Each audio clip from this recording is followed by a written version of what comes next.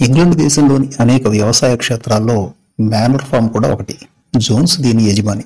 కొన్ని వ్యక్తిగత సమస్యలతో సతమతమవుతున్న జోన్స్ ఫామ్ యొక్క రోజువారీ వ్యవహారాలను గాలి కుదిరేసి ఫామ్లోని జంతువులను హింసించడం మొదలు పెడతాడు ఫామ్లోని జంతువుల్లో ఒక విధమైన అసంతృప్తి నెలకొంటుంది. దాన్ని మరింత పెంచి పోషించడంలో ఓల్డ్ మేజర్ అనబడే ఓ వృద్ధ పొంది ముఖ్య భూమిక పోషిస్తాడు. బీస్ట్స్ ఆఫ్ ఇంగ్లాండ్ అనే ఓ విప్లవ గీతాన్ని జంతువుల ముందుకు తీసుకొచ్చిన మేజర్ వాటిలో విప్లవ భావాలు రగిల్చడంలో కృతకృత్యుడవుతాడు. కానీ తిరుగుబాటుకు ముందే మానేస్తాడు. అనుకోకుండా ఒకనాడు జంతువులు జోన్స్పై తిరుగుబాటు చేసి ఫామ్ నుండి అతన్ని బహిష్కరిస్తాయి. స్నోబాల్ నెపోలియన్ మరియు స్క్వేలర్ అనబడే మూడు యువ మగపందులు ఫామ్ యొక్క నిర్వహణ బాధ్యతలు చేపడతాయి. జంతువాద సిద్ధాంతానికి రూపకల్పన జరుగుతుంది. ఏడు కమాండ్మెంట్లతో కూడిన ప్రత్యేక నియమావళి తెరపైకి వస్తుంది. జంతువాదానికి చిహ్నంగా ఒక జెండా తయారవుతుంది. జాతీయ గీతాలపన ఫ్లాగ్ హాయిస్టింగ్ జనరల్ అసెంబ్లీ ప్రత్యేక సమావేశాలు తీర్మానాలు చర్చలు ఓటింగులు అభిప్రాయ భేదాలు తీవ్ర వాగ్ వివాదాలు మొదలైన వాటితో ఫామ్ ఆధునిక ప్రజాస్వామ్యాన్ని తలపిస్తూ ఉంటుంది. జంతువులకు విద్యాబోధన విండుమిల నిర్మాణం వంటి అనేక నూతన పథకాలు తెరపైకి వస్తాయి స్నోబాల్ మరియు నెపోలియన్ల మధ్య ఆధిపత్య పోరు మొదలవుతుంది. జెస్సీ బ్లూబెల్ అనే కుక్కలు జన్మనిచ్చిన తొమ్మిది కుక్క పిల్లలను అజ్ఞాతంలో పెంచి వాటినే తన ఆంతరంగిక సైన్యంగా చేసుకుంటాడు నెపోలియన్. విండ్ మిల్ అనే అంశం మీద స్నోబాల్తో విభేదించి తన కుక్కల సహాయంతో స్నోబాల్ను పాము నుండి తరిమేసిన నెపోలియన్ క్రమంగా పాంపై పట్టు సాధించి నియంతగా తయారవుతాడు. స్క్వేలర్ అనే జిత్తులు మారిన ఒక ప్రక్కన తన తొమ్మిది క్రూరమైన కుక్కలను మరో ప్రక్కన పెట్టుకుని అనేక అరాచకాలు సృష్టిస్తాడు. తన అధికారాన్ని ధిక్కరించే ప్రతి ఒక్కరిని ఉక్కు పాదంతో అణిచివేస్తాడు. జంతువులు ప్రాణపదంగా భావించే బీస్ట్స్ ఆఫ్ ఇంగ్లాండ్ అనే గీతాన్నే కాక ఫామ్లోని జంతువులన్నిటినీ ఒకటిగా చేసిన కామ్రేడ్ అనే సంబోధనను కూడా నిషేధిస్తాడు. లేనిపోని ఆరోపణలు బోటకపు విచారణలతో అనేక జంతువులను నిర్దాక్షిణ్యంగా అంతమొందించిన నెపోలియన్ జంతువాద సిద్ధాంతానికి పూర్తిగా తిలోదకాలిస్తాడు. ఒక్కొక్క కమాండ్మెంట్ను తుంగలో తొక్కుతూ చివరికి యానిమల్ ఫామ్ పేరును కూడా మేనర్ ఫామ్గా మార్చేస్తాడు. ఏ పరిస్థితులు అయితే ఒక గొప్ప ఉద్యమానికి ప్రేరణ కలుగజేసి తద్వారా జోన్స్ను తన స్వంత ఫామ్ నుండి బహిష్కరణకు గురి చేశాయో ఇంచుమించు అవే పరిస్థితులు సర్వస్వతంత్రంగా అవతరించిన యానిమల్ ఫామ్లో తిరిగి దర్శనమిస్తాయి. ఆ రోజుల్లో పశ్చిమ దేశాల్లో ఎన్నో సంచలనాలకు కారణమై కొన్ని కమ్యూనిస్టు దేశాల్లో నిషేధానికి గురై ఈనాటికి ప్రపంచవ్యాప్తంగా ఎంతో ప్రాముఖ్యతను సంతరించుకున్న యానిమల్ ఫామ్ రచన ఆధారంగా వచ్చిన ఈ నాటకాన్ని ఒకసారి పరిశీలిద్దాం. పంతొమ్మిది వందల పదిహేడు నాటి సోవియట్ రష్యాలోని కమ్యూనిస్టు విప్లవం అది విజయవంతం కావటం తన అంతర పరిణామాలు నియంత అయిన జోసెఫ్ స్టాలిన్ ఏ విధంగా అధికారంలోకి వచ్చింది ఆ తరువాత అతని పరిపాలనా విధానాలు ఈ యానిమల్ ఫామ్ నాటకానికి ప్రేరణ నేపథ్యం అని చెప్పవచ్చు. వివిధ రకాలైన జంతువులే ఈ నాటకంలోని ప్రధాన పాత్రలు. ప్రధాన పాత్రలు. జోన్స్ మేనర్ ఫామ్ యొక్క యజమాని. ఓల్డ్ మేజర్ ఒక వృద్ధ పంది జంతువాద సిద్ధాంతకర్త స్నోబాల్. యువ నాయక పంది త్రయంలో ఒక యువ మగపంది నెపోలియన్. యువ నాయక పంది త్రయంలో రెండోవాడు స్క్వేలర్ యువ నాయక పంది త్రయంలో మూడోవాడు బాక్సర్. ఒక మగ గుర్రం శ్రామిక వర్గ ప్రతినిధి క్లోవర్. ఒక ఆడగుర్రం బాక్సర్కు సహచరి. బెంజమిన్ ఒక మగ గాడిద మొండిఘటంగా ముద్ర. మోజెస్ జోన్స్ యొక్క పెంపుడు కాకి మ్యూరియల్ అణగారిన వర్గాలకు చెందిన తెలివైన మేక ఒక బడుగు మేధావి పౌరాలు ప్రసార మాధ్యమాలకు అన్యార్థ మినిమస్ కవిత్వం తెలిసిన ఒక యువ పంది మోలి జోన్స్ యొక్క వ్యక్తిగత బండిని లాగే ఆడగుర్రం తొమ్మిది కుక్కలు నెపోలియన్ యొక్క ప్రత్యేక రక్షణ బృందం పందులు నెపోలియన్ చుట్టూ ఉండే అతని మిత్ర బృందంలోనివి. నాలుగు యువపందులు నెపోలియన్ చర్యలపై తమ నిరసన గళాల్ని ఎత్తినవి. గొర్రెలు నెపోలియన్ను గుడ్డిగా సమర్థించేవి. మూడు కోళ్ళు నెపోలియన్కు ఎదురు తిరిగినవి. వింపర్ యానిమల్ ఫామ్కు బయటి ప్రపంచానికి మధ్యవర్తి మరియు సంధానకర్త. ఫ్రెడ్రిక్ పించిఫీల్డ్ యజమాని వెండుమిల్లు విధ్వంసకారకుడు. ఫిల్కింగ్టన్ ఫాక్స్వుడ్ యజమాని నెపోలియన్కు మిత్రుడు.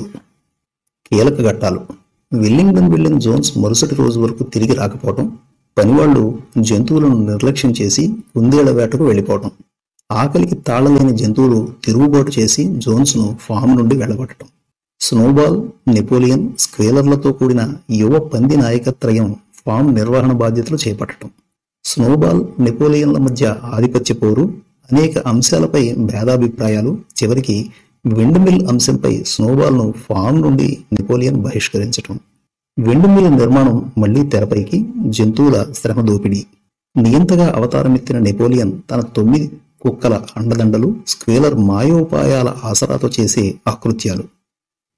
వ్యాపార లావాదేవీల్లో ఫ్రెడ్రిక్తో సమస్యలు ఫామ్పై దాడి చేసిన ఫ్రెడ్రిక్ వెండుమిల్ విధ్వంసం కాలక్రమంలో మొత్తం ఇంగ్లాండ్ దేశంలోనే ఒక భాగ్యవంతమైన ఫామ్గా యానిమల్ ఫామ్ అవతరణ. చుట్టుప్రక్కల ఫామ్ యజమానుల యానిమల్ ఫామ్ సందర్శన వారి పొగడ్తల జల్లులో యానిమల్ ఫామ్ మానవుల మరియు పందుల అపూర్వ సంగమం విందు వినోదాలతో జరిగిన ప్రత్యేక సదస్సు. కాంగ్రేడ్ సంబోధన రద్దు యానిమల్ ఫామ్ పేరును మేనర్ ఫామ్గా మార్చివేత అనేక కీలక నిర్ణయాలు. తీవ్ర విభేదాలు వాగ్వివాదాలు కొట్లాటలతో సదస్సు రచ్చరచ్చ. మొదటి అంకం. బాక్సర్ మ్యూరియల్ బెంజమిన్ మరియు ఇతర జంతువులను ఉద్దేశించి మిత్రులారా ఈ రాత్రి బిగ్ బాన్లో సమావేశం కావలసిందిగా మేజర్ నుండి ఆదేశాలు వచ్చాయి అంటాడు స్నోబాల్. మన వాళ్ళందరికీ ఈ విషయం తెలియజేస్తానులే బదులిస్తాడు బాక్సర్. బిగ్ బాన్లో ఆ రాత్రి సమావేశానికి హాజరు కావడానికి ఫామ్లోని జంతువులన్నీ సమాయత్తమవుతూ ఉంటాయి. అన్నిటికంటే ముందుగా బాన్లో ప్రవేశించిన మేజర్ ఒక ప్రక్క వేదికలో ఉన్న ఎత్తైన ప్రదేశంలో కూర్చుని ఉంటాడు. వెల్లింగం నుండి జోన్స్ తిరిగి వచ్చాడా? జంతువులను ఉద్దేశించి అడుగుతాడు మేజర్. ఆ ఫుల్లుగా తాగొచ్చి పైకి పోయి పడుకున్నాడు అని ప్రక్కనున్న జంతువులతో చెబుతుంది మ్యూరియల్. సరే మనమంతా ఈరోజు ఇక్కడ ఎందుకు సమావేశమయ్యామో మీ అందరికీ తెలుసు అనుకుంటా అని అంటూ జంతువుల వంక చూస్తాడు మేజర్ ఒకసారి. తెలుసు మేజర్ మీకు వచ్చిన కళ గురించి తెలుసుకుందామని మన వాళ్ళంతా ఎదురు చూస్తున్నారు అంటాయి జంతువులు. సంతోషం. దాని గురించి మీరంతా తెలుసుకునే ముందు మీకు చెప్పవలసినవి మరికొన్ని విషయాలున్నాయి అంటాడు మేజర్. సరే చెప్పండి మేజర్. ఉత్సాహంగా బదులిస్తాయి జంతువులు. మధ్యలో అడ్డు తగలకుండా వినండి. కొంచెం అసహనంగా కనిపిస్తాడు మేజర్. మేజర్ చెప్పబోయే విషయాలు అందరూ శ్రద్ధగా వినవలసిందిగా విజ్ఞప్తి చేస్తున్నా అని కూర్చుంటాడు స్క్వేలర్. ఒకసారి జంతువులన్నిటి వైపు పరీక్షగా చూసిన మేజర్ తన ప్రసంగాన్ని మొదలు పెడతాడు కామ్రేడ్స్ ఈ సంబోధన మీకు అందరికీ క్రొత్తగా అనిపిస్తుందని తెలుసు. కానీ మనందరినీ ఒకటిగా కలిపే దివ్య మహత్తు దీనికి ఉంది. నిన్న రాత్రి నాకు వచ్చిన కళ గురించిన వివరాల్లోకి వెళ్ళే ముందు మీరు తెలుసుకోవలసినవి మరికొన్ని ఉన్నాయి అంటాడు. చెప్పండి మేజర్ ఆతృతగా అడుగుతాయి జంతువులు. హుష్ నిశ్శబ్దం. కామ్రేడ్స్ రోజు రోజుకు వయసు మీద పడుతుంది నాకు. మీ మధ్య ఎంతో కాలం ఉండలేననే వాస్తవం నాకు తెలుసు. జంతు జాతికి జరుగుతున్న అన్యాయాలు నన్ను ఎంతో కలవరానికి గురి చేస్తున్నాయి. ఈ క్రూర మానవ జాతి నుండి మనకు విముక్తి ఉండదా అనిపిస్తోంది. యావత్ సృష్టిలోనూ మానవుడొక్కడే అనుత్పాదక జీవి అన్నది మీకందరికీ తెలుసు. తనంత తాను సహజంగా ఏమీ ఉత్పత్తి చేయలేని మనిషి మన మీద మాత్రం పెత్తనం చెలాయిస్తున్నాడు అని చెప్పుకుపోతున్నాడు మేజర్. మీరన్నది వాస్తవమే మేజర్. ముక్త కంఠంతో అంటాయి జంతువులు. మన ఆవుల్లా సమాజానికి ఉపయోగపడేలా పాలు ఇవ్వగలడా మన కోళ్ళల్లా గుడ్లు పెట్టగలడా? మన పశువుల్లా నాగలి దున్నగలడా? మన గుర్రాల్లా బండ్లు లాగగల శక్తి మనిషికుందా? సమాజానికి అవసరమైన ఆహార పదార్థాలు సమకూర్చగల శక్తి సామర్థ్యాలు మనిషికి ఉన్నాయా మన శారీరక శ్రమ పొలాలు దున్నటానికి ఉపయోగపడుతుంది. మనం విసర్జించే పేడ మొదలైన వ్యర్థ పదార్థాలతో నేల సారవంతమవుతోంది. సమాజానికి ఇంతగా ఉపయోగపడుతున్న మనకు మన చర్మం తప్ప ఏమి మిగులుతోంది? అని ప్రశ్నిస్తాడు మేజర్ ఆవేశంగా. మీరు చెప్పేవన్నీ అక్షర సత్యాలు మేజర్ అంటాయి జంతువులన్నీ ముక్తకంఠంతో ఆవులరా గత సంవత్సరం మీ జాతి ఎన్ని గేలన్ల పాలు ఇచ్చిందో జ్ఞాపకం ఉందా? న్యాయంగా మీ దూడలకు చెందవలసిన వాటా వాటికి లభించిందా? మరి ఏమైనట్టు? ప్రశ్నిస్తాడు ఆవులను ఉద్దేశించి మేజర్. ప్రియమైన కోడలారా మీ జాతి మొత్తం ఎన్ని గుడ్లు పెట్టింది గత సంవత్సరం? వాటిలో ఎన్నిటిని పొదగగలిగే అవకాశం కలిగింది మీకు? అని ప్రశ్నిస్తాడు కోళ్ళను ఉద్దేశించి మేజర్. ఇలా అయితే మా జాతి అంతరించిపోయే ప్రమాదం ఉందనిపిస్తోంది మేజర్. మా జాతికి జరిగే నష్టాన్ని పూడ్చుకునేది ఎలా? వాపోతాయి కోళ్ళు డియర్ క్లోవర్ నీవు జన్మనిచ్చిన నాలుగు పిల్లలు ఏమైనట్టు? వాటిని మళ్ళీ ఎప్పుడైనా చూడగలిగావా? నీ వృద్ధాప్యంలో అండగా ఉండవలసిన వాటిని సంవత్సరం వయసు దాటకుండానే జోన్స్ అమ్మివేయటం గుర్తు లేదా నీకు? క్లోవర్ను ఉద్దేశించి అంటాడు మేజర్. నిజమే మేజర్ మీరు చెప్పేదంతా వాస్తవమే. కానీ శక్తిహీనురాలని ఏం చేయగలను చెప్పండి? అంటుంది క్లోవర్. ఇక నా విషయానికే వద్దాం. ఒక విధంగా నేను అదృష్టవంతుందనే అనాలి. పన్నెండు సంవత్సరాల నా సుదీర్ఘ జీవిత కాలంలో నాలుగు వందల పైచులకు సంతానాన్నే పొందా. ఒక పంది తన జీవితకాలంలో పొందవలసిన అనుభూతులను అన్నిటినీ పొందగలిగానని చెప్పడానికి కొంచెం గర్వంగానే ఉంది నాకు. కాకపోతే ఒక విషయం. సహజ మరణం పొందే అవకాశాన్ని మాత్రం ఈ మానవ సమాజం మనకు ఇవ్వదు. మనలో ప్రతి ఒక్కరూ ఏదో సందర్భంలో మానవుని క్రూర కత్తికి బలి కావలసిందేనని గుర్తుంచుకోండి. ముఖ్యంగా ఆవులు గేదెలు పందులు కోళ్ళు మేకలు గొర్రెలు బాతులు మొదలైన జాతులు ఎట్టి పరిస్థితుల్లోనూ సహజ మరణం పొందే అవకాశమే లేదు అంటాడు మేజర్. అమ్మో అయితే జోన్స్ మా అందరినీ చంపేస్తాడా? భయపడుతున్నట్టుగా అడుగుతాయి జంతువులు. ఎందుకంత భయపడతారు? తన సహచర జంతువుల వైపు చూస్తూ అడుగుతాడు బాక్సర్. ప్రియమైన బాక్సర్ నువ్వేమీ మురిసిపోనక్కర్లేదు. నీ కాలిగట్టల్లోని అద్భుతమైన శక్తి సన్నగిల్లిందని తెలిసిన మరుక్షణమే కటికవానికి అమ్మేస్తాడు జోన్స్ నిన్ను. బాక్సర్ వైపు చూస్తూ అంటాడు మేజర్. భౌ భౌ అంటూ అరుస్తూ ఉంటాయి కుక్కలు. మీ విషయానికే వస్తున్నా.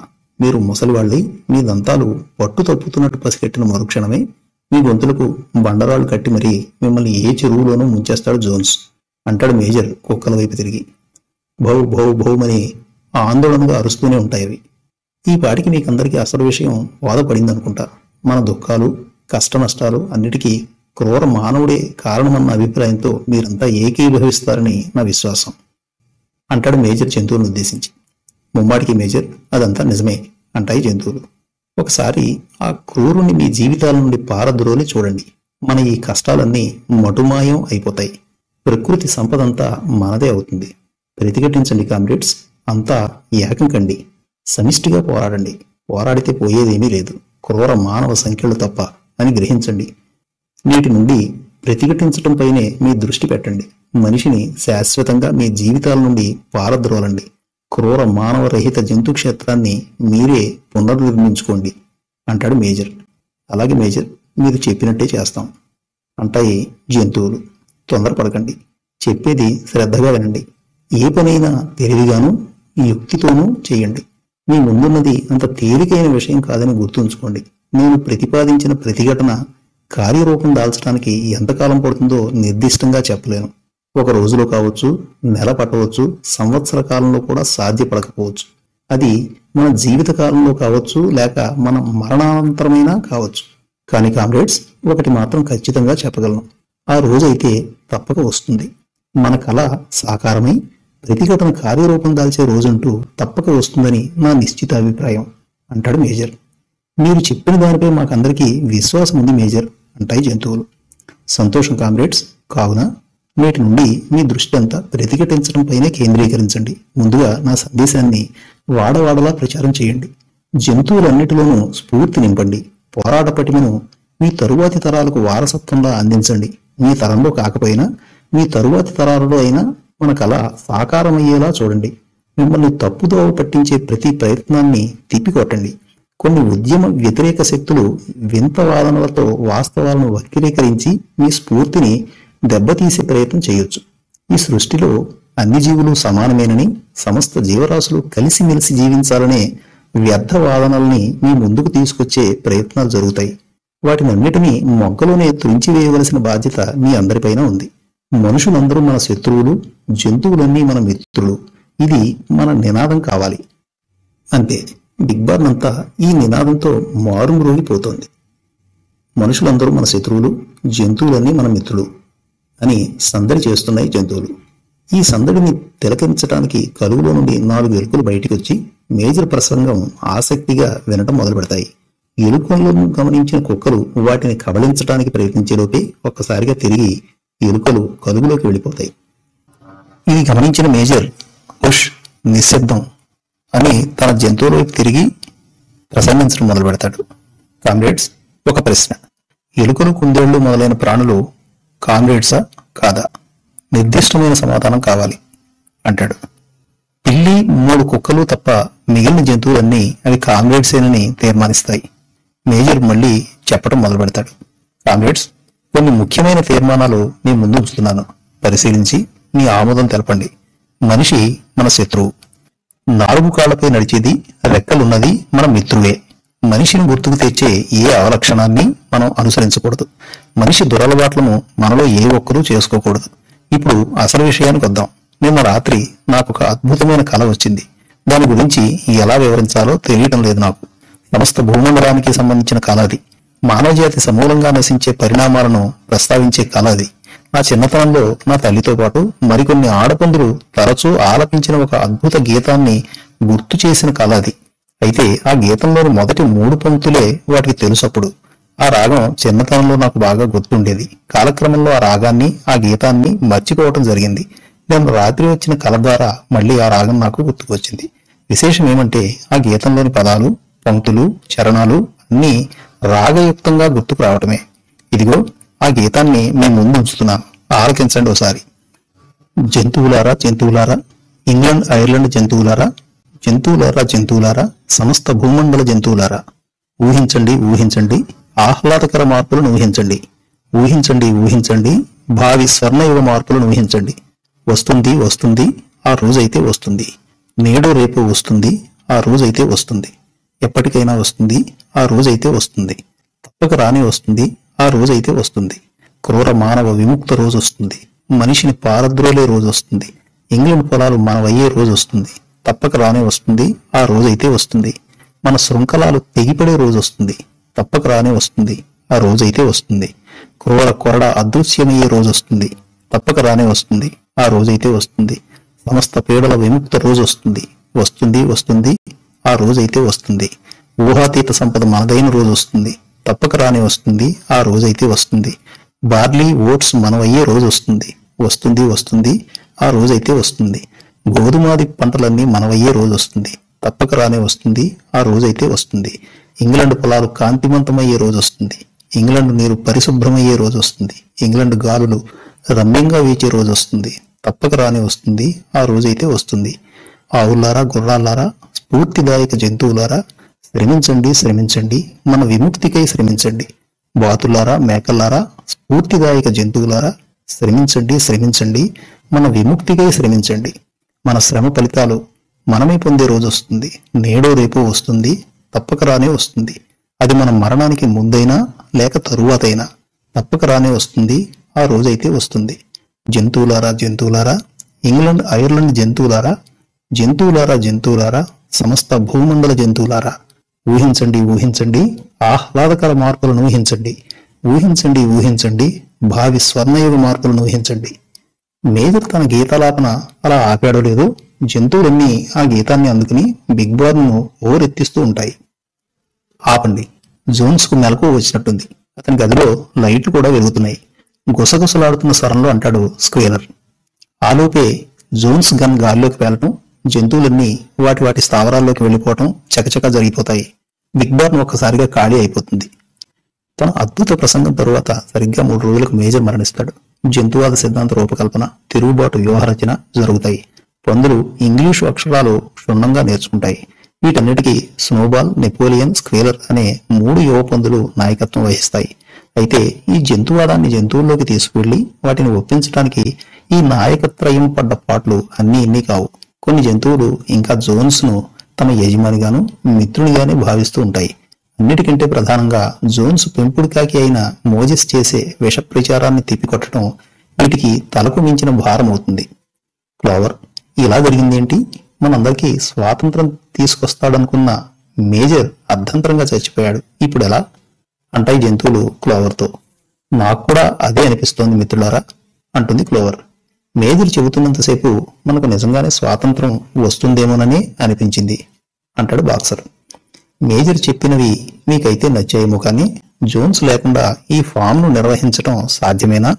అన్న సందేహం వెలిబుచ్చుతాయి కొన్ని జంతువులు. అంటే తిరుగుబాటే చేయొద్దంటారా? స్నోబాల్ అంటాడు. మన దుఃఖాలన్నిటికీ కారణమవుతున్న మానవ జాతిని సమర్థించటమా? నో అది కుదరని పని అంటాడు నెపోలియన్. జంతువులన్నీ సమానమని అన్నాడేంటి మేజర్? జోన్స్ బండిలాగే నేను క్లోవర్ ఇద్దరము ఎలా సమానమవుతాం? అంటుంది మోలీ బుద్ధి తక్కువగా మాట్లాడకు. ఏ నీ స్థానంలో క్లోవర్ ఉండి తన స్థానంలో నువ్వు ఉన్నట్టయితే ఏమనేదానివి? మోలిని ప్రశ్నిస్తాడు స్క్వేలర్. ఇదిగో స్క్వేలర్ మీరు ఎన్నైనా చెప్పండి. తిరుగుబాటు చేసి జోన్స్ను ఫామ్ నుండి వెళ్ళగొట్టడం మన వల్ల కాదు. అయినా మనం చనిపోయిన తరువాత లభించే స్వాతంత్ర్యం వల్ల మనకేంటి లాభం? తింటేనే కదా బలం. ఎంత ఉంటే మాత్రం ఏం లాభం? ఇప్పుడు కాకపోతే మన తరువాతట. మనమేమో కష్టపడాలట. మన తరువాతి తరాల వాళ్ళు సుఖపడతారట విడ్డూరంగా లేదు వింటుంటే తమలో తమే నవ్వుకుంటూ వెటకారంగా అంటాయి కొన్ని జంతువులు.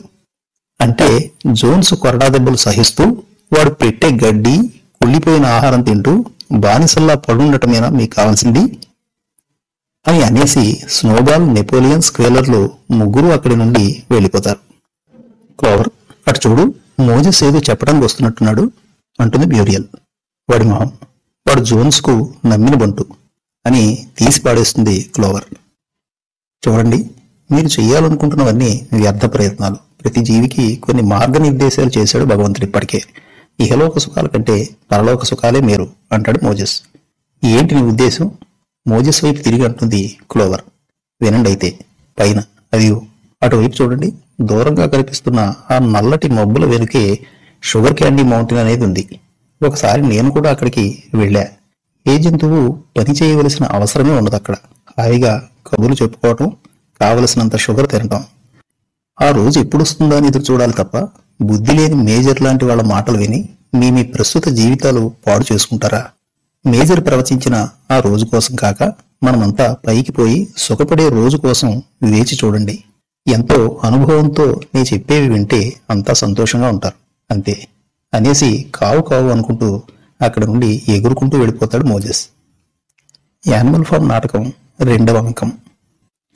ఇలా ఉంటే వెల్లింగ్డన్ వెళ్ళిన జోన్స్ ఆ రాత్రికి కూడా తిరిగి రాడు. ఉదయాన్నే నిద్రలేచిన పనివాళ్ళు దీన్ని అవకాశంగా తీసుకుని జంతువులను పట్టించుకోకుండా కుందేళ్ళ వేటకు వెళ్ళిపోతారు వాళ్ళ పాటికి వాళ్ళు. ఆవులకు పాలు తీసేవాళ్ళు లేక జంతువులకు మేత వేసేవాళ్ళు లేక ఫామ్లో ఒక విధమైన అలజడి లాంటిది మొదలవుతుంది. ఈలోపు విల్లింగ్డన్ నుంచి తిరిగి వచ్చిన జోన్స్ కూడా జంతువుల పరిస్థితిని గమనించకుండా వాటిని అలాగే గాలికి వదిలేసి తన రూముకు పోయి పడుకుంటాడు. అంతే జంతువుల్లో ఆగ్రహం కట్టలు తెంచుకుంటుంది ఒక్కసారిగా. ఆహార పదార్థాలు నిల్వ ఉంచే గిడ్డంగి వైపు జంతువులు దూసుకు వెడతాయి వెళ్ళటమే కాదు ఆ గిడ్డంగి తలుపులను ధ్వంసం చేసి అక్కడున్న ఆహార పదార్థాలను దొరికిన గాడికి దొరికినట్టు భోంచేస్తాయి. జంతువులను అదుపు చేయటానికి జోన్స్ చేసిన ప్రయత్నాలేవి ఫలించవు. అలా అనుకోకుండా ఆ రోజు తిరుగుబాటు విజయవంతమవుతుంది. జోన్స్ ప్రభృతులను ఫామ్ నుండి తరిమి కొడతాయి జంతువులు. పందుల నాయకత్రయం ఫామ్ నిర్వహణ బాధ్యతలు చేపడుతుందలా. కామ్రేడ్స్ మన కళ ఇంత త్వరగాను ఇంత సులభంగానూ నెరవేరుతుందని అనుకోలేదు. ఈ విజయాన్ని ఓల్డ్ మేజర్కు అంకితమిస్తున్నా అని బాక్సర్ బ్లూబెల్ మ్యూరియల్ క్లోవర్లను ఉద్దేశించి మీరంతా గొలుసులు కత్తులు కొడవళ్ళు ముక్కుతాళ్ళు కళ్ళ గంతలు లాంటి క్రూర మానవుణ్ణి గుర్తు చేసే ప్రతి వస్తువును పట్టుకురండి అంటాడు. ఇదిగో క్లోవర్ కొరడాలను తేవటం మర్చిపోకే అని ప్రత్యేకించి క్లోవర్కు చెప్తాడు స్నోబాల్. ఓ వాటి సంగతి మాకు వదిలే స్నోబాల్ అంటుంది మ్యూరియల్. విధ్వంసకాండ ఊపందుకుంటుంది జంతు హింసకు ఉపయోగించే వస్తువులన్నీ ఒకటొకటిగా అగ్నికి ఆహుతయిపోతాయి ఇదిగో మా జాతిని ఎన్నో అవమానాలకు గురిచేసి మేము ఎంతగానో హింసకు గురి కావటానికి కారణమైన ఈ గొలుసులను మంటల్లో పడవేస్తున్న కామ్రేడ్స్ అని పకపక నవ్వుతుంది జెస్సీ. క్లోవర్ మన కళ్ళకు కట్టే గంతల్ని ముక్కుకు ఊపిరాడకుండా చేసే ఆ త్రాళ్ళను వేటిని వదలకుండా మంటల్లో పడే ఆ అని భయంకరంగా సకిలిస్తాడు బాక్సర్. మన జంతు జాతిని భయభ్రాంతుల్ని చేసి తీవ్ర అవమానాలకు గురి చేసిన కొరడాలను మసి చేసేదాకా నిద్రపోను.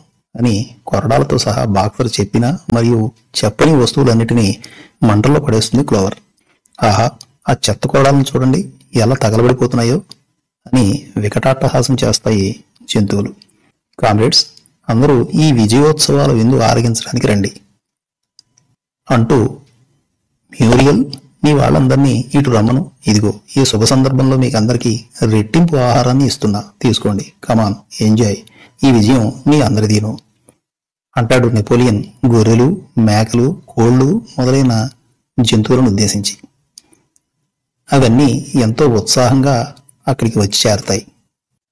జెస్సీ రాత్రి నిద్ర పట్టిందా నీకు? తను తింటూ అడుగుతాడు పించర్ జెస్సీని ఉద్దేశించి. ఏ నీకు పట్టలేదా? అడుగుతుంది జెస్సీ. ఎందుకు పట్టదు? అటువంటి నిద్ర అసలు ఎప్పుడూ ఎరగను నేను. మరి నీ సంగతి? తిరిగి ప్రశ్నిస్తాడు పించర్. బ్లూబెల్ అభిప్రాయం కూడా అదే. నిద్ర అంటే ఇలా ఉంటుందని ఏ జంతువుకు తెలియదు పించర్ ఈ విషయం మీదనే జంతువులన్నీ చర్చించుకుంటున్నాయి. అదిగో క్లోవర్ వస్తుంది. అడుగుతానుండు అంటుంది జెస్సీ. జెస్సీ మోలీ ఎక్కడ? అసలు దాని జాడే లేదు. పదండి ముందు ఫామ్ను ఒకసారి తనివి తీరా చూసొద్దాం అంటుంది క్లోవర్. అలా జంతువులన్నీ ఫామ్లోని పచ్చిక బయళ్ళను తనివి తీరా చూస్తూ ఇక నుండి అవన్నీ తమవేనన్న భావంతో ఉంటాయి. అందరూ అటువైపు చూడండి. ఆ గుట్ట చూడండి ఎంత బాగుందో. బిల్డింగ్లోనూ చూడండి అర్రా. ఇవన్నీ మనవే ఇక నుండి. పదండి. ఫామ్ హౌస్ చూసొద్దాం ఒకసారి. అంటుంది క్లోవర్ తన సహచర జంతువులను ఉద్దేశించి. అదిగో మోలి ఆ డ్రెస్సింగ్ టేబుల్ వద్ద ఉంది. చూడండి అంటాడు లూబెల్. ఏ మోలి ఏం చేస్తున్నావు? సిగ్గేయటం లేదు నీకు? ఆ రిబ్బన్లను వెంటనే తీసేయకపోయావు అనుకో ఒరేయ్ అందరూ మోలీని బయటకు పంపించేయండిరా. దానికి అసలు బుద్ధే లేదు అంటాడు బాక్సర్. కామ్రేడ్స్ అంతా బార్న్లోకి రండి. స్నోబాల్ నెపోలియన్లు మీకోసం ఎదురు చూస్తున్నారు. అంటాడు స్క్వేలర్ జంతువులను ఉద్దేశించి. ఆ మాట విన్న జంతువులు పరుగులు పెడుతూ బార్న్ వద్దకు చేరుకుంటాయి. రండి కామ్రేడ్స్ రండి. మిత్రులారా ముందుగా మీ అందరికీ విజయోత్సవ శుభాకాంక్షలు తెలియజేస్తున్నా. అందుకోండి అంటాడు స్నోబాల్ జంతువులను ఉద్దేశించి. హలో కామ్రేడ్స్ నిద్ర బాగా పట్టిందా? నెపోలియన్ పరామర్శిస్తాడు తన సాటి జంతువులను. ఓ బాగా అంటాయి జంతువులన్నీ సంతోషంగా. స్టాండర్డ్స్ నేటి నుండి మన ఫామ్ పేరును యానిమల్ ఫామ్గా మార్చేస్తున్నాం అంటాడు స్నోబాల్ పొదువే యానిమల్ ఫామ్ అంటూ మురిసిపోతూ ఉంటాయి జంతువులు. అంత మెయిన్ గేట్ దగ్గరికి పదండి ఆదేశిస్తాడు స్నోబాల్ ఇదిగో ఈ లోపు బార్ను గోడకు నిచ్చిన ఆంచి వేయండి. తను కూడా ఆదేశాలు ఇస్తాడు నెపోలియన్ జంతువులకు. స్క్వేలర్ పెయింట్ బ్రష్ తీసుకురా అలాగే బ్లాక్ అండ్ వైట్ పెయింట్ కూడా. స్క్వేలర్తో అంటాడు స్నోబాల్ మెయిన్ గేట్ మీద వ్రాయబడి ఉన్న మేనర్ ఫామ్ను చెరిపివేసి దాని స్థానంలో యానిమల్ ఫామ్ అని అందంగా వ్రాస్తాడు స్నోబాల్ తరువాత జంతువులన్నీ బిగ్ బార్న్ వద్దకు చేరుకుంటాయి. మ్యూరియల్ ఆ గోడపై ఏమి వ్రాస్తున్నాడు స్నోబాల్ స్నోబాల్కు ఇంగ్లీష్ ఎలా వచ్చింది? ఆశ్చర్యంగా ప్రశ్నిస్తుంది క్లోవర్ ఈ మధ్య వాళ్ళందరూ ఇంగ్లీష్ నేర్చుకున్నట్టుగా ఉంది. తనకు తోచిన సమాధానం చెప్తుంది మ్యూరియల్ కామ్రేడ్స్ మేజర్ ఆశయాలకు అనుగుణంగా జంతువాద సిద్ధాంతానికి రూపకల్పన చేయటం జరిగింది. ఇందులో భాగంగానే ఏడు సూత్రాలను రూపొందించాం. వాటి గురించి మీకందరికీ వివరించే ప్రయత్నం చేస్తా అంటాడు స్నోబాల్ జంతువులతో. ఇంగ్లీష్ ఎలా వచ్చింది స్నోబాల్ నీకు? ఆశ్చర్యంగా అడుగుతుంది మ్యూరియల్. మేజర్ ఆశయాలు నెరవేరాలంటే ఇవన్నీ తప్పదనిపించింది మ్యూరియల్. మీరందరూ కూడా నేర్చుకోవాల్సిన అవసరం ఉంది కామ్రేడ్స్. ముందు ఈ ఏడు సూత్రాల గురించి తెలుసుకోండి అంటాడు స్నోబాల్. రెండు కాళ్ళపై నడిచే ప్రతిదీ మన శత్రువే. నాలుగు కాళ్ళపై నడిచేది లేక రెక్కలు కలిగి ఉన్నది ప్రతిదీ మనకు మిత్రుడే. ఏ జంతువు వస్త్రధారణ చేయరాదు. ఏ జంతువు మంచంపై పడుకోరాదు. ఏ జంతువు మద్యం సేవించరాదు. ఏ జంతువు మరో జంతువును చంపరాదు. అన్ని జంతువులు సమానమే. ముందు వీటన్నిటినీ కంఠస్థం చేయాలి మీరంతా అంటాడు స్నోబాలు జంతువులతో. అలాగే స్నోబాల్ తప్పకుండా నేర్చుకుంటాం. జంతువులన్నీ ఒక మాటగా అంటాయి. ఇకపోతే పంట కోసి తెచ్చుకోవటమే మన తక్షణ కర్తవ్యం. పదండి పొలాల వైపు. ఏంటి? ఆ ఆవుకి ఏమైంది? ఏం జరిగింది మిత్రమా? ఆ ఆవు వైపే చూస్తూ ప్రశ్నిస్తాడు స్నోబాల్. ఆ ఆవు పొదుగు పూర్తిగా పాలతో నిండిపోయి బాధపడుతోందని అర్థం అవటానికి ఆట్టే సమయం పట్టదు స్నోబాల్. ఎవరైనా బకెట్లు తీసుకురండి ఆజ్ఞాపిస్తాడు స్నోబాల్. ఇవిగో బకెట్లు. ఏం చేయమంటావు స్నోబాల్? అడుగుతాడు స్క్వేలర్. ఆవుల పొదుగులు పాలతో నిండిపోయి నరకయాతన అనుభవిస్తున్నాయి అవి. మనం ఆ పాలు పితకాలి వెంటనే అంటాడు స్నోబాల్. సుమారు ఐదు బకెట్ల పాలు వస్తాయి. ఈ పాలను ఏం చేస్తారు? ఆశ్చర్యంగా అడుగుతుంది పిల్లి. జోన్స్ అయితే కొన్ని పాలను మాకు పెట్టే ఆహారంలో కలిపేవాడు రోజు. ఒక కోడి బదులిస్తుంది. ఈ పాల సంగతి మేము చూసుకుంటాం. ముందు పంట గురించి ఆలోచించండి మీరు. స్నోబాల్ ఆధ్వర్యంలో ఆ పని పూర్తి చేసుకురండి. నేను మధ్యలో కలుస్తా మీతో అంటాడు నెపోలియన్. ఎలా అయితే పంట కోసుకుని పొలాల నుండి తిరిగి వస్తాయి జంతువులు. అరే పాలన్నీ ఏమయ్యాయి?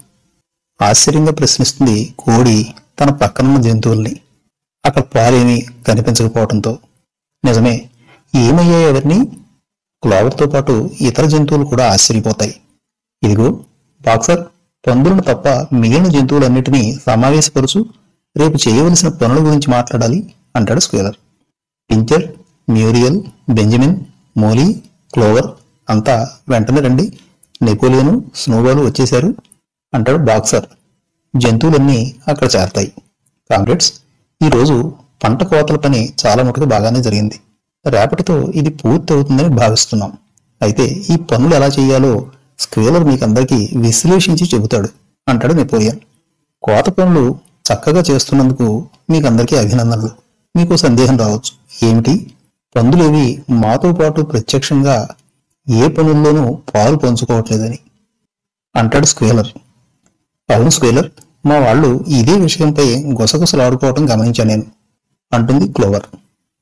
ఎస్ మీకందరికీ దీనిపై వివరణ ఇవ్వవలసిన అవసరం ఉంది. మన పనిని రెండు ప్రధాన భాగాలుగా చేయాలని నాయకత్వం నిర్ణయించింది. ఇప్పటికే చదువులో ఆరితేరిన పందులు ద్వితీయ శ్రేణి నాయకులుగా ఉంటూ ఇతర జంతువులు ఎలా పనిచేయాలో అవి దగ్గరుండి చూసుకుంటాయి. వివిధ రకాల పనులు సులభతరంగా ఎలా చేయాలో అవి చెబుతాయి.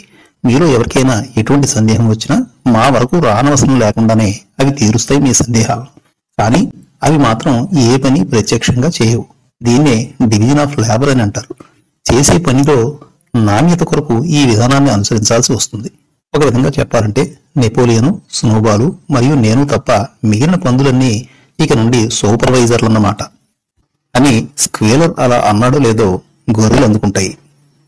ఆహా సూపర్వైజర్ సూపర్వైజర్ అంటూ గొర్రెలు ఆ ప్రదేశాన్ని కాసేపు హోరెత్తిస్తాయి. పంట కోతల పని రేపటికల్లా పూర్తి చేసి ఆ కోసిన పంటను ఫామ్ హౌస్కు చేర్చాలని నిర్ణయించాం. ఇక మీరంతా వెళ్ళవచ్చు ఆజ్ఞాపిస్తాడు నెపోలియన్. ఒక క్షణం ఆగు నెపోలియన్ ఎలాగూ సమావేశమయ్యాం కదా మరికొన్ని విషయాలు ముచ్చటించి అప్పుడు వెళదాం. ఆపుతాడు జంతువుల్ని స్నోబాల్ స్క్వేలర్ పిల్లి కానీ మోలి కానీ ఈరోజు ఎక్కడా కనిపించలేదు. అది కూడా సూపర్వైజర్లేనా? కొంచెం వ్యంగ్యంగా అన్నట్టుగా అంటుంది క్లోవర్. ఒకసారి కంగు తిన్నట్టు కనిపించిన స్క్వేలర్ అంతలోనే తేరుకుని మిత్రులారా ఏ ఒక్క జంతువు పని మానకూడదు. విచారణ చేసి వాటిపై తగిన చర్యలు తీసుకోవడం జరుగుతుందని మీకు మాట ఇస్తున్నా అంటాడు స్క్వేలర్. ఇవన్నీ క్రమంగా సర్దుకుంటాయి కామ్రేడ్స్. ఇకపై ఆదివారాల్ని పూర్తి విశ్రాంతి దినాలుగా ప్రకటిస్తున్నా. మరో విషయం. ఆదివారాల్లో అరగంట ముందే బ్రేక్ఫాస్ట్ సర్వ్ చేయాలనుకుంటున్నాం. బ్రేక్ఫాస్ట్ తరువాత ఫ్లాగ్ హాయిస్టింగ్ జరుగుతుంది. వీటి తరువాత ప్రతి జంతువు విధిగా బిగ్ బార్న్లో జరిగే జనరల్ అసెంబ్లీకి హాజరు కావాల్సి ఉంటుంది. ఇదిగో ఈ ఆకుపచ్చ జెండా వైపు చూడండి. జోన్స్ గదిలో దొరికిన గుడ్డతో తయారు చేసే దీన్ని ఈ జెండాలోని ఆకుపచ్చ రంగు మన దేశంలోని పచ్చని పొలాలకు దీనిపై పెయింట్ చేయబడ్డ గిట్టలు కొమ్ములతో కూడిన బొమ్మ మన జంతువాదానికి చిహ్నమని గుర్తుంచుకోండి. ఇదే మన భావి సర్వసత్తాక జంతు రాజ్యానికి కూడా చిహ్నమని గుర్తెరగండి. జనరల్ అసెంబ్లీలో ఏమేం మాట్లాడుకోవాలో కూడా తెలియజేస్తా. శ్రద్ధగా వినండి. తరువాతి వారానికి సంబంధించిన కార్యాచరణ గురించిన వివిధ తీర్మానాలు వాటిపై సభ్యుల అభిప్రాయాలు చర్చలు ఫైనల్గా నిర్ణయాలు జరుగుతాయి. పందులు ప్రవేశపెట్టే తీర్మానాల కాపీలు సభ్యులందరికీ ముందుగానే అందజేయడం జరుగుతుంది అంటాడు స్నోబాల్. మాలో ఎవరికి అవి చదవటం రాదుగా? మరెలా? ప్రశ్నిస్తాయి అమాయకంగా జంతువులు. చక్కటి ప్రశ్న. ఎవరా అడిగినవారు? ముందుకు రండి. అంటాడు స్నోబాల్. ఒక్కసారిగా మ్యూరియల్ ముందుకు వస్తుంది నేనే అడిగా స్నోబాల్ అని. అందుకే అన్నిటికంటే ముందుగా మీకు అందరికీ చదువు చెప్పాలని నిర్ణయించాం. కామ్రేడ్స్ ఇక నుండి జీనుగది మా పరిపాలనా కేంద్రంగాను వివిధ శాస్త్రాల అధ్యయన కేంద్రంగాను ఉంటుందని తెలియజేస్తున్నా జంతువుల విద్యా బోధన నిమిత్తం ప్రత్యేక శిక్షణ తరగతులు నిర్వహించబడతాయి అక్కడ. ఫామ్కు చెందిన ప్రతి జంతువు విధిగా విద్యను అభ్యసించవలసిందే. వాళ్ళ కోసం ఎగ్ ప్రొడక్షన్ కమిటీని ఆవుల కొరకు క్లీన్ టైల్స్ లీగ్ను ఎలుకలు మరియు కుందేళ్ళ వంటి వాటి కోసం క్రూర జంతువుల పునర్విద్య వికాస కమిటీని గొర్రెలు మొదలైన వాటి కొరకు వైట్ రూల్ మూవ్మెంట్ లాంటి వినూత్న పథకాలను ప్రవేశపెట్టడం జరుగుతుందని మీ అందరికీ సవినయంగా మనవి చేసుకుంటున్నా అంటాడు స్నోబాల్. ఏంటి స్నోబాల్? నీ పిచ్చి కాకపోతే జంతువులన్నిటికీ విద్య ఎందుకు? వృద్ధులకు విద్య నేర్పి ఉపయోగం ఏముంటుంది? వాళ్ళందరినీ ఈ వయసులో ఇబ్బంది పెట్టడం కాక యువ జంతువులకు నేర్పిస్తే చాలదా? అంటాడు నెపోలియన్.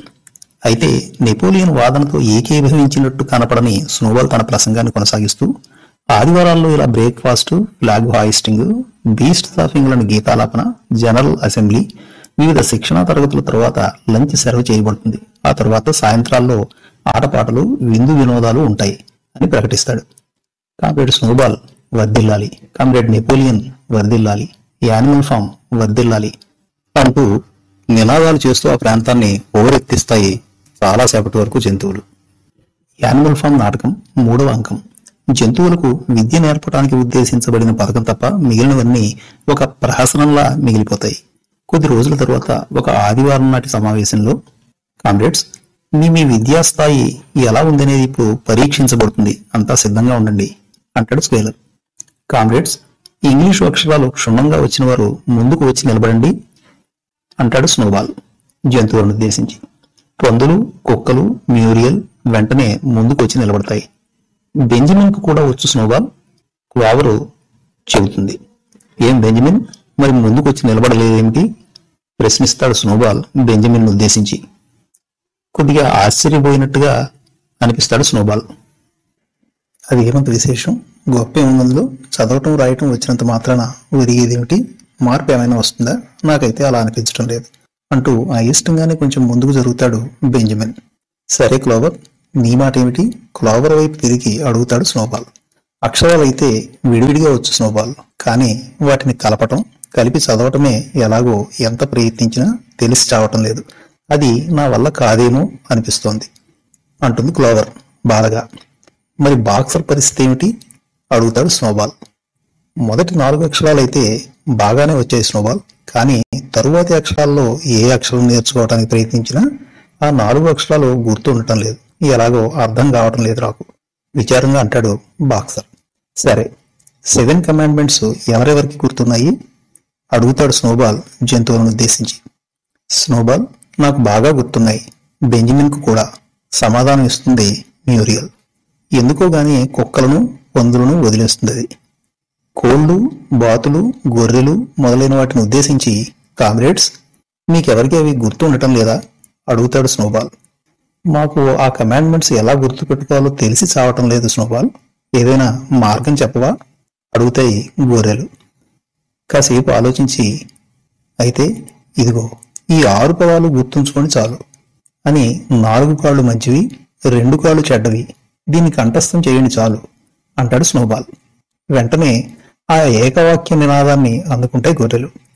నాలుగు కాళ్ళు మంచివి రెండు కాళ్ళు చెడ్డవి. కాసేపు ఆ ప్రదేశాన్ని ఓరెత్తిస్తాయి గొర్రెలు ఈ నినాదంతో. కోళ్ళ వైపు చూస్తూ ఏం? మీరేమీ అనట్లేదేమిటి అడుగుతాడు స్నోబాల్. వాటికి కూడా రెండు కాళ్ళేగా ఉన్నాయి. నువ్వేమో రెండు కాళ్ళు చెడ్డగా ఉన్నావు అవి బాధపడుతున్నట్టుగా ఉన్నాయి అంటుంది మ్యూరియల్. ఓహో అలాగా. డియర్ కామ్రేడ్స్ మీకున్నవి కేవలం రెండు కాళ్ళే కాదు. రెక్కలు కూడా ఉన్నాయని గుర్తుంచుకోండి. ఆ రెక్కలు మరో రెండు కాళ్ళతో సమానం. అంటే మీకు కూడా నాలుగు కాళ్ళు ఉన్నట్టే కదా? ఇక్కడ మరో ముఖ్య విషయం ఏమిటంటే మనిషికి ఉండే రెండు చేతులు పాడు పనులు చేయడానికి ఉపయోగపడుతుంటే మీ రెక్కలు మాత్రం గాలిలో కూడా ప్రయాణించడానికి ఉపయోగపడతాయి. గుర్తుంచుకోండి. అని కాళ్ళను ఓదార్చుతాడు స్నోబాల్. అయితే సరే స్నోబాల్ మేము కూడా నేర్చుకుంటాం అంటాయి సంతోషంగా కోళ్ళు. కోళ్ళల్లో ఒకటి మిగతా వాటితో అంటూ ఉంటుంది.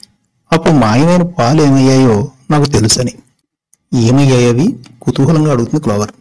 ఆ పాలే కాదు ప్రతిరోజు తీసే పాలను కూడా పందుల ఆహారంలో కలుపుతున్నారు అంటుంది ఒక కోడి. ఎంత దారుణం? అంటుంది క్లోవర్. నిజమే ఎంత దారుణం? వంత పడతాయి జంతువులన్నీ కలిసి. ఇదిగో క్లోవర్ అందరికీ చెప్పు. ఈ యాపిల్ పళ్ళు పంటకొచ్చాయి. వాటిని కోసి పందుల నివాసాలకు చేర్చమని నెపోలియన్ ఆజ్ఞాపించాడు. అంటాడు స్క్వేలర్ జంతువులన్నీ నిర్గాంతపోయినట్టుగా కనిపించినప్పటికీ కాసేపటికే సర్దుకుని అలాగే స్క్వేలర్ అంటాయి. ఇదేంటి ఇలా జరుగుతుంది? ఫామ్కు సంబంధించిన ఏవైనా? జంతువులన్నిటికీ సమానంగా చెందాలి కదా? అంటుంది క్లోవర్. ఎస్ నీతో నేను కూడా ఏకీభవిస్తా క్లోవర్. కానీ దయచేసి ఎవరు అపార్థం చేసుకోవద్దు కామ్రేడ్స్ అంటాడు స్క్వేలర్ అసలు ఏం చెప్పాలనుకుంటున్నావు నువ్వు? ఆశ్చర్యంగా అడుగుతుంది క్లోవర్. ఎస్ ఆ విషయానికే వస్తున్నా.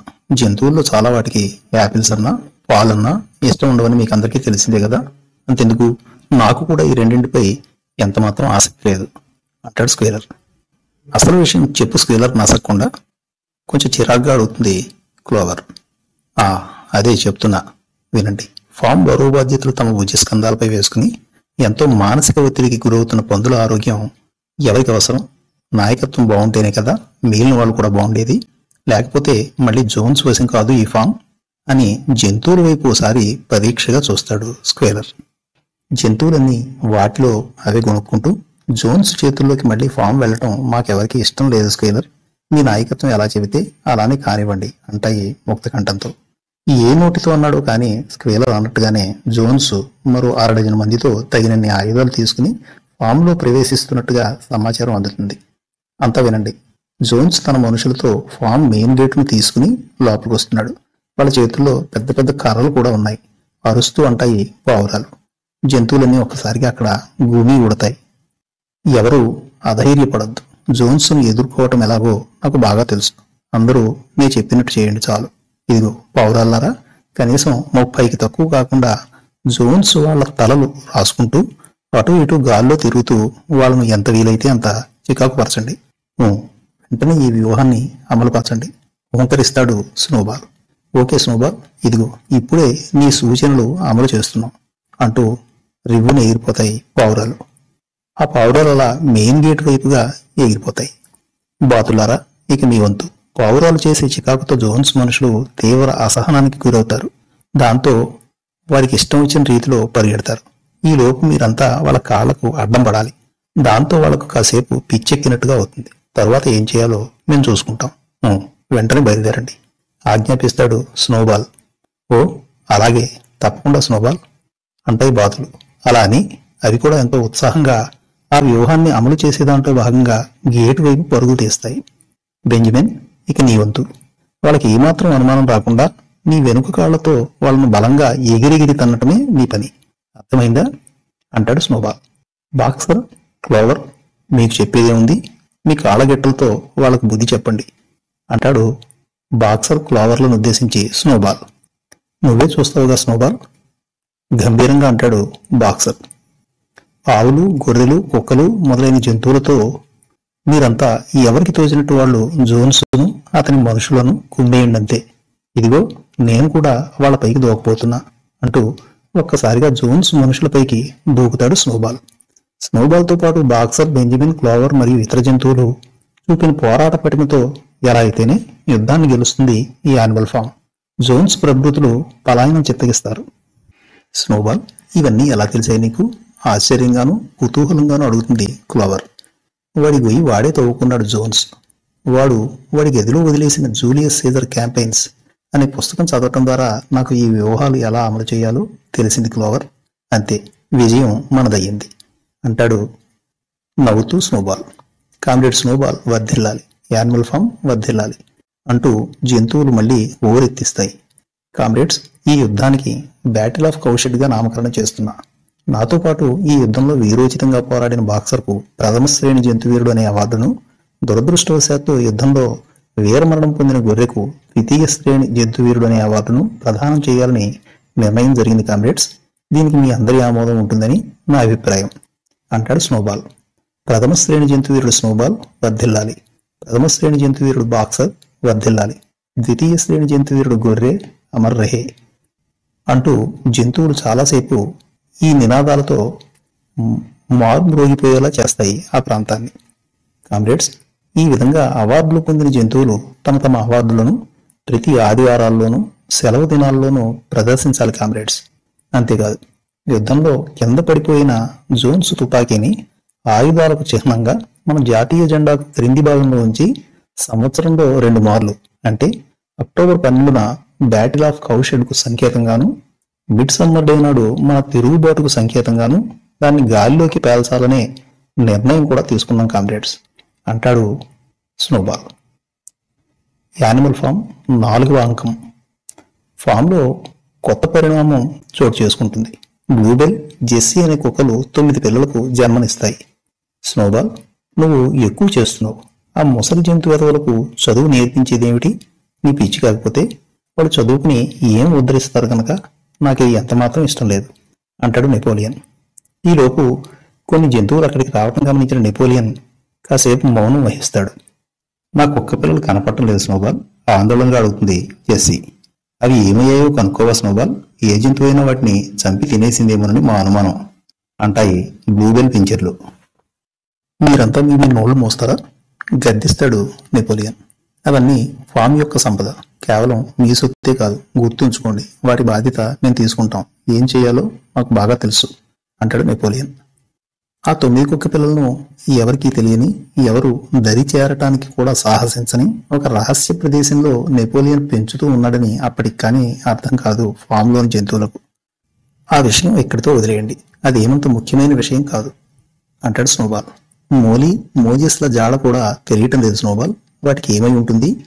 ఇలా ఒక్కొక్క జంతువు కనపడకుండా పోతే ఎలా? మాకేదో భయంగా ఉంది స్నోబాల్. జంతువులన్నీ భయం భయంగా అడుగుతాయి స్నోబాల్ను.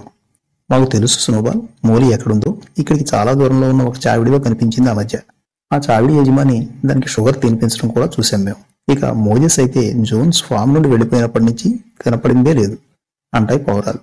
పోతే పోనీయండి. అవి రెండు ఉన్నా ఒకటే పోయినా ఒకటే అంటాడు స్నోబాల్ కరెక్టే స్నోబాల్ మోలీ అయితే ఏనాడు పనిచేసిన దాఖలానే లేదు. పైగా దాని ప్రవర్తన వల్ల ఇతర జంతువులు కూడా చెడిపోతున్నాయి. అంటాయి జంతువులన్నీ ముక్త కంఠంతో. మోజెస్ గురించి అయితే అసలు బాధపడవలసిన అవసరమే లేదు. ఇక వాడు చెప్పే పిచ్చి పిచ్చి కథలు వినటం కన్నా వాడిని వదిలించుకోవటమే మేలు అనిపిస్తుంది నా వరకు నాకు అంటాడు స్క్వేలర్. సరే ఈ చెత్తంతా కట్టిపెట్టి నేను చేయబోయే మరికొన్ని ముఖ్య తీర్మానాలు శ్రద్ధగా వినండి. ఫామ్లోని పొలంలో ఓట్స్ పంట అధికంగా వేయాలి కామ్రేడ్స్. అలాగే క్యాబేజీ కూడా ఎక్కువగా పండించాలి అంటాడు స్నోబాల్. వెంటనే నెపోలియన్ లేచి నిలబడతాడు. ఓట్స్ వేయటం శుద్ధ దండుగా. అలాగే క్యాబేజీ వేస్తే అంతా మట్టే. ఆ భూభాగం దుంపల సాగుకు తప్ప దేనికి పనికిరాదు. పుస్తకాలు చదివి వ్యవసాయం చేయాలనుకుంటే ఇంతే. ఇలాగే ఉంటుంది. ప్రాక్టికల్గా ఆలోచించాలి కామ్రేడ్స్. దెప్పి పొడుస్తున్నట్టుగా అంటాడు నెపోలియన్ స్నోబాల్ వైపు చూస్తూ. అలా అని విసురుగా కూర్చుంటాడు తన స్థానంలో. నువ్వు నోరు నెపోలియన్. వ్యవసాయం లాభసాటిగా ఎలా చేయాలో నాకు బాగా తెలుసు. అసలు ఏ పుస్తకమైనా చదివి ఏడిస్తే కదా ఏ భూభాగం ఏ పంటకు అనుకూలంగా ఉంటుందో తెలియటానికి అంతే తీవ్రంగా బదిలిస్తాడు స్నోబాల్. నెపోలియన్ వైపు కొరకలా చూస్తూ దాదాపు ఇద్దరు కొట్టుకున్నంత పని చేస్తారు. ఆగండి మీలో మీరే ప్రతి విషయానికి కొట్టుకుంటుంటే ఎలా కామ్రేడ్స్? మాకైతే స్నోబాల్ చెప్పేదే కరెక్ట్ అనిపిస్తోంది. జోన్స్ కూడా అదే వేసేవాడు. అంటాయి జంతువులన్నీ కలిసి నెపోలియన్ చెప్పేది కూడా కరెక్టే కదా? ఒకసారి పంటలు మార్చి వేస్తే ఏం పోతుంది? అంటాయి గొర్రెలు. మరో ముఖ్య విషయం కామ్రేడ్స్ రేపటి నుండి మనం సాగు చేయబోయే పొలాల్లో ఒక్కొక్క జంతువుకు విడిగా కేటాయించబడ్డ స్థలంలోనే ఆ జంతువు మల విసర్జన చేయాలి. దానివల్ల ఆ పొల భాగం సారవంతం అవటమే కాక బోల్డ్ సమయం ఖర్చు కూడా ఆదా అవుతాయి. శ్రమ కూడా ఆదా అవుతుంది. అంటాడు స్నోబాల్. చాలా బాగుంది స్నోబాల్ నీ ఐడియా. అలానే చేద్దాం. అంటాడు బాక్సర్ ఇచ్చే ఆలోచన. అని తనలో తనే గొనుక్కుంటూ ఉంటాడు నెపోలియన్. డియర్ కామ్రేడ్స్ అన్నిటికంటే ప్రధానమైనది మన ఫామ్ భవిష్యత్తును తేల్చేది అయిన వెండి మిల్లు గురించి మీకు తెలియజేయబోతున్నా. ప్రకటిస్తాడు స్నోబాల్. వెండుమిల్ల అదేమిటి? ఎప్పుడు వినలేదే? ఆశ్చర్యంగా అడుగుతుంది మ్యూరియల్. మిత్రులారా మీరంతా కల్పతరువు కామధేనువుల గురించి ఆ నోట ఈ నోట వినే ఉంటారు. ఈ వెండిమిల్ కూడా అటువంటిదే అంటాడు స్నోబాల్. ఇండియన్ పురాణాల్లో వాటి గురించేనా నువ్వు చెబుతుంది? కుతూహలంగా అడుగుతుంది మ్యూరియల్. వాటి అన్నిటి గురించి అంతో ఎంతో చదువుకుంది అది ఎస్ నువ్వు కరెక్టే మ్యూరియల్. తెలివైన దానివి. దీనివల్ల ప్రధానంగా విద్యుత్తు ఉత్పత్తి అవుతుంది. ఆ విద్యుత్తుతో ఎన్ని ప్రయోజనాలు ఉన్నాయో వేరుగా చెప్పనక్కర్లేదు కదా? ఉదాహరణకు దాంతో గడ్డి కోసే యంత్రాలు పనిచేస్తాయి. ఒక డైనమో కనుక అమర్చినట్లయితే మీ అందరి నివాసాల్లో లైట్లు వెలిగించవచ్చు గేజర్లు అమర్చుకోవచ్చు. నీళ్ళు కూడా పంపించేయచ్చు అంటాడు స్నోబాల్. గేదర్లా ఏంటివి తిరిగి ఆశ్చర్యంగా ప్రశ్నిస్తుంది మ్యూరియల్. వేడి నీళ్ళు వస్తాయి. శీతాకాలంలో వేడి నీళ్ళ ఉపయోగం ఎంతైనా ఉంది. జంతువులు జలుబు బారిన పడకుండా కాపాడతాయి వేడి నీళ్ళు. ఆవుల నుండి పాలు పితికే శ్రమ కూడా తప్పుతుంది. ఎందుకంటే పాలు పితికే యంత్రాలు కూడా ఆ విద్యుత్తుతో పనిచేస్తాయి. తిరిగి ప్రకటిస్తాడు స్నోబాల్. ఏంటి స్నోబాల్? నీకు ఇన్ని విషయాలు ఎలా తెలిసాయి? మాకంతా ఏదో మాయలా ఉంది ఇదంతా. ఆశ్చర్యపోతూ అంటాయి జంతువులు. ఏది వట్టిని రాదు కామ్రేడ్స్. కష్టపడాలి. అధ్యయనం చేయాలి. ఆలోచించాలి. కలలు కనాలి. ఆ కలలను సాకారం చేసుకునే దిశగా ప్రయత్నాలు చేయాలి. పండితుడనేవాడు ఎక్కడైనా పూజింపబడతాడనేది ఇండియన్ల విశ్వాసం. అంతే. జోన్స్ గదిలో వెదకక నాకు మూడు అద్భుతమైన పుస్తకాలు లభించాయి. Comrades one thousand useful things to do about a house. Every man his own bricklayer మరియు ఎలక్ట్రిసిటీ ఫర్ బిగినర్స్ అనే ఆ మూడు పుస్తకాలను విస్తృతంగా చదవటం వల్లనే నాకు ఈ విషయాలు తెలిసాయి. కామ్రేడ్స్ సరే ఇప్పుడు ఎందుకు అవన్నీ? అంటాడు స్నోబాల్ నువ్వు నిజంగా సూపర్ స్నోబాల్ నీ వంటి వాడు నాయకుడు అవ్వటం నిజంగా మా అందరి అదృష్టం. కామ్రేడ్ స్నోబాల్ వర్ధిల్లాలి. యానిమల్ ఫామ్ వర్ధిల్లాలి అంటూ జంతువులన్నీ కాసేపు హడావిడి చేస్తాయి. ఈ నినాదంతో యానిమల్ ఫామ్ దద్దరిల్లిపోతుంది. స్నోబాల్ చెప్పే సోదంతా మీకు నచ్చిందా? ఇలా అయితే మనం అడుక్కు తినాల్సిందే. ముందు ఆహార పదార్థాలు ఎలా పండించాలి? మనను మనం ఇతరుల నుండి ఎలా రక్షించుకోవాలి? కాపాడుకోవాలి అనే వాటిపై శ్రద్ధ పెడితే మంచిది అని విసురుగా కూర్చుంటాడు నెపోలియన్ తన స్థానంలో. ఆ ఏం కూసావు? అని ఒక ఉదుటున లేస్తాడు స్నోబాల్ స్నోబాల్ అలా లేచి ఏదో చెప్పబోయే లోపే కొన్ని గొర్రెలు లేచి గట్టిగా అరవటం మొదలెడతాయి. నాలుగు కాళ్ళు మంచివి రెండు కాళ్ళు చెడ్డవి. ఇలా అదే పనిగా అరుస్తూ స్నోబాల్ చెప్పేదానికి అడ్డు తగులుతూ ఉంటాయి గొర్రెలు. తనకు అడ్డు తగులుతున్న గొర్రెల వైపు తీక్షణంగా చూస్తూ మీరంతా నోళ్ళు మోస్తారా? అని పులిలా గాంటిస్తాడు స్నోబాల్. నాలుగు కాళ్ళు మంచివి రెండు కాళ్ళు చెడ్డవి. తమలో తామే గొణుక్కుంటూ అటెటో చూస్తూ ఉంటాయి గొర్రెలు. మిత్రులారా వెండి మిల్లుకు సంబంధించిన డ్రాయింగ్లన్నీ ఇన్క్యుబేటర్ షెడ్లో రెడీ అయ్యాయి. ఆసక్తి ఉన్నవాళ్ళు వెళ్ళి వాటిని చూడొచ్చు అని తన స్థానంలో కూర్చుంటాడు స్నోబాల్. అయితే మేమంతా అవి చూడడానికి వెళ్తున్నాం. ముక్త కంఠంతో అంటాయి జంతువులు. అలా అనేసి అవి తక్షణమే బయలుదేరతాయి. ఆ డ్రాయింగులను చూస్తున్న జంతువుల ఆశ్చర్యానికి అంతుండదు. వెండుమిల్లును బాహాటంగానే వ్యతిరేకించిన నెపోలియన్ కూడా దాన్ని చూడటానికి వచ్చి అసహనంతో ఆ డ్రాయింగులపై మూత్ర విసర్జన చేసి ఉమ్మేసి అక్కడి నుండి వెళ్ళిపోతాడు. మరో దృశ్యంలో విండు మిల్లుకు సంబంధించిన ప్రణాళిక పూర్తిగా సిద్ధమైందని ప్రకటిస్తాడు స్నోబాల్. అది నిర్మించాలా? వద్దా? అనే అంశం మీద ఓటింగ్ జరగబోతోంది కాసేపట్లో. కామ్రేడ్స్ మనమంతా ఎదురు చూస్తున్న గడియలు వచ్చాయి. వెండి మిల్లు నిర్మాణానికి అవసరమైన ప్రణాళిక అంతా సిద్ధమైందని తెలియజేయటానికి ఎంతగానో సంతోషిస్తున్నా అంటాడు స్నోబాల్. దాంతో కొద్దిగా రెచ్చిపోయినట్టు కనిపించిన నెపోలియన్ వెటకారంగా నవ్వుతూ తనను గుడ్డిగా అనుసరించే గొర్రెల వంకనే చూస్తూ ఇక్కడెవరూ అంత ఆతృతగా లేరు. నువ్వు ఒక్కడిగా సంబరపడితే సరిపోతుందా? ఈ ఫామ్ నీ అబ్బ సొత్తేమీ కాదని గుర్తుంచుకో. అంటూ కొంచెం కటువుగానే అంటాడు నెపోలియన్. కామ్రేడ్స్ వారానికి మూడు పని దినాలే కావాలనుకుంటే ఈ వెండి మిల్లు ఖచ్చితంగా నిర్మించబడాల్సిందే. మీ మీ స్టాళ్ళలో లైట్లు వెలగాలంటే వెండి మిల్లు నిర్మాణం జరిగి తీరాల్సిందే. మీరంతా కేవలం పని వాళ్ళలా కాక వర్క్ మేనేజర్లుగా మారాలంటే వెండి మిల్లు నిర్మించబడవలసిందే. తెగేసి చెప్తాడు స్నోబాల్. వర్క్ మేనేజర్లా? అంటే ఏంటి స్నోబాల్? కొంచెం ఉత్సాహంగా అడుగుతుంది మ్యూరియల్. తెలుసుకోవాలనే ఆసక్తి ఉండాలి కానీ ఎన్నో ఉన్నాయి చెప్పడానికి నా వద్ద. అంటాడు స్నోబాల్. స్నోబాల్ ఇంకా ఏదో చెప్పబోతుండగా మళ్ళీ గొర్రెలు అడ్డు తగులుతాయి నాలుగు కాళ్ళు మంచివి రెండు కాళ్ళు చెడ్డవి అని చాలా బిగ్గరగా అరుస్తూ. ఇవేవీ పట్టించుకోకుండా తన ప్రసంగాన్ని కొనసాగిస్తాడు స్నోబాల్. కామ్రేడ్స్ చివరిగా నేను చెప్పదలుచుకున్నది ఏమిటంటే నా సిద్ధాంతాలతో ఏకీభవించే వాళ్ళు వెండి మిల్లు నిర్మాణానికి అనుకూలంగా ఓటు వేస్తారని ఆశిస్తున్నా అనేసి కూర్చుంటాడు. పరిస్థితి చూడబోతే జంతువుల్లో చాలా మటుకు స్నోబాల్ వైపే మొగ్గు చూపుతున్నట్టుగా అనిపిస్తోంది.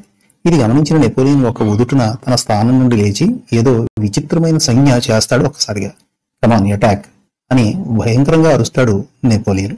అంతే రాక్షసుల్లాంటి భయంకరమైన తొమ్మిది కుక్కలు ఒక్కసారిగా ప్రవేశిస్తాయి బిగ్ బాన్లో భౌ భౌ భౌ అనుకుంటూ. అవి కర్ణకఠోరంగా అరుస్తూ ఒక్కసారిగా స్నోబాల్ మీదకు దూకుతాయి. ఓ గాడ్ ఏం జరుగుతోంది? బిత్తరపాటుగా తనలో తనే అనుకుంటూ పరిస్థితిని కొద్దిగా అంచనా వేసుకుని ఉన్న చోటు నుండి ఒక్క ఉదుటున లేచి భయంగా పరిగెట్టడం మొదలు పెడతాడు స్నోబాల్. ఆగ్రా స్నోబాల్ మా నుండి తప్పించుకుని ఎక్కడికి పోతావు? బిగ్గరగా అరుస్తూ చుట్టూ వికృతంగా చూస్తూ స్నోబాల్ను వెంటాడతాయి ఆ తొమ్మిది కుక్కలు. ఎలా అయినా సరే వీటి నుండి తప్పించుకోవాలి. తనలో తనే అనుకుంటూ సాధ్యమైనంత వేగంగా పరిగెడుతూ ఎలా అయితే ఫామ్ కట్టుకున్న ఒక రంధ్రం గుండా బయటపడతాడు స్నోబాల్. దరిద్రుడు తప్పించుకున్నాడు. అనుకుంటూ నిరాశగా వెనుతిరిగి నెపోలియన్ వద్దకు తోకలు ఊపుకుంటూ చేరుకుంటాయి ఆ తొమ్మిది కుక్కలు రెప్పపాటులో జరిగిందంతా చూసిన జంతువులు తీవ్ర భయభ్రాంతులకు గురవుతాయి. అసలు ఆ కుక్కలు ఎక్కడి నుంచి వచ్చాయో వీటికి అర్థం కాదు. క్లోవర్ ఆ కుక్కలు ఎక్కడియో నాకు తెలుసు అంటాడు బెంజమిన్. "ఓ, నాకు కూడా నెమ్మదిగా గుర్తొస్తుంది బెంజమిన్. అప్పుడు నెపోలియన్ రహస్య స్థావరంలో పెంచడానికి ఎత్తుకుపోయిన ఆ తొమ్మిది కుక్క పిల్లలే కదా ఇవి? అంటుంది క్లోవర్. కరెక్ట్ అంటాడు బెంజమిన్. ఏంటి నెపోలియన్ ఇదంతా? ఎక్కడి నుంచి వచ్చాయి కుక్కలు? అయోమయంగా అడుగుతాడు బాక్సర్. ఇదంతా ఏమీ వినబడనట్టు నటిస్తూ కామ్రేడ్స్ చూశారుగా? ఏ ఒక్కరైనా పిచ్చి పిచ్చి వేషాలు వేస్తే స్నోబాల్ పట్టిన గతే పడుతుంది. ఫామ్కు వ్యతిరేకంగా ఏ ఒక్కరు పని చేయడానికి సాహసించినా కబడ్దార్ అని పొగరుగా కూర్చుంటాడు నెపోలియన్ తన స్థానంలో. జరిగిందంతా నిశితంగా గమనిస్తున్న ముందు వరుసలో కూర్చున్న నాలుగు యువపందులు లేచి గట్టిగా అరుస్తూ ఏదో చెప్పడానికి ప్రయత్నిస్తాయి. What nonsense is this? అసలు ఏం జరుగుతోంది? ఇదంతా చూస్తూ ఊరుకోవటానికి మేమేమి వెర్రివాళ్ళం కాదు. అంటాయి ఆ నాలుగు యువపందులు. నెపోలియన్ తిరిగి తన తొమ్మిది కుక్కల వైపు చూస్తూ "ఊ" అని మళ్ళీ ఏదో సంఖ్య చేస్తాడు. ఏంట్రా మీ పవరు ఇంత జరిగిన బుద్ధి రాలేదా మీకు? అని భయంకరంగా అరుస్తూ ఆ యువ పందులపై దుమికే ప్రయత్నం చేస్తాయి తొమ్మిది కుక్కలు. అంతలోనే నెపోలియన్ చేసిన మరో సంజ్ఞతో వెనక్కి తగ్గుతాయి నాలుగు కాళ్ళు మంచివి రెండు కాళ్ళు చెడ్డవి. అంటూ ఆ నాలుగు పందుల చుట్టూ తిరుగుతూ వాటిని ఆట పట్టిస్తాయి గోరెలు. దాంతో చేసేది లేక ఆ నాలుగు పందులు మౌనంగా కూర్చుంటాయి. యానిమల్ ఫామ్ ఐదవ అంకం. ఫామ్లో అనేక పరిణామాలు అంతే వేగంగా చోటు చేసుకుంటూ ఉంటాయి. స్నోబాల్ ఫామ్ నుండి బహిష్కరణకు గురై సరిగ్గా వారమవుతోంది. ఆ ఆదివారం కూడా యథాప్రకారం జంతువులన్నీ బిగ్ బార్లో సమావేశమవుతాయి. కామ్రేడ్స్ అంతా వచ్చినట్టే కదా? కాసేపట్లో నెపోలియన్ కొన్ని విధాన నిర్ణయాలు ప్రకటించబోతున్నాడు. అంటాడు స్క్వేలర్. కుక్కలు అనుసరిస్తుండగా బార్న్లోకి వచ్చిన నెపోలియన్ గతంలో మేజర్ తన ఉపన్యాసాలకు ఉపయోగించుకున్న ఎత్తైన ప్రదేశంలో టీవీగా కూర్చుంటాడు. మిత్రులారా ఒక సెకండ్ ముగిసింది. ఫామ్ చేసుకున్న అదృష్టం. మన బహిర్గత శత్రువు జోన్సు అలాగే మన అంతర్గత శత్రువు అయిన స్నోబాలు ఇద్దరు ఫామ్ నుండి బహిష్కరించబడ్డారు అంటాడు నెపోలియన్. చప్పట్లు కామ్రేడ్స్ చప్పట్లు. జంతువులను ఉద్దేశించి అంటాడు స్క్వేలర్ గొర్రెలు తొమ్మిది కుక్కలు. కామ్రేడ్ నెపోలియన్ వర్ధిల్లాలి. యానిమల్ ఫామ్ వర్ధిల్లాలి అంటూ కాసేపు ఆ ప్రాంతాన్ని హోరెత్తిస్తాయి ఆ సందడి సద్దు మణిగిన తర్వాత తిరిగి చెప్పడం మొదలు పెడతాడు నెపోలియన్. కామ్రేడ్స్ ఇక నుండి ఆదివారపు సమావేశాలు రద్దు చేస్తున్నాం. ఓటింగులు గీటింగులు ఏవీ ఉండవు. నా అధ్యక్షతన పందులతో కూడిన ఒక కమిటీ విధాన నిర్ణయాలు తీసుకుంటుంది. కాకపోతే ఆ వివరాలన్నీ మీకు తెలియజేయబడతాయి ముందుగానే. వాటినే చట్టాలుగాను ఆజ్ఞలుగాను భావించి మీరంతా అనుసరించాల్సి ఉంటుంది. ఏ ఒక్క జంతువైనా అటువంటి నిర్ణయాలపై చర్చించినట్టు మా దృష్టికి వస్తే కఠిన చర్యలు తప్పవు. తదుపరి వారంలో ఏ ఏ పనులు చేయాలో స్పష్టంగా తెలిపే వర్క్ ఆర్డర్లు తీసుకోవటానికి జెండా వందనానికి బీస్ట్స్ ఆఫ్ ఇంగ్లాండ్ గీతాలాపనకు మాత్రం అన్ని జంతువులు యథాప్రకారం బాధలో సమావేశం అవ్వాల్సి ఉంటుంది. తెలిసిందా? అంటాడు నెపోలియన్. మిలిటరీ జనరల్ తరహా కంఠంతో హెచ్చరిస్తున్న స్వరంలో అని కూర్చుంటాడు. అసహనంగా తాను కూర్చున్న ప్రదేశంలో అటు ఇటు కదులుతూ తన తలను పదే పదే కాసేపు అడ్డంగాను కాసేపు నిలువుగాను ఊపుతూ ఏదో అనటానికి ప్రయత్నిస్తాడు బాక్సర్. ఇదంతా ఏదో గజిబిజిగా ఉంది మిత్రమా? తనలో తనే గొనుక్కుంటూ అంటాడు బాక్సర్. దీనికి మేము ఒప్పుకునేది లేదు. ఇది చాలా అన్యాయం. మీరెవరూ మా గొంతులు నొక్కలేరు అంటూ నెపోలియన్ ప్రకటనపై విరుచుకుపడే ప్రయత్నం చేస్తాయి తిరిగి ఆ నాలుగు యువ పందులు నెపోలియన్ తన తొమ్మిది కుక్కల వైపు అదోలా చూస్తూ అంటాడు. ఆ నాలుగు యువ పందుల వైపు వికృతంగా చూస్తూ తొమ్మిది కుక్కలు నోరు మూసుకుని కూర్చుంటారా? లేక మా కోరలకు పని చెప్పమంటారా? కూర్చోండి అని భయంకరంగా అరుస్తాయి. వేరే దారి లేక ఆ నాలుగు పందులు మౌనంగా తమ తమ స్థానాల్లో కూర్చుంటాయి. ఇక నుండి స్క్వేలర్ను మా అధికార ప్రతినిధిగా నియమిస్తున్నా మా ప్రభుత్వానికి మీకు మధ్య వారధిగా ఉంటాడు స్క్వేలర్. ఏమైనా చెప్పుకోవాల్సి వస్తే అతనితో చెప్పుకోండి. ఇక అందరూ వెళ్ళొచ్చు అంటాడు నెపోలియన్. స్నోబాల్ బహిష్కరణకు గురై మూడు వారాలు దాటింది. నాలుగో వారపు సమావేశం ఒక ప్రత్యేకతను సంతరించుకుంటుంది. నెపోలియన్ బిగ్లో ప్రవేశిస్తాడు. జంతువులన్నీ వాటి వాటి స్థానాల్లో కుదురుకుని కూర్చుంటాయి. కామ్రేడ్ నెపోలియన్ వర్ధిల్లాలి. యానిమల్ ఫామ్ వర్ధిల్లాలి అంటూ జంతువులను ఉత్తేజపరిచే ప్రయత్నం చేస్తాడు స్క్వేలర్. కామ్రేడ్స్ ఫామ్ పరిపాలన నెమ్మదిగా గాడిలో పడుతోంది. అనుచిత నిర్ణయాలకు వ్యర్థ పథకాలకు పిచ్చి పిచ్చి ఆలోచనలకు అసలు తావే లేదని గుర్తుంచుకొని అందరూ. మనమంతా పోరాడి మరీ స్వాతంత్రం తెచ్చుకున్నది ఈ పనికి మారిన వాటి కోసం కాదు. మనమంటే ఏంటో ప్రపంచానికి చూపాల్సిన తరుణం ఆసన్నమయ్యింది. దరిద్రపు మానవుల కంటే మనమే ఎంతో సమర్థులమని లోకానికి చాటాలి. అందుకే కామ్రేడ్స్ అందుకే ఎట్టి పరిస్థితుల్లోనూ విండు మిల్లు నిర్మాణం పూర్తి చేయాల్సిందే అంటాడు నెపోలియన్. ఆ? విండు మిల్లా? అదంటే నీకు ఇష్టం లేదన్నావుగా? అంటాయి జంతువులన్నీ ఒక్కసారిగా. అజ్ఞానంగా మాట్లాడకండి. అసలు విండు మిల్ ఆలోచనే నెపోలియన్ది అంటాడు స్క్వేలర్. స్క్వేలర్ నువ్వు ఏం చెబితే అది వినటానికి మేమేమైనా పిచ్చివాళ్ళం అనుకుంటున్నావా? నెపోలియన్ దీన్ని వ్యతిరేకిస్తేనే కదా స్నోబాల్ బయటకు వెళ్ళిపోయింది. ఏం మాట్లాడుతున్నావు నువ్వు? అంటారు బాక్సర్ ఫ్లవర్లు ఇద్దరూ కలిసి. చెప్పేది వినండి కామ్రేడ్స్ ఆలోచన ఎవరిదైతేనే అవసరమైతే అనుసరించాల్సిందే కదా. ఎవరైనా దీన్ని అనుసరించి తీరాల్సిందే. అంటే గుడ్డిగా అనుసరించాల్సిందే కామ్రేడ్స్.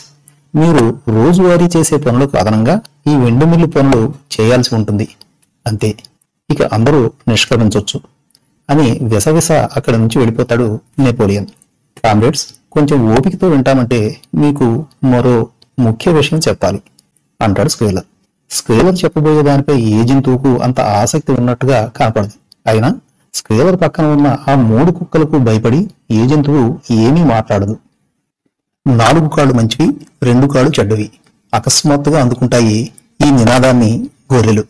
నిశ్శబ్దం కామ్రేడ్స్ మీకు అసలు తెలియంది మీలో ఏ ఒక్కరూ ఏకీభవించడానికి ఇష్టపడని ఒక సున్నితమైన అంశం కామ్రేడ్స్ ఇది. అసలు విండుమిల్ ఆలోచన నెపోలియన్దే. కానీ ప్రచారం చేసుకోవటం స్నోబాల్కు తెలిసినంతగా నెపోలియన్కు తెలియని కారణంగా ఇలా జరిగింది. మాటలు బాగా చెప్పటం తెలిసిన స్నోబాల్ ఈ పథకాన్ని తనదిగా విజయవంతంగా ప్రచారం చేసుకోగలిగాడు. మీరు నమ్మినా నమ్మకపోయినా ఇది నిజం అంటూ అక్కడి నుండి వెళ్ళిపోవటానికి సిద్ధపడతాడు స్క్వేలర్. జంతువులన్నీ నిశ్చేష్టులైపోతాయి. చేసేది లేక నెమ్మదిగా అక్కడ నుండి బయలుదేరతాయి. క్లోవర్ క్లోవర్ మీకు ఈ విషయం తెలుసా? ఇక నుండి ఆదివారాల్లో కూడా మధ్యాహ్నం దాకా పని చేయాలట. తెలుసా? అంటుంది మ్యూరియల్ నీకెలా తెలిసింది? అడుగుతుంది క్లోవర్. పందులు వాటిలో అవి దీని మీదనే మాట్లాడుకుంటున్నాయి. నేను దొంగచాటుగా విన్నా. అంటుంది మ్యూరియల్. వాటికే అవి సూపర్వైజర్లే కదా కష్టపడి పని చేయాలా ఏమన్నానా? అంటాయి జంతువులు. అప్పుడే అటువైపుగా వస్తున్న స్క్వేలర్ను గమనించిన అవి తిరిగి మౌనంగా మారిపోతాయి. అతనితో పాటు రెండు కుక్కలు కూడా ఉంటాయి. ఆ విషయం చెప్పడానికి వస్తున్నాను కామ్రేడ్స్ అంటాడు స్క్వేలర్. ఏంటి? ఆదివారాలు విశ్రాంతి దినాలుగా ప్రకటించుకున్నాం కదా అంటుంది క్లోవర్. విషయం పూర్తిగా వినండి కామ్రేడ్స్ ఆదివారాల్లో కేవలం ఒక పూటే పని. లంచ్ తరువాత విశ్రాంతి. మరో విషయం కామ్రేడ్స్ ఇదంతా కేవలం స్వచ్ఛందం. ఏ జంతువుకు ఇష్టం లేకపోయినా లేక కుదరకపోయినా ఆ జంతువు ఆదివారాల్లో పని చేయవలసిన అవసరమే లేదు అంటాడు స్క్వేలర్. మరి ఎందుకు ఈ క్రొత్త నిబంధన తెచ్చినట్టు స్క్వేలర్?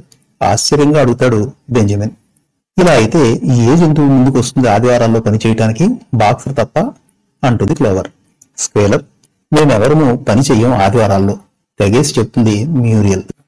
తొందరపడకండి కామ్రేడ్స్. ఈ అంశం చాలా సున్నితమైంది. అంతే సున్నితంగా పరిష్కరించుకోవాలి దీన్ని. వెండి మిల్లు నిర్మాణం స్నోబాల్ చెప్పినంత సులువేమీ కాదు.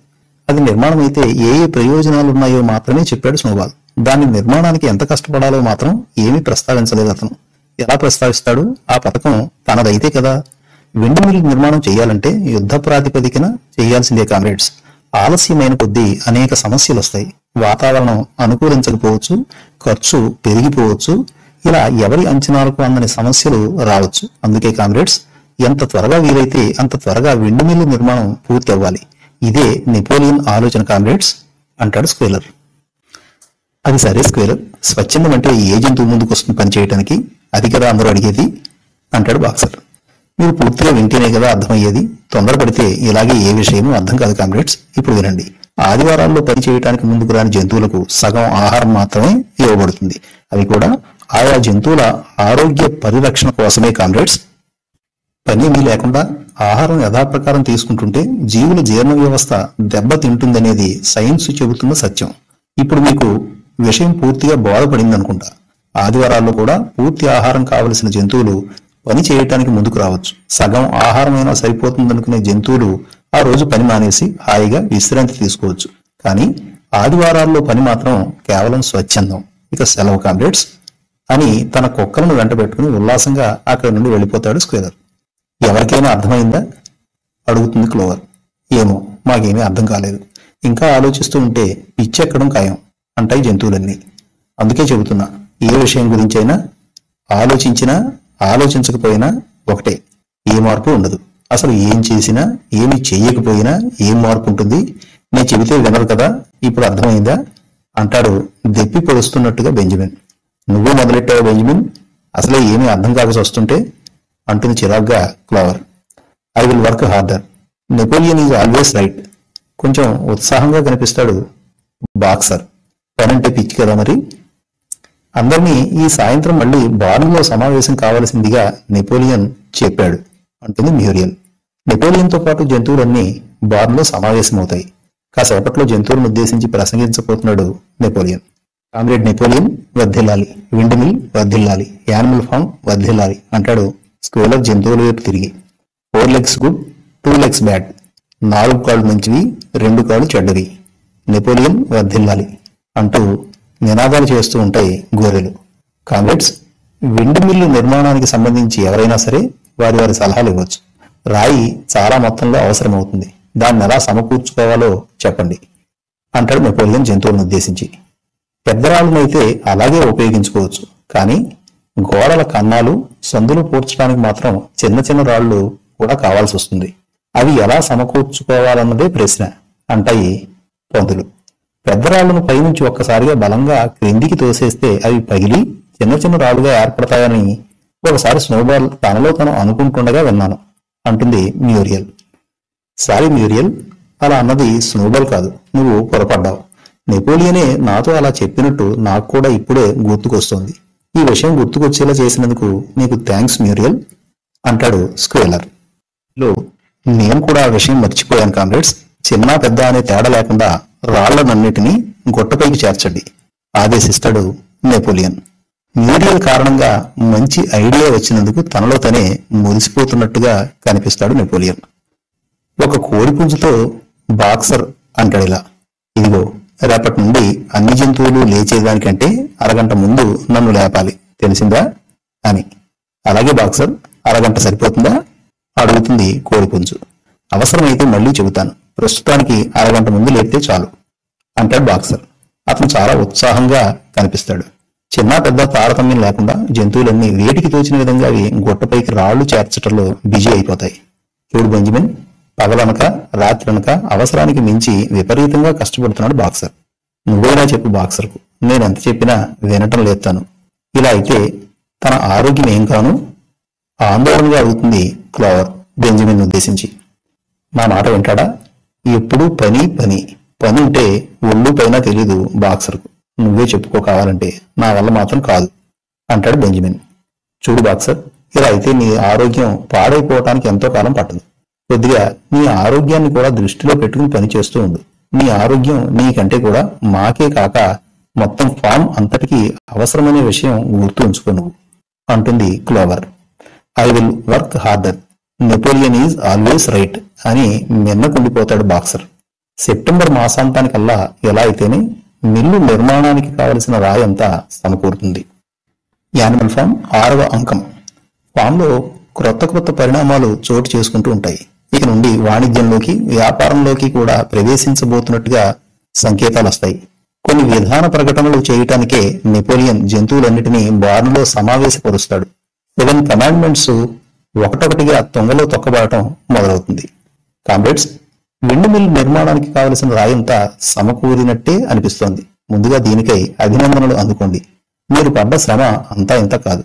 ఇదే స్ఫూర్తితో పనిచేస్తూ పోతే మరికొద్ది రోజుల్లోనే విండ్ మిల్ ప్రథమ దశ నిర్మాణం పూర్తవుతుంది.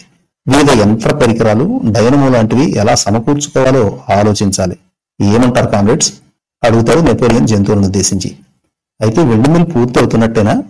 ఆశ్చర్యంగా అడుగుతాయి జంతువులు. మిల్లు యొక్క సూపర్ స్ట్రక్చర్ పూర్తవటానికి ఆటే సమయం పట్టదు. కాకపోతే ఆ యంత్రభాగాలు ఎలా సంపాదించాలనేదే ఒక చిక్కుముడిలా అనిపిస్తోంది అంటాడు నెపోలియన్. అవి కొనడానికి డబ్బు కావాలి కదా ఫెయిలర్ వంత పడతాడు. అందుకే కామ్రేడ్స్ ఫామ్ మరి కొద్ది రోజుల్లో వ్యాపారంలోకి దిగబోతోంది. విల్లింగ్డన్లో వింపర్ అనే వ్యక్తి మనకు ఇతరులకు మధ్యవర్తిగా మన వ్యాపార వ్యవహారాల్లో మనకు చేదోడు వాదోడుగా ఉండటానికి ఒప్పుకున్నాడు ఎలా అయితే ప్రకటిస్తాడు నెపోలియన్. ఒక మనిషితో మనం ఎలా కలుస్తాం? అది మన జంతువాదానికి వ్యతిరేకం కదా. రెండు కాళ్ళపై నడిచే వాళ్ళు మరీ ముఖ్యంగా మనుషులు మనకు శత్రువులని కదా సెవెన్ కమాండ్మెంట్స్లో ఒకటి చెబుతోంది. ఆశ్చర్యంగా అంటుంది క్లోవర్. ఎక్కడుంది అది? ఎవరు చెప్పారా నీకు? మనం రాసుకున్న ఏడు కమాండ్మెంట్లలో లేవు ఎలా తను కూడా ఆశ్చర్యం నటిస్తూ అంటాడు స్క్వేలర్. కాసేపు నిశ్శబ్దంగా ఉంటారా కామ్రేడ్స్? అలా ఉన్నా లేకపోయినా ఇదే జరుగుతుంది కామ్రేడ్స్. మారాలి కామ్రేడ్స్. అప్పుడప్పుడు అవసరాలకు తగ్గట్టుగా మారాలి. ఒపీనియన్స్ మార్చుకోకపోతే అసలు పొలిటీషియనే కాడు అని వెనకటికి ఒక మహానుభావుడు అన్నట్టు ఎక్కడో చదివిన గుర్తు. పొలిటీషియన్ అంటే పాలకుడే కదా? మార్చుకోవాలి కామ్రేడ్స్ మనం కూడా. అయినా మీరెవరూ ఆందోళన పడనక్కర్లేదు. వెంపర్తో మీరెవరూ డైరెక్ట్గా కలిసే అవసరమే లేదు. అన్ని స్వయంగా నేనే దగ్గరుండి ప్రత్యక్షంగా చూసుకుంటా. సరేనా? అన్న భరోసా ఇస్తాడు నెపోలియన్. త్యాగనిరతుడు నెపోలియన్ వర్ధిల్లాలి. కామ్రేడ్స్ నెపోలియన్ వంటి నిస్వార్థ నాయకుడు లభించినందుకు మనమంతా గర్వపడాలి కామ్రేడ్స్. ఎంతో క్లిష్టమైన సమస్యను అతి సులువుగా పరిష్కరించాడు కామ్రేడ్ నెపోలియన్. పైగా ఆ బరువు బాధ్యతలు అన్నిటినీ తన భుజస్కంధాలపై వేసుకుంటున్నాడు. ఎక్కడ దొరుకుతావు కామ్రేడ్స్ ఇటువంటి నాయకులు? అంటాడు స్క్వేలర్ జంతువులను ఉద్దేశించి. కామ్రేడ్ నెపోలియన్ వర్ధిల్లాలి నాలుగు కాళ్ళు మంచివి రెండు కాళ్ళు చెడ్డవి.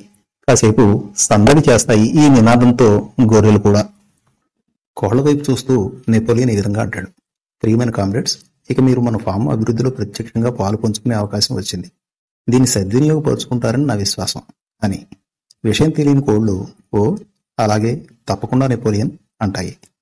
మీరు పెట్టే గుడ్లలో వారానికి నాలుగు వందల చొప్పున విల్లింగ్డన్ మార్కెట్కు అమ్మాలని నిర్ణయించాం కామ్రేడ్స్ అంటాడు నింపాదిగా స్క్వేరర్ నో దీనికి మేము అంగీకరించాం అంటాయి కోళ్ళు ముక్త కంఠంతో. ముఖ్యంగా ముందు వరుసలో కూర్చున్న మూడు కోళ్ళు తమ వ్యతిరేకతను బలంగా చాటుతాయి. అయితే ఇదేమీ పట్టని నెపోలియన్.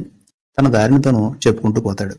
మన ఫామ్లో గడ్డి కూడా మిగిలిపోతుంది కామ్రేడ్స్. అలాగే గోధుమ పంటలో కూడా కొంత భాగాన్ని బయటి మార్కెట్కు విక్రయించడం ద్వారా వెండు మిల్లుకు కావలసిన యంత్ర పరికరాలు కొనుక్కోవచ్చు. ఇది కామ్రేడ్స్ మా ఆలోచన. మిగిలిన విషయాలు స్క్వేలర్ వివరిస్తాడు. మీకేమైనా అభ్యంతరాలుంటే అతనితో చర్చించవచ్చు. కాకపోతే నేను ప్రకటించిన విధాన నిర్ణయాల్లో మాత్రం ఏ మార్పు ఉండదు. ధిక్కార స్వరం వినిపించాలనే వ్యర్థ ప్రయత్నాలు మానుకోండి. లేకపోతే తెలుసుగా ఏం జరుగుతుందో అంటాడు నెపోలియన్. భౌ భౌ భౌమంటూ కుక్కలు అదే పనిగా అన్ని జంతువుల వైపు చూస్తూ అరుస్తూ ఉంటాయి. అన్ని వైపులా అలా చూస్తూ హెచ్చరిస్తున్నట్టుగా భయంకరంగా అరుస్తూ వెళ్ళిపోతాయి అవి. మ్యూరియల్ అదేంటి? మనం ఎవరు మనుషులతో ప్రత్యక్షంగా కానీ పరోక్షంగా కానీ ఎటువంటి సంబంధాలు పెట్టుకోకూడదని కదా జంతువాద సిద్ధాంతం చెప్పేది? అంటుంది క్లోవర్. అదే కదా అంటాయి జంతువులు. నాకు గుర్తున్నంత వరకు వ్యాపారం కూడా చేయకూడదని ఉంది. మీకెవరికి తెలియని మరోటి జరిగింది ఫామ్లో తెలుసా? అంటుంది మ్యూరియల్. ఏమిటిది? అమాయకంగా అడుగుతుంది క్లోవర్. పందులు అంతకు ముందులా స్టాళ్ళలో ఉండటం లేదు తెలుసా ఈ మధ్య? అంటుంది మ్యూరియల్. ఎక్కడుంటున్నాయి మరి? క్లోవర్ అడుగుతుంది.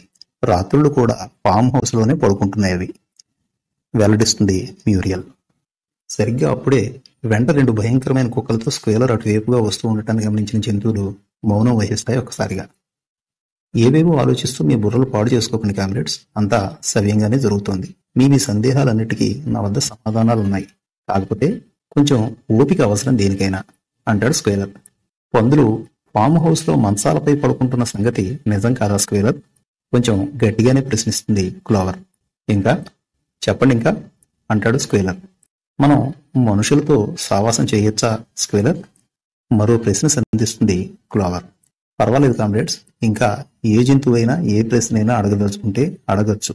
అధికార ప్రతినిధిని కదా అన్ని సందేహాలను నివృత్తి చేయవలసిన బాధ్యత నాపై ఉంది అంటాడు స్క్వేలర్ నవ్వుతూ.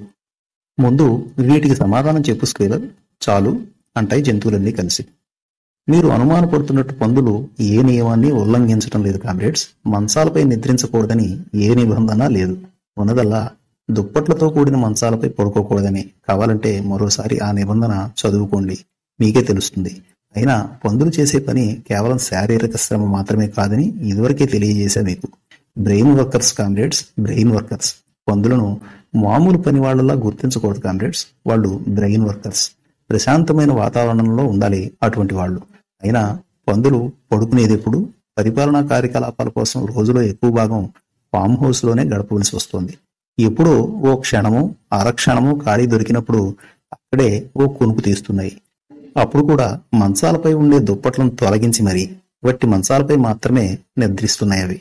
ఇకపోతే వ్యాపారం గురించి. జంతువాద సిద్ధాంతాన్ని తయారు చేసుకున్నప్పటి అవసరాలు వేరు ఇప్పటి అవసరాలు వేరు. అయినా నెపోలియన్ చెప్పనే చెప్పాడు. పొలిటీషియన్లు అన్నాక ఒపీనియన్స్ మార్చుకోవాలని. అందున మనం ఎవరు మనుషులతో ప్రత్యక్షంగా ఏ సంబంధము పెట్టుకోవలసిన అవసరం లేదని కూడా నెపోలియన్ మాట ఇచ్చాడు కదా.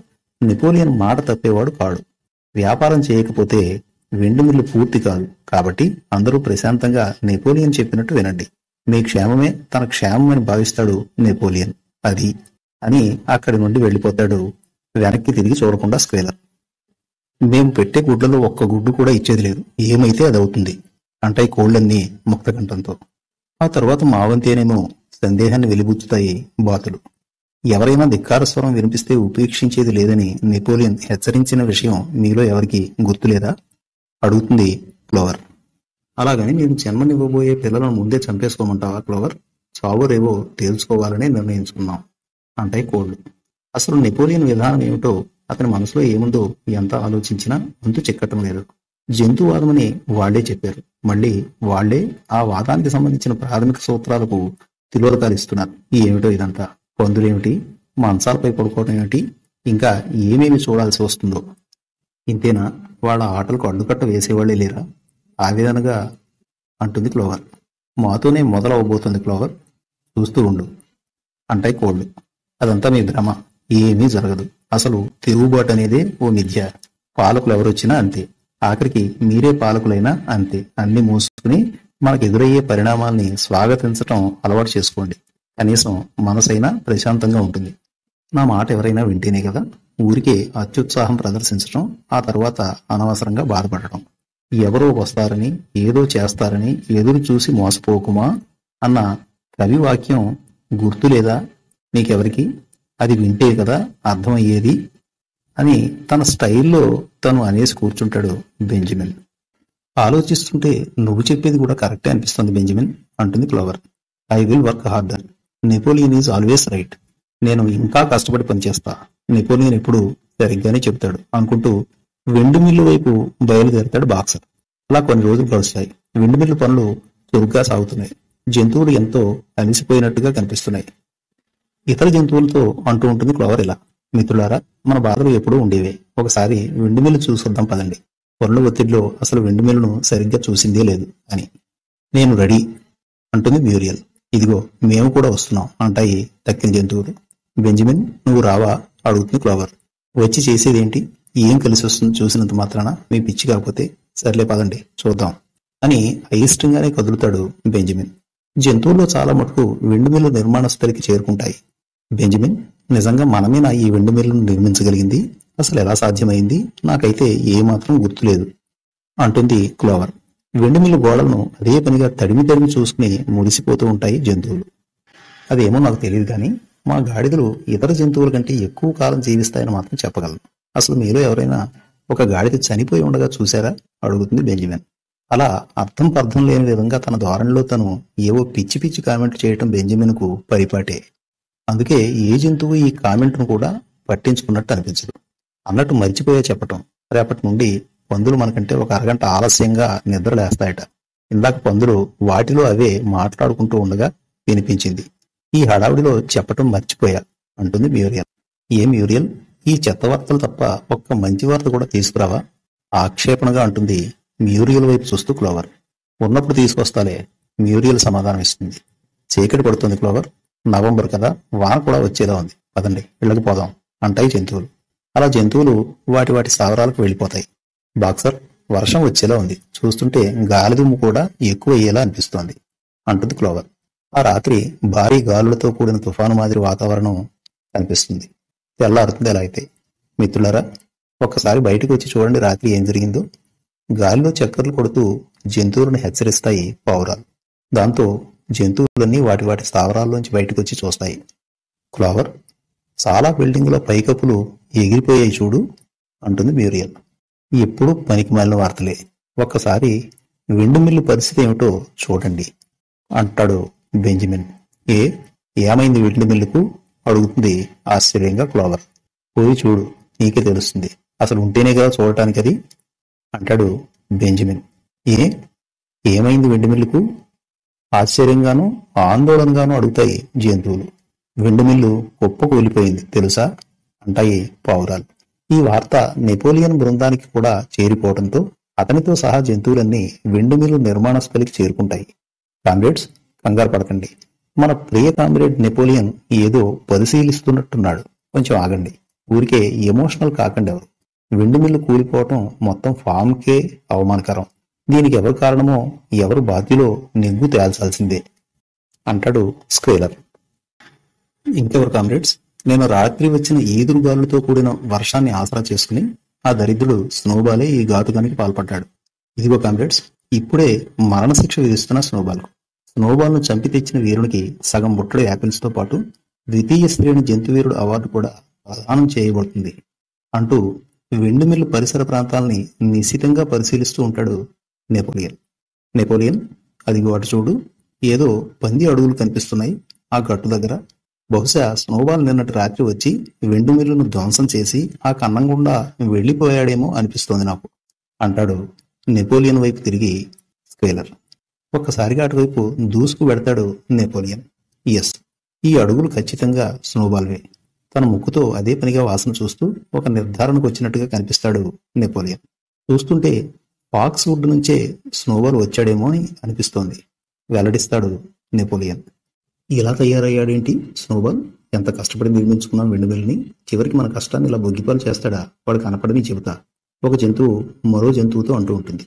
ఏంటి? స్నోబాల్ ఈ పని చేసింది. ఆశ్చర్యంగాను సందేహంగాను అడుగుతాడు బాక్సర్. వదిలే బాక్సర్ అంటుంది క్లోవర్. స్క్వేలర్ వెంటనే అందరినీ బార్న్లో సమావేశపరచు. నేను బయలుదేరుతున్నా. అని అక్కడి నుండి వెసవెస వెళ్ళిపోతాడు నెపోలియన్. విన్నారుగా కామ్రేడ్స్ బార్న్ వద్దకు రండి అంటాడు స్క్వేలర్ తను వెళ్ళిపోతూ. చిన్న పెద్ద అనే తేడా లేకుండా అన్ని జంతువులు బార్న్లో సమావేశమవుతాయి. ఇన్ని జంతువులు బార్న్లో హాజరు కావటం మేజర్ కాలంలోనే జరిగింది. ఆ తరువాతి సమావేశాల్ని చాలా మటుకు ఏదో హడావిడిగా ప్రారంభించడం వెంటనే అంతే హడావిడిగా ముగించటం చాలా సందర్భాల్లో చూశాం. కానీ ఇప్పటి పరిస్థితి కొంచెం భిన్నంగా కనిపిస్తోంది. కామ్రేడ్స్ జరిగిందేదో జరిగిపోయింది. విండ్ మిల్లు పునర్నిర్మాణాన్ని ఈ క్షణం నుంచే ప్రారంభిస్తున్నాం. గోడల నిర్మాణం కూడా బలంగా జరగాలి.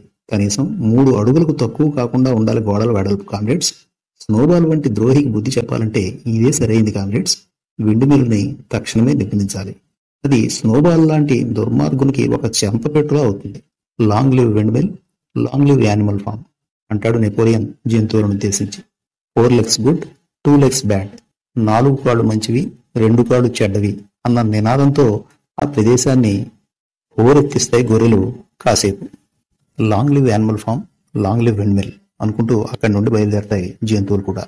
క్లోవర్ మరింత కష్టపడాలి. నేను ఇంకా కష్టపడి పని చేయాలని నిర్ణయించుకున్నా అంటూ తనను రోజు అరగంట ముందే నిద్రలేపి కోడిపుంజు వైపు చూస్తూ మిత్రమా రేపటి నుండి మరో పావు గంట ముందే నన్ను నిద్రలేపాలి. తెలిసిందా? అంటాడు బాక్సర్. ఆ కోడిపుంజు కూడా మరింత ఉత్సాహంగా ఓ తప్పకుండా బాక్సర్ అంటుంది. కామ్రేడ్స్ ఫామ్లో పరిస్థితులు ఎంతమాత్రం బాగాలేవు. మనం పడ్డ కష్టమంతా బూడిదలో పోసిన పన్నీరు మాదిరి అయింది ఇప్పటిదాకా మన శ్రమలోనూ సమయంలోనూ ఎక్కువ భాగాన్ని విండు మిల్లు నిర్మాణానికే కేటాయించడం వల్ల ఆహార పదార్థాల ఉత్పత్తి దారుణంగా పడిపోయింది. మన ఫామ్ గురించి బయట చాలా దారుణంగా మాట్లాడుకుంటున్నారు. ఆ దుష్ప్రచారాలు మన ప్రతిష్టను దిగజారుస్తున్నాయని నెపోలియన్ తెగ బాధపడుతున్నాడు. సరేలే. ఇవన్నీ మీకెందుకు? అందరూ వెళ్ళి రెస్ట్ తీసుకోండి అని అక్కడి నుండి నిష్క్రమిస్తాడు స్క్వేలర్. వచ్చిన పని ఏమిటో చెప్పకుండా. నెపోలియన్ అవి గుడ్లు అప్పచెప్పటానికి కోళ్ళు మొగ్గు చూపటం లేదు. పైగా నిన్న ఎక్కడెక్కడో గుడ్లు పెట్టి వాటిని స్వయంగా తమంతట తమే క్రింద పడేసి పాడు చేసేవి అంటాడు స్క్వేలర్ నెపోలియన్తో. కోళ్ళకు తక్షణమే ఆహారాన్ని నిలిపివేయండి చూద్దాం. ఆజ్ఞాపిస్తాడు నెపోలియన్. కోళ్ళకు అప్పటి నుండి ఆహారం నిలిపివేయటం జరుగుతుంది. దాదాపు తొమ్మిది కోళ్ళు చనిపోతాయి ఆ క్రమంలో. ఎలా అయితేనే కోళ్ళు రాజీ మార్గం అవలంబించాల్సి వస్తుంది. ఫలితంగా వాటికి కేటాయించిన చోటే బుద్ధిగా గుడ్లు పెడుతూ ఉంటాయి. అవి అప్పటి నుండి పరిస్థితులపై నెపోలియన్ పూర్తి పట్టు వచ్చినట్టు అనిపిస్తుంది. నిన్న రాత్రి ఫామ్లో ప్రవేశించిన స్నోబాల్ చాలా పాడు పనులే చేశాట. తెలుసా మీకు? వెల్లడిస్తుంది మ్యూరియల్. ఆవుల పాలు కూడా పితుక్కుపోయినట్టు అన్నారెవరో. అంటుంది క్లోవర్. సరిగ్గా అదే సమయంలో అటువైపు వస్తున్న స్క్వేలర్ మధ్యలో అందుకుంటాడు. మీకు తెలిసింది చాలా తక్కువ కామ్రేడ్స్. చెబుతూ పోతే స్నోబాల్ చేసిన అరాచకాల లిస్టు కొండవీటి చెంతాడంత ఉంటుంది. ఆవుల పాలు పితుక్కుపోతున్నాడు. కోళ్ళు పెట్టిన గుడ్లను పాడు చేస్తున్నాడు. మొన్న రాత్రి ఫామ్ హౌస్ కిటికీలను పాల్గొట్టాడు. విత్తనాలను పాడు చేస్తున్నాడు. అందరూ త్రాగే మంచినీళ్ళను కలుషితం చేస్తున్నాడు.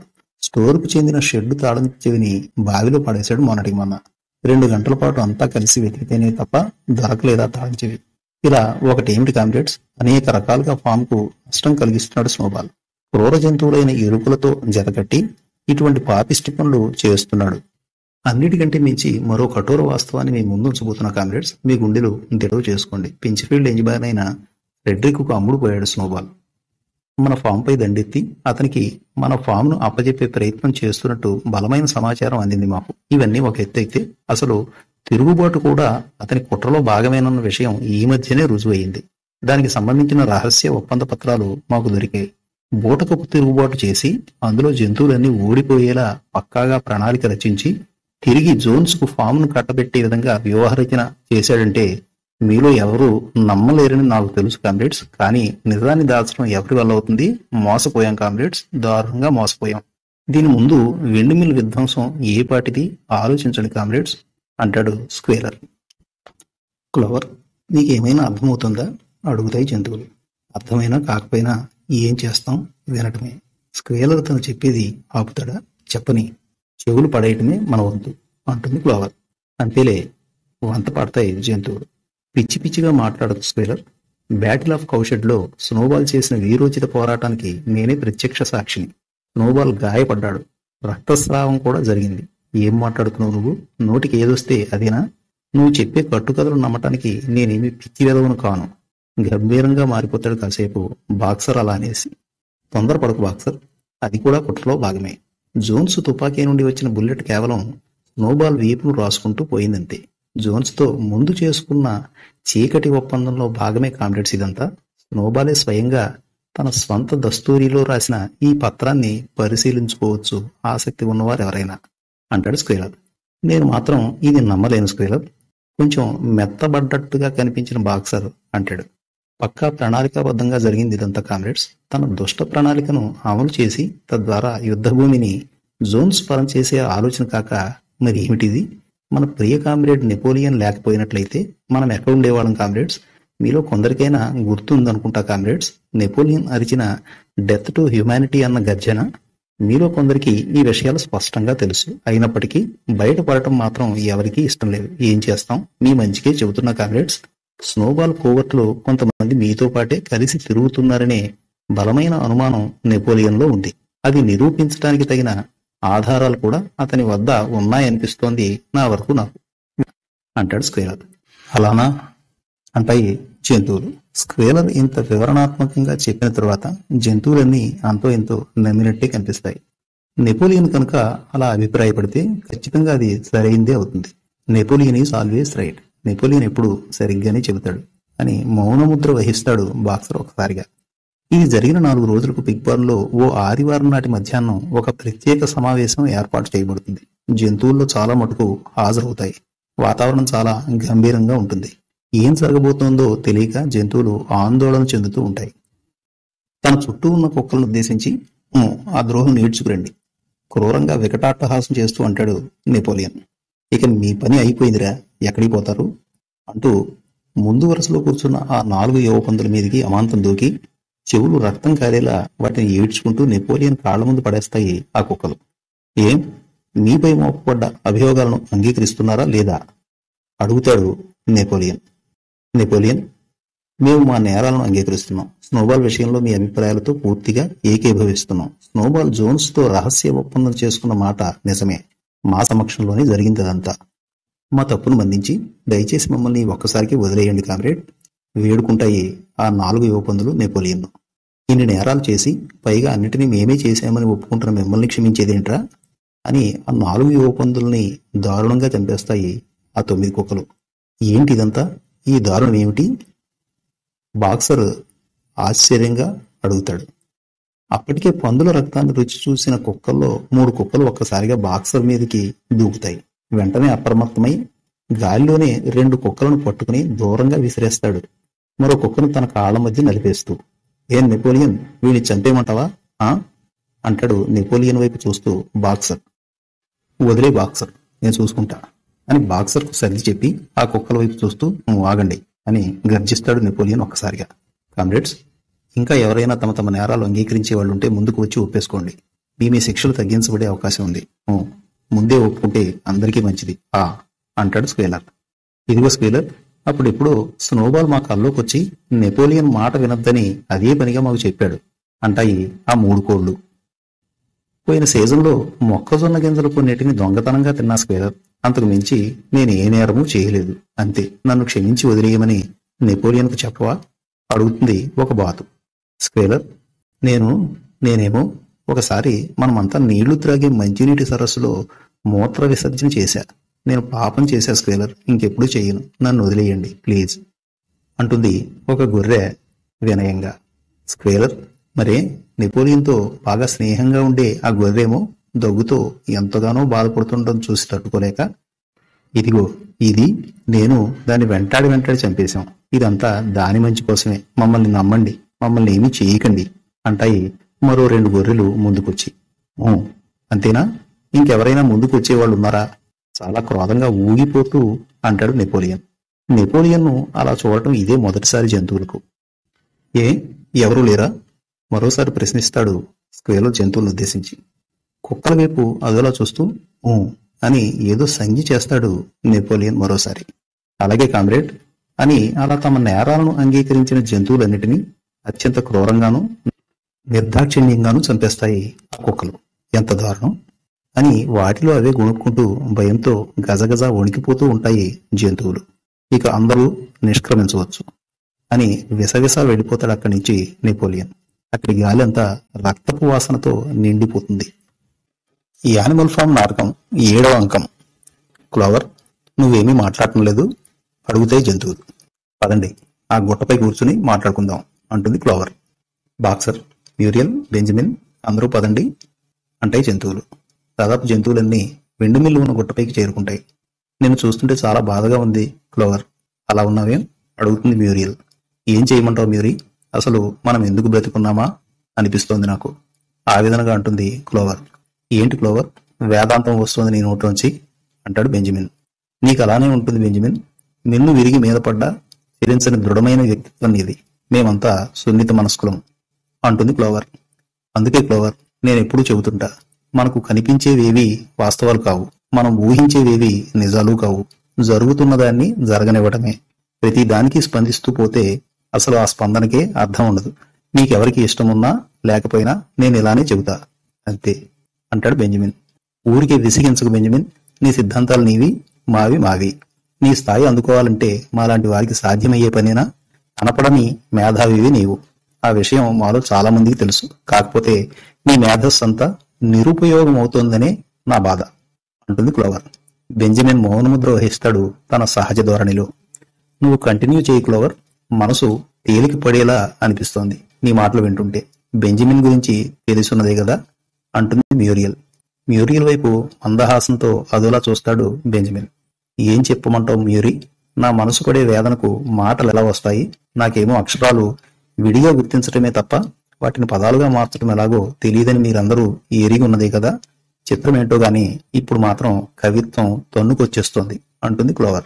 చెప్పు క్లోవర్ నువ్వు చెబుతూ ఉంటే ఇంకా వినాలని ఉంది మాకందరికీ అంటాయి జంతువులన్నీ ఆసక్తిగా. ఒక్కసారి మన ఫామ్ అందాలను చూడండి. ఆ బిల్డింగులు వాటిపై ఉన్న పొగగొట్టాలు చిమ్మే పొగలు అదిగో ఆ అందమైన సువిశాలమైన పచ్చిక బయలు చూడండి. ఆ పొలాలు ఎలా పచ్చగా కళకళలాడుతున్నాయో చూడండి ఒకసారి. మన కష్ట ఫలమే కదా అదంతా. అదిగో దూరంగా కనిపిస్తున్న బిగ్ బాన్ చూస్తుంటే మీకు ఎలా అనిపిస్తోంది? ఎన్ని చరిత్రాత్మక పరిణామాలకు నెలవయిందది అదిగో అటువైపు చూడండి ఒకసారి. మనమంతా రోజు మన దాహార్తిని తీర్చుకోవడానికి ఉపయోగించే మంచినీటి కొలను ఎలా ఉందది? అంటుంది క్లోవర్ జంతువులను ఉద్దేశించి. అబ్బా ఎంత బాగా చెబుతున్నావో. పదాలను వాక్యాలను గడగడ అప్పచెప్పగలిగే మేము కూడా నువ్వు చెబుతున్నట్టు ఎన్నటికీ చెప్పలేం క్లోవర్ అంటుంది మ్యూరియల్ ఏంటి ఉపయోగం మిత్రమా? ఈ సుందర దృశ్యాలకు మన అంతరాంతరాల్లో జరుగుతున్న సంఘర్షణలను సమాధానపరచగల శక్తి ఉందా? మనలోని బాధను ఓదార్చగల నేర్పు వీటికి లేనే లేదు. ఒకటి అడుగుతాను చెప్పండి. ఇందుకేనా? ప్రాణాలు కూడా లెక్క చేయకుండా తిరుగుబాటులోనూ ఆ తరువాత జరిగిన బ్యాటిల్ ఆఫ్ కౌషడ్లోనూ పోరాడి గెలిచింది. అన్ని జంతువులు సమానమే అని కదా మేజర్ చెప్పింది. ఏది? ఎక్కడుంది సమానత్వం? పందులేవి ఒళ్ళుంచి పని చేయవా? ఫామ్ హౌస్లోని మంచాలపై నిద్రించటం? జోన్స్ ఉపయోగించిన డైనింగ్ టేబుల్ మీద భోజనాలు చేయటం? రోజు మనమంతా లేచిన అరగంట తరువాత కానీ నిద్ర లేవకపోవటం? అన్నిటికంటే విచిత్రంగా మన మీద పెత్తనం చెలాయించటం? యాపిల్స్ పాలు అవి మాత్రమే పంచుకోవటం. ఇదేనా కామ్రేడ్స్? సమానత్వం అంటే? ఇదేనా సోషలిజం అంటే? అయితే అటువంటి సోషలిజం వద్దే వద్దు మనకు. అది సరే. అసలు ఒక జంతువు మరో జంతువునంత దారుణంగా చంపేయడం ఏంటి కామ్రేడ్స్? వెండి మిల్లు నిర్మాణానికి పగలనక రాత్రనక రెక్కలు మొక్కలు చేసుకుని శ్రమించింది ఇటువంటి కిరాతక చర్యలు చూస్తూ సహించటానికేనా? ఒక గొర్రెను కూడా కోల్పోయి ప్రాణాలకు తెగించి జోన్స్ను ఫామ్ నుండి వెళ్ళగొట్టింది ఇందుకేనా? దానికి ముందు జోన్స్ తుపాకీ నుండి వెలువడ్డ బుల్లెట్ ఘాతాలకు ఎదురొడ్డటం ఇటువంటి వాటి కోసమేనా? లేదు కామ్రేడ్స్ ఈ రోజు కోసం మాత్రం కాదు. మన త్యాగాలకు అర్థమే లేకుండా పోయింది కామ్రేడ్స్. అంటుంది మరింత ఆవేదనగా క్లోవర్. క్లోవర్ మేజర్ కాని ఆవహించాడే ఏమిటి నిన్ను? నువ్వు చెప్పేవన్నీ వింటుంటే ఇందాకటి బాధ పూర్తిగా పోయింది. ఇలా మనం పడ్డ కష్టాల గురించి అంతరాంతరాల్లో కుమిలిపోవటం కూడా మంచిదేనేమో అనిపిస్తోంది మాకు. బాగా చెప్పావు క్లోవర్. చాలా థ్యాంక్స్ ఎంత హాయిగా ఉందో మాకిప్పుడు అంటాయి జంతువులన్నీ ముక్తకంఠంతో. సర్లే క్లోవర్ చెప్పింది అయిందిగా. ఒకసారి బీస్ట్స్ ఆఫ్ ఇంగ్లాండ్ గీతాన్ని పాడుకుందాం అంటాడు బాక్సర్. ఒక విధమైన ఆర్ద్రతతో కూడిన ఎవరైనా చనిపోయినప్పుడు మాత్రమే వినిపించే రాగంలో జంతువులన్నీ కలిసికట్టుగా అతి మంద్ర స్థాయిలో ఆ గీతాన్ని పాడుతూ ఉంటాయి. అదిగో స్క్వేలర్ మళ్ళీ వస్తున్నాడు. వాడికి అసలు పనే ఉండదు కాబోలు. అనుకుంటాయి జంతువులు తమలో తామే. కామ్రేడ్స్ మీకు ముఖ్య వార్త చెప్పాలని ఇలా గుట్ట ఎక్కి రావాల్సి వచ్చింది. ఏమిటి? ఇక్కడ సమావేశమయ్యారంతా? ఆశ్చర్యంగా అడుగుతాడు స్క్వేలర్. ఏదో చెప్పాలన్నావు? ముందు మా ప్రశ్నకు సమాధానం చెప్పు. ఏ జంతువు మరో జంతువును చంపకూడదని కదా సెవెన్ కమాండ్మెంట్స్లో ఒకటి చెబుతోంది? అడుగుతుంది క్లోవర్. మరోసారి ఆ కమాండ్మెంట్ను చదవండి. ఏముందో మీకే తెలుస్తుంది. సరైన కారణం లేకుండా ఏ జంతువు మరో జంతువును చంపకూడదు. అది ఆ కమాండ్మెంట్ చెప్పేది. మీరే ప్రత్యక్షంగా చూశారు కదా? ప్రతి జంతువు దాని నేరాన్ని అంగీకరించిన తరువాతే అది శిక్షకు గురయ్యింది అదంతా నాకు అనవసరం. చెప్పేది వినండి. వీర కామ్రేడ్ నెపోలియన్ జారీ చేసిన ఒక ప్రత్యేక డిగ్రీని అనుసరించి ఇక నుండి బీస్ట్స్ ఆఫ్ ఇంగ్లాండ్ గీతం నిషేధించబడింది. అంతేకాదు కామ్రేడ్స్ ఈ నిషేధం తక్షణమే అమల్లోకి వస్తోంది. కాబట్టి అలా గీతాలాపన చేసిన వారు కఠిన శిక్షకు పాత్రులవుతారని చెప్పమన్నాడు నెపోలియన్. అది అంటాడు స్కేలర్. ఏ ఎందుకు పాడకూడదు ఆ గీతాన్ని? మ్యూరియల్ అమాయకంగా ప్రశ్నిస్తుంది. బాగా అడిగో మ్యూరియల్. ఆ గీతం యొక్క అవసరం తీరిపోయిందని అధిష్టాన వర్గం అభిప్రాయం. జంతువుల్లో ఒక విధమైన అయోమయాన్ని క్రియేట్ చేస్తుంది కామ్రేడ్స్ ఆ గీతం. కేవలం శత్రువులను ఉద్దేశించి మాత్రమే ఆ గీతం వెలుగులోకి తేబడింది. ఈ మధ్యాహ్నం విజయవంతంగా పూర్తి చేసిన అంతర్గత శత్రు నిర్మూలనతో మన శత్రువర్గమంతా నశించింది. ఇక ఆ గీతం దుష్ప్రభావాలను మాత్రమే కలగజేస్తుంది. అందుకే కామ్రేడ్స్ ఎంతో సమయస్ఫూర్తితో నెపోలియన్ తీసుకున్న నిర్ణయం ఇది అంటాడు స్క్వేలర్. విధి వైపరీత్యం కాకపోతే ఏంటి? తనలో తనే మరో జంతువుకు వినపడి వినపడకుండా అనుకుంటుంది మ్యూరియల్. లోపల ఎంతగా భయపడుతున్నప్పటికీ కొన్ని జంతువులు బాహాటంగానే నిరసన తెలపడానికి సమాయత్తమవుతాయి అంతలోనే. నాలుగు కాళ్ళు మంచివి రెండు కాళ్ళు చెడ్డవి. అనేక నిమిషాల పాటు కొనసాగిస్తాయి తమ నినాదాలను గొర్రెలు. జంతువులు తమ నిరసన గళాలని వినిపించడానికి వచ్చిన మహత్తర అవకాశాన్ని గొర్రెల నిరంతర నినాదాలతో కోల్పోతాయి. వస్త కామ్రేడ్స్ సెలవు. అని ముసిముసి నవ్వులు నవ్వుకుంటూ తనతో వెంట పెట్టుకుని వచ్చిన కుక్కలతో కూల్గా వెళ్ళిపోతాడు స్క్వేలర్. క్షణం నుండి బీస్ట్స్ ఆఫ్ ఇంగ్లాండ్ గీతం మరి వినపడింది లేదు ఫామ్లో మరుసటి ఆదివారం నాటి సమావేశాలలో మరికొన్ని కొత్త అంశాలు వెలుగులోకి వస్తాయి. యువర్ హైనెస్ కామ్రేడ్ నెపోలియన్ యువ కవి మినిమస్ తాను రచించి స్వరపరిచిన రెండు అద్భుత గీతాలను సభ ముందు ఉంచడానికి ఊరుతున్నాడు. అంటాడు స్క్వేలర్ కానివ్వండి సెలవిస్తాడు నెపోలియన్. కామ్రేడ్ నెపోలియన్ నాకు ఈ మహత్తర అవకాశం ఇచ్చి నా వెన్ను తట్టి ప్రోత్సహించినందుకు ముందుగా మీకు ధన్యవాదాలు తెలియజేసుకుంటున్నా. నా ఈ గీతాన్ని పామ్ యొక్క జాతీయ గీతంగా ప్రకటించినందుకు మరోసారి నా కృతజ్ఞతలు తెలుపుకుంటున్నా. ఇదిగో గీతం వినండి. యానిమల్ ఫామ్ ఓ యానిమల్ ఫామ్ ఈనాటికి హాని జరగదు నీకు. నా ద్వారా అసలే జరగదు. హాని అనేదే అసలు జరగదు. హాని అన్నదే జరగదు నీకు. యానిమల్ ఫామ్ ఓ యానిమల్ ఫామ్. అంటూ ముగిస్తాడు మినిమస్. అద్భుతం మినిమస్ మహాద్భుతం. నీ కవిత్వ నైపుణ్యాన్ని మెచ్చుకోకుండా ఉండలేకపోతున్నా. కేవలం నాలుగు ముక్కల్లో ప్రస్తుతం పాముకు ఏది అవసరమో అది చక్కగా వెల్లడించగలిగావు. ఒక వాక్యం ఎక్కువ గాని ఒక వాక్యం తక్కువ గాని లేకుండా చెప్పవలసినదంతా బహు బాగా చెప్పావు. అందుకు నా ప్రత్యేక అభినందనలు. అంటాడు మినిమస్ను అభినందిస్తూ నెపోలియన్. ధన్యవాదాలు కామ్రేడ్ నెపోలియన్ ధన్యవాదాలు అంటాడు మినిమస్. కామ్రేడ్స్ ఇకపై ప్రతి ఆదివారం నాటి ఫ్లాగ్ హాయిస్టింగ్ తర్వాత ఈ గీతాలాపన ఉంటుంది. ఇప్పుడు మినిమస్ మరో గీతాన్ని వినిపిస్తాడు. నెపోలియన్ తన ఆమోదముద్ర వేసిన తర్వాత అది అమల్లోకి వస్తుంది. డియర్ మినిమస్ నీ రెండవ గీతాన్ని కూడా వినిపించి వింటాం అంటాడు స్క్వేలర్. తప్పకుండా కామ్రేడ్ స్క్వేలర్. మిత్రులారా కామ్రేడ్ నెపోలియన్ ఎన్నో వ్యయ ప్రయాసాలు కూర్చి మన ఫామ్ నాయకత్వ బాధ్యతలు తన భుజస్కంధాలపై వేసుకుని యానిమల్ ఫామ్కు అత్యంత సమర్థవంతమైన నాయకత్వాన్ని అందిస్తున్నాడు. ఎటువంటి దుష్టశక్తి మనల్ని ఏమీ చేయకుండా మనందరినీ స్వంత బిడ్డల వలె కాపాడుతున్నాడు. కామ్రేడ్ నెపోలియన్ త్యాగ నిరతికి సమర్థ పాలనకు మరియు మనపై అతను చూపించే అపార కరుణా కటాక్షాలకు కృతజ్ఞతగా ఈ గీతాన్ని అందిస్తున్నా. అందుకోండి. అంటూ తన గీతాన్ని మొదలు పెడతాడు మినిమస్. ప్రియతమ నాయకుడా ఓ నెపోలియన్ అనాథ జంతు పితృ సమానుడా ఓ నెపోలియన్ అభాగ్య జీవుల ఆశాజ్యోతి ఓ నెపోలియన్ ఓ నెపోలియన్ ఓ ప్రియతమ నాయకుడా అమృతాది జలాల అధిపతి ఓ నెపోలియన్ కరుణా కటాక్షాల పెన్నిది ఓ నెపోలియన్ ఆకాశంలో మెరుస్తున్న సూర్యుడా ఓ నెపోలియన్ ఓ నెపోలియన్ ఓ ప్రీతమ నాయకుడా నీ కరుణా కటాక్ష వీక్షణాలు ప్రసరించిన వేళ నా హృదయం ఆనంద డోలికల్లో తేలియాడదా? నిన్ను నమ్ముకున్న ప్రతి జీవి ఎంత భాగ్యశాలో కదా? అర్ధాకులంటే తెలుసా దానికి? నిద్రలేమి ఎరుగునాది? ఓ నెపోలియన్ ఓ ప్రియతమ నాయకుడా నాకే పాలు తాగే పందిపిల్లుంటే నేర్పనాదానికి నీకు అది ఎలా విశ్వాసపాత్రంగా ఉండాలో? దాని మొట్టమొదటి మాట కామ్రేడ్ నెపోలియన్ కాదా? ఆకాశంలో దగదగా మెరుస్తున్న సూర్యుడా ఓ నెపోలియన్ ఓ నెపోలియన్ ఓ ప్రీతం నాయకుడా అంటూ తన రెండవ గీతాన్ని ముగిస్తాడు మినిమస్. పందులు కుక్కలు గొర్రెలు మరికొన్ని యువతరానికి చెందిన జంతువుల చప్పట్లు ఈలలు కేరింతలతో ఆ ప్రాంగణమంతా దద్దరిల్లిపోతుంది. కామ్రేడ్స్ ప్రీతమ నాయకుడు కామ్రేడ్ నెపోలియన్పై మీకున్న అభిమానానికి అపారమైన విశ్వాసానికి మొత్తం ఫామ్ తరపున నా కృతజ్ఞతలు.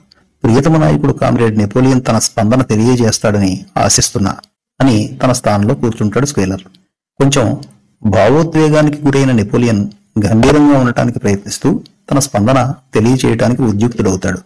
కామ్రేడ్స్ వయసులో చిన్నవాడైనప్పటికీ మాటల్లోనూ చేతల్లోనూ ఎంతో పరిణతి చూపిన యువకవి మినిమస్ చొరవను మనస్ఫూర్తిగా అభినందిస్తూ ఈ గీతాన్ని మీ అందరి కరతాళ ధ్వనుల మధ్య ఆమోదిస్తున్నా అంటాడు నెపోలియన్. స్క్వేలర్ వైపు చూసి స్క్వేలర్ ఈ గీతాన్ని బార్న్ గోడపై రాయించు అంటాడు నెపోలియన్. తిరుగుబాటు తరానికి చెందిన కొన్ని జంతువులు తప్ప ఇతర జంతువులన్నీ తమ తమ కరతాళ ధ్వనులతో బార్ను ఓరెత్తిస్తాయి కాసేపు. ఈ యానిమల్ ఫామ్ నాటకం ఎనిమిదవ అంకం. క్రమంగా బాహ్య ప్రపంచంతో తన సంబంధాలను మరింత మెరుగుపరుచుకునే దిశగా అనేక ప్రయత్నాలు చేస్తోంది యానిమల్ ఫామ్. దీంట్లో వింపర్ చొరవ అధికమనాలి. ఫామ్లో నిరుపయోగంగా ఒక మూలపడి ఉన్న ఉన్న కలపదొంగలను ఎవరికైనా అమ్మివేసి తద్వారా వచ్చే డబ్బుతో ఫామ్ ఆర్థిక అవసరాలను తీర్చుకోవచ్చనే సలహా ఇస్తాడు వింపర్ నెపోలియన్కు. యువర్ హైనస్ నెపోలియన్ ఫ్రెడ్రికే కాకుండా ఫిల్కింగ్టన్ కూడా మన వద్ద ఉన్న కలప కొనటానికి ఒవ్విళ్ళు ఊరుతున్నాడు. దీనిపై మీరు సత్వరమే ఒక నిర్ణయం తీసుకుంటే మంచిదని నా అభిప్రాయం అంటాడు వింపర్. వింపర్ డియర్ కొంచెం సమయం కావాలి నాకు. ముందు ఈ ఇరువురిలో స్నోబాల్ ఎవరి వద్ద ఆశ్రయం పొందుతున్నాడో తెలియాలి నాకు. అది తెలిసిన మరుక్షణమే ఎవరికి అమ్మాలో నిర్ణయం జరుగుతుంది అంటాడు నెపోలియన్. అలా మరికొన్ని రోజులు గడుస్తాయి. కానీ కలపదొంగల వ్యవహారం మాత్రం ఒక కొలిక్కి రాదు. క్లోవర్ విను మరో మూడు కోళ్ళు మరణ శిక్షకు గురయ్యాయట. నీకు తెలియలేదా? అంటుంది మ్యూరియల్. నీకెలా తెలిసింది? ఎదురు ప్రశ్న వేస్తుంది క్లోవర్. అది ఎలా అంటే స్క్వేలర్ ఎవరితోనో రహస్యంగా చెబుతుంటే వినపడింది నాకు అంటుంది మ్యూరియల్ కారణం ఏమన్నా తెలిసిందా? తిరిగి అడుగుతుంది క్లోవర్. ఆ స్నోబాల్ సలహా మేరకు తాము నెపోలియన్ను హతమార్చేందుకు ఒక ప్రణాళిక సిద్ధం చేసినట్టు ఒప్పుకుని తమకు కఠిన శిక్ష విధించాలని అవే ముందుకొచ్చి అభ్యర్థించాయట అంటుంది మ్యూరియల్ సర్లే ఇంకా విశేషాలేంటి? అడుగుతుంది క్లోవర్. మ్యూరియల్ చెప్పిన విషయాన్ని నమ్మినట్టుగా కనిపించదు. దాని వాలకం చూస్తుంటే. నెపోలియన్ తీసుకోబోయే ఆహారాన్ని పింకీ అనే ఒక చిన్న పంది రుచి చూసి ఆ ఆహారంలో ఏ విషము కలపబడలేదని తెలిసిన తరువాతే నెపోలియన్ ఆ ఆహారాన్ని తీసుకుంటాట ఇక నుండి. వెల్లడిస్తుంది మ్యూరియల్. అలాగే అంటుంది కొంచెం వెటకారంగా క్లోవర్. అంతేకాదు క్లోవర్ తనని ఎవరైనా చంపేస్తారేమోననే భయం పట్టుకున్నట్టుంది నెపోలియన్కు. ముఖ్యంగా ఫ్రెడ్రిక్ అంటే చాలా భయంగా ఉన్నట్టుంది అతనికి. స్నోబాల్ అక్కడే ఉన్నాడని ఎవరో చెప్పినట్టున్నారట అతనికి అంటుంది మ్యూరియల్. ఎలా చెప్పగలుగుతున్నావు నువ్వు ఇవన్నీ? అడుగుతుంది క్లోవర్ ఆశ్చర్యంగా. కంటి నిండా సరిగ్గా నిద్ర కూడా పోలేకపోతున్నాడు నెపోలియన్. తను నిద్రించే మంచానికి కూడా నాలుగు వైపులా కుక్కలు పహారా కాసేలా ఏర్పాటు చేసుకున్నట్ట అంటుంది మ్యూరియల్. ఈ నేపథ్యంలో తరువాతి ఆదివారం నాటి సమావేశాలు ఒక ప్రత్యేకతను సంతరించుకుంటాయి. కామ్రేడ్స్ ఫ్రెడ్రిక్ మనపై కక్ష పెంచుకున్నట్టున్నాడు. మనమంటే ఈర్ష్యతో రగిలిపోతున్నాడేమో అనిపిస్తోంది నాకు. మనపై దండెత్తి పాముకు సంబంధించిన విలువైన పత్రాలను చేజిక్కించుకుని తానే దీనికి యజమాని కావాలని ఊవిళ్ళూరుతున్నట్టుగా ఉన్నాడు. స్నోబాల్ అతని వెనుక ఉన్నాడని నా నమ్మకం.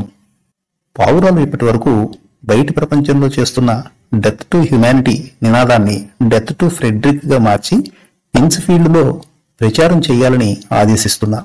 ఇతర ఫామ్లలో మాత్రం డెత్ టు హ్యుమానిటీని యథాతథంగా ప్రచారం చేయాలి కామ్రేడ్స్. స్నోబాల్ అకృత్యాలు కూడా రోజు రోజుకు మితిమీరిపోతున్నాయి ఇలా చూస్తూ ఊరుకుంటే ఫామ్ ప్రతిష్ట దిగజారిపోవటం ఖాయం. మన పొలాలను ఒకసారి పరిశీలించండి. గోధుమ పంటలో సగానికి పైగా కలుపు మొక్కలే కనిపిస్తున్నాయి. ఒక పథకం ప్రకారం పంట వేసే ముందే గోధుమ విత్తనాల్లో కలుపు మొక్కల విత్తనాలను కలిపి ఉంటారని నా అనుమానం. ఈ పని స్నోబాల్ స్వయంగా అయినా చేసుండొచ్చు లేక తన కోవర్టుల ద్వారా అయినా చేయించుండొచ్చు. అంటాడు నెపోలియన్. అంతేకాదు కామ్రేడ్ నెపోలియన్ తనకు ప్రథమ శ్రేణి జంతు వీరుడు అవార్డు వచ్చినట్టుగా జంతువుల్లో ఒక దుష్ప్రచారాన్ని వ్యాప్తి చేశాడు స్నోబాల్. ఏవో కొన్ని తప్ప ఎక్కువ భాగం జంతువులు దీన్ని ధృవీకరించడం లేదు. ఆ అవార్డు గురించి మీకు ఏమైనా గుర్తుందా? కామ్రేడ్ నెపోలియన్ చెప్పండి. ఇటువంటి దుష్ప్రచారాలు మన జంతు సమాజంలో ఒక విధమైన అయోమయాన్ని సృష్టిస్తున్నాయి. ఫలితంగా అభివృద్ధి కుంటుపడుతోంది అంటాడు స్కేలర్ వాడి బొందేం కాదు ప్రథమ శ్రేణి జంతువీరుడు కాదు మరేమీ కాదు. యుద్ధంలో వెన్ను చూపి పారిపోతున్నందుకు గాను స్నోబాల్ను అందరూ గేలి చేస్తుంటే నేనే ఒకసారి అతన్ని గట్టిగా మందలించడం కూడా జరిగింది. సరేలే ఆ చెత్త వదిలేయండి. విసుగ్గా అంటాడు నెపోలియన్. అంతే కామ్రేడ్ నెపోలియన్ అంతేలే. మన మనసులు పాడు చేసుకోవటం తప్ప వేరే ప్రయోజనం లేదని నాకు అర్థమవుతోంది అంటాడు స్క్వేలర్ కామ్రేడ్స్ విండ్ మిల్లు నిర్మాణం దాదాపు పూర్తయింది. యంత్ర భాగాలను బిగించటమే తరువాయి. వెల్లడిస్తాడు నెపోలియన్. విండ్ మిల్లును ఇక నుండి నెపోలియన్ మిల్లుగా గుర్తించాలని ఒక ఏకగ్రీవ తీర్మానం చేస్తున్నా. జంతువులన్నీ తమ ఆమోదాన్ని తెలుపవలసిందిగా అభ్యర్థిస్తున్నా అంటాడు స్క్వేలర్ కామ్రేడ్ నెపోలియన్ వర్ధిల్లాలి.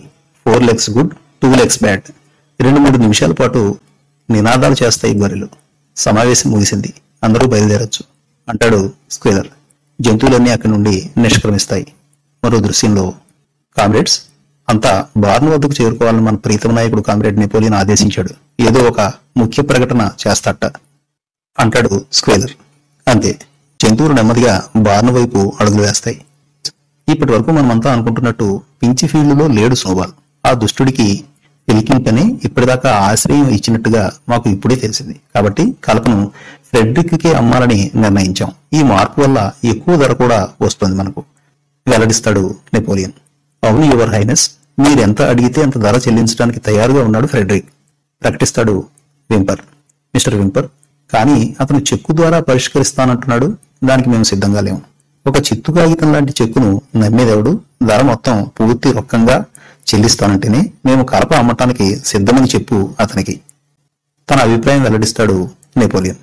యువర్ హైనస్ అదంతా నేను చూసుకుంటా. మీరు నిశ్చింతగా ఉండండి అంటాడు వింపర్. రెడ్డికి తన మనుషులతో వస్తున్నాడు. స్క్వేర్లో ప్రకటిస్తాడు.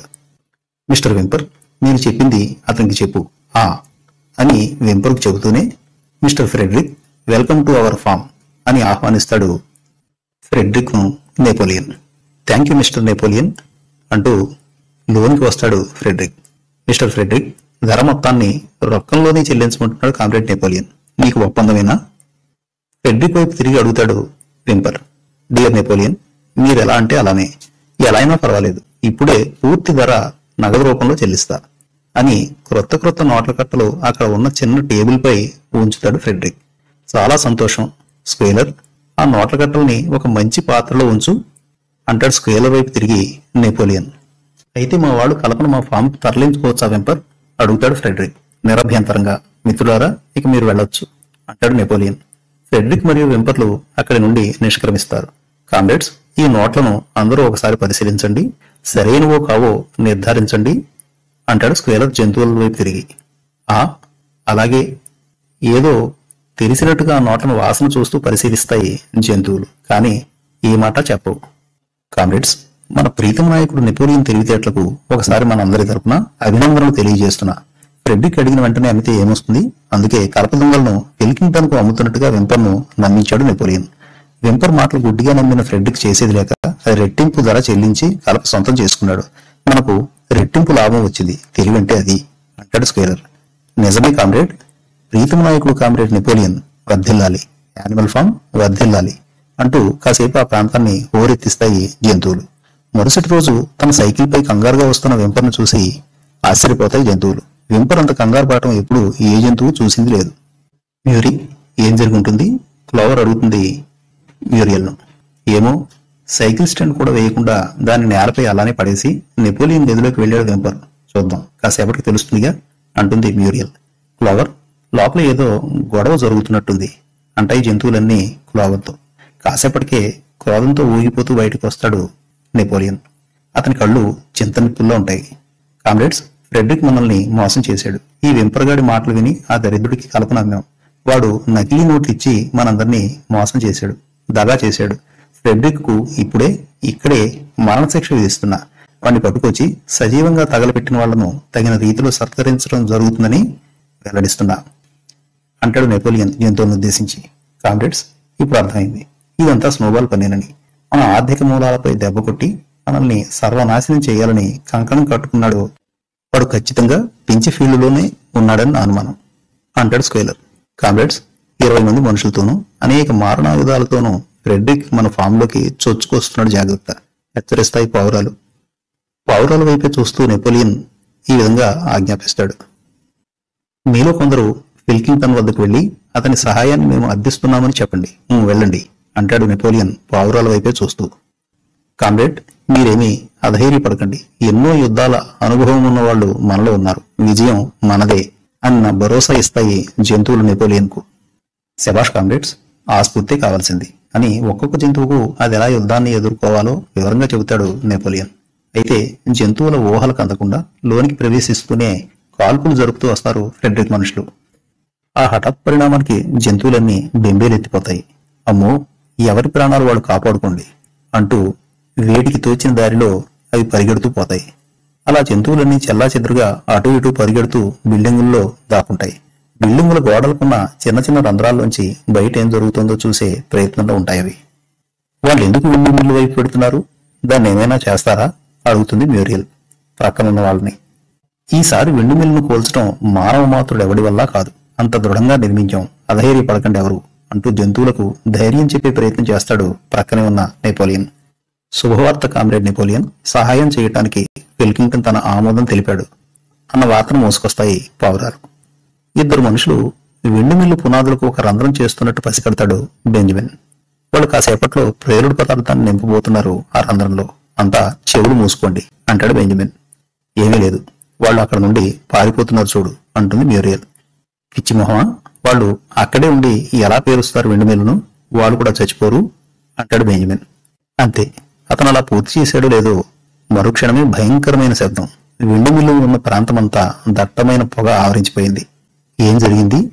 జంతువులు ఆశ్చర్యపోతూ అడుగుతాయి. బూడిద ఏం జరుగుతుంది? చెప్పేగా వెండి వాడు పేరు చేశారు అంటాడు బెంజమిన్. అంతే అప్పుడు వస్తుంది తెగింపు జంతువులకు చావో రేవో తేల్చుకోవాలని నిశ్చయించుకుంటాయి అవి. అందిన వాడిని అందినట్టు కుళ్ళబడవటం మొదలు పెడతాయి. ఆ విధమైన జంతువుల విజృంభణకు తట్టుకోలేని ఫ్రెడ్రిక్ అనుచరులు పలాయనం చిత్తగిస్తారు. అయితే ఆలోపే నెపోలియన్తో సహా జంతువులన్నీ తీవ్ర గాయాల బారిన పడతాయి. కొన్ని జంతువులు తమ ప్రాణాలు కూడా కోల్పోతాయి. బాక్సర్ తీవ్రంగా గాయపడతాడు. అతని కాళ్ళగెట్టల్లో దాదాపు డజను బుల్లెట్ల వరకు దిగిపోతాయి. వెండి మిల్లు పునాదుల్లోకి శిథిలమైపోతుంది. వెండి మిల్లు పరిస్థితి ఏమిటో చూద్దాం పదండి అంటాడు బాక్సర్. వెండి మిల్లు వైపుగా అడుగులేస్తాడు కానీ అతని కాలిగెట్టల్లో బుల్లెట్లు దిగిన కారణంగా తీవ్రమైన బాధకు గురవుతూ ఉంటాడు. అతను ఆ బాధను లెక్క చేస్తున్నట్టుగా మాత్రం అనిపించదు. అంతలోనే ఫామ్ బిల్డింగుల వైపు నుండి గాల్లోకి తుపాకీ పేరిన శబ్దం వినిపిస్తుంది. స్క్వేలర్ వైపు అదోలా చూస్తూ అంటాడు బాక్సర్. దేనికి సంకేతం కామ్రేడ్? ఆ తుపాకీ శబ్దం అని. ఏంటి బాక్సర్?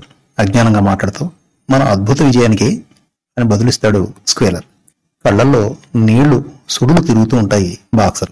విజయమా? ఏ విజయం కామ్రేడ్? ఫామ్లోని జంతువులన్నీ నీతోనూ నెపోలియన్తోనూ కలిపి అందరం గాయపడ్డాం. కొన్ని జంతువులైతే మరణించాయి కూడా. ఇది విజయమా? ఎలా అవుతుంది? ఆశ్చర్యంగానూ అమాయకంగానూ అడుగుతాడు బాక్సర్. యుద్ధం అన్నాక చచ్చిపోరా బాక్సర్? ఒక్క అంగుళం భూభాగమైనా కోల్పోకుండా శత్రువులను మన ఫామ్ నుండి వెళ్ళగొట్టడం విజయం కాక మరేంటి?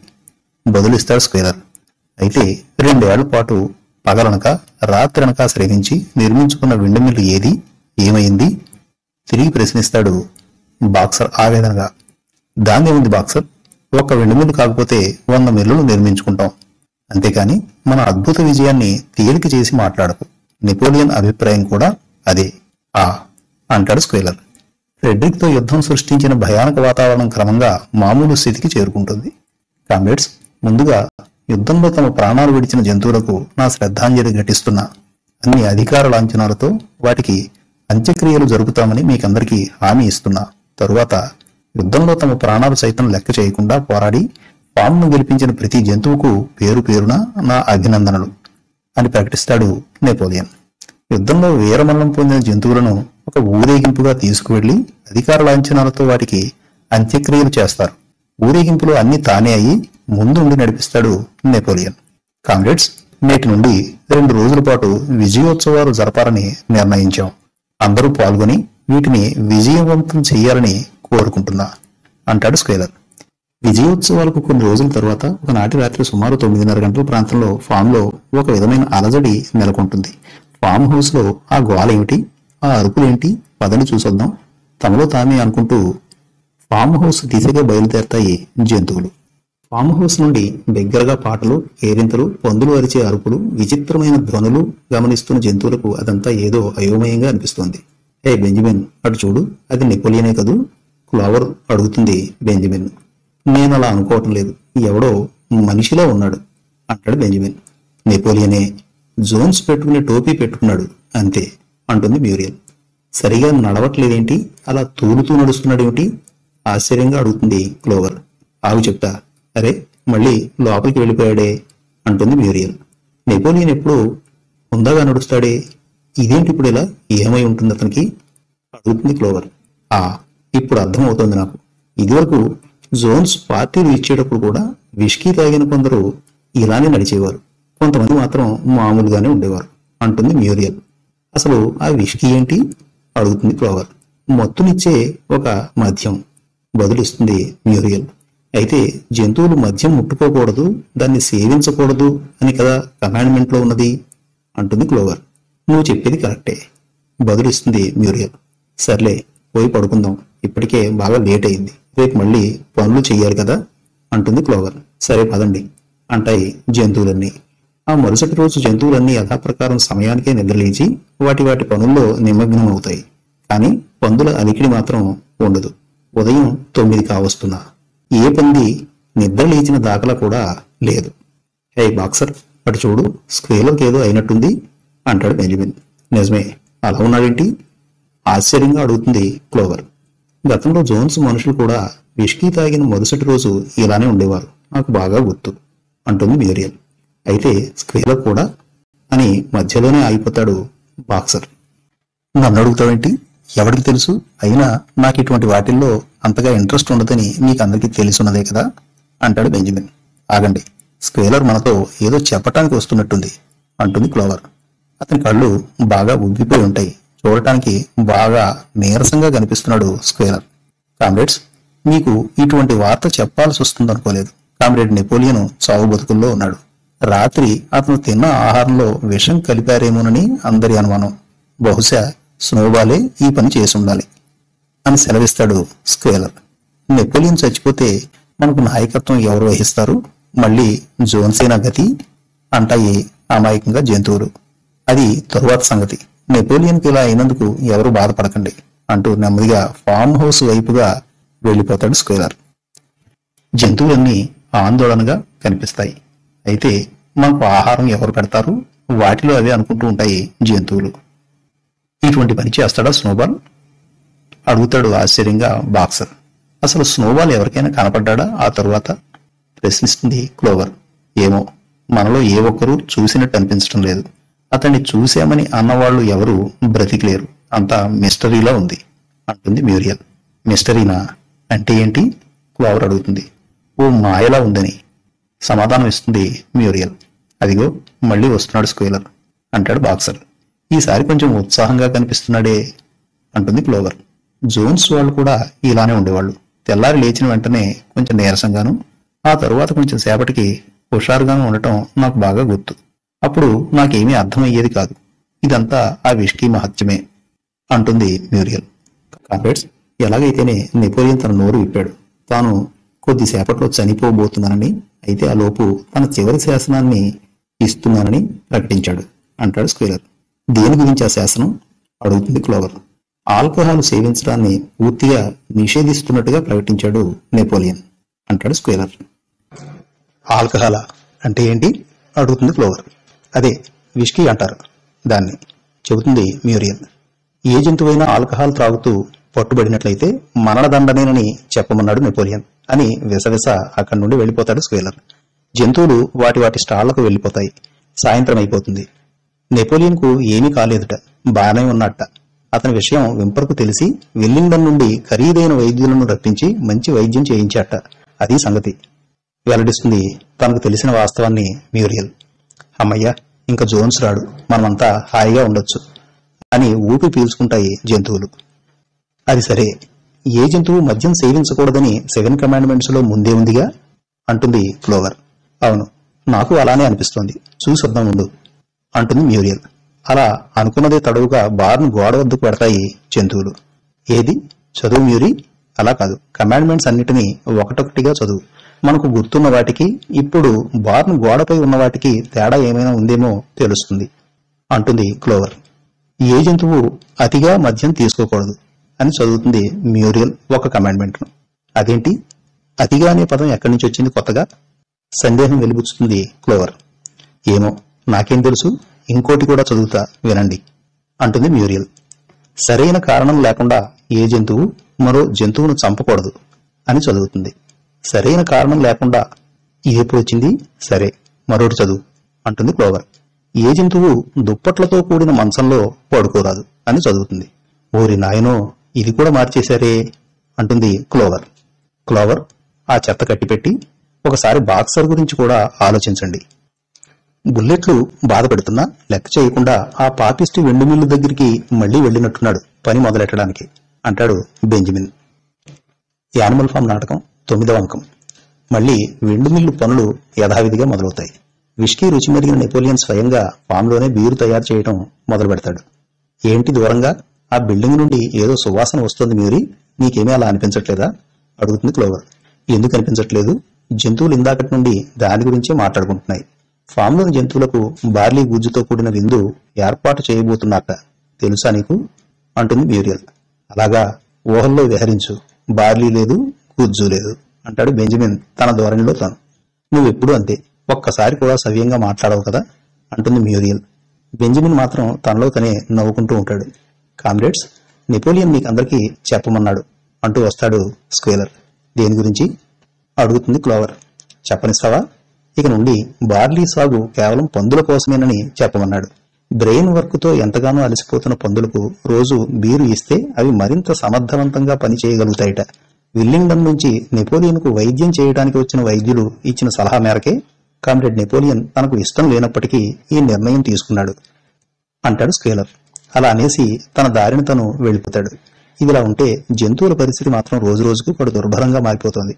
వాటికి ఇచ్చే రోజువారీ ఆహార పదార్థాల రేషన్లలో కోతలు భారీగా ఉంటున్నాయి. పందులు మాత్రం రాజభోగాలు అనుభవిస్తున్నాయి.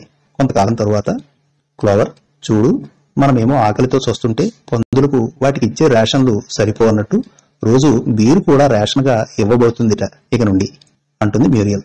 మ్యూరియల్ అలా అన్నదో లేదో అప్పుడే అటుగా వస్తున్న స్క్వేలర్ కనిపించుకుని మాట్లాడటం మొదలు పెడతాడు అదే కామ్రేడ్స్ మీతో వచ్చిన తంట. నెపోలియన్ చావు బతుకుల్లో ఉన్నప్పుడేమో అతను చచ్చిపోతే మన పరిస్థితి ఏమిటని ఆందోళన చెందారు. ఇప్పుడేమో పందులు బీరు తాగుతున్నాయన్న ఆందోళన.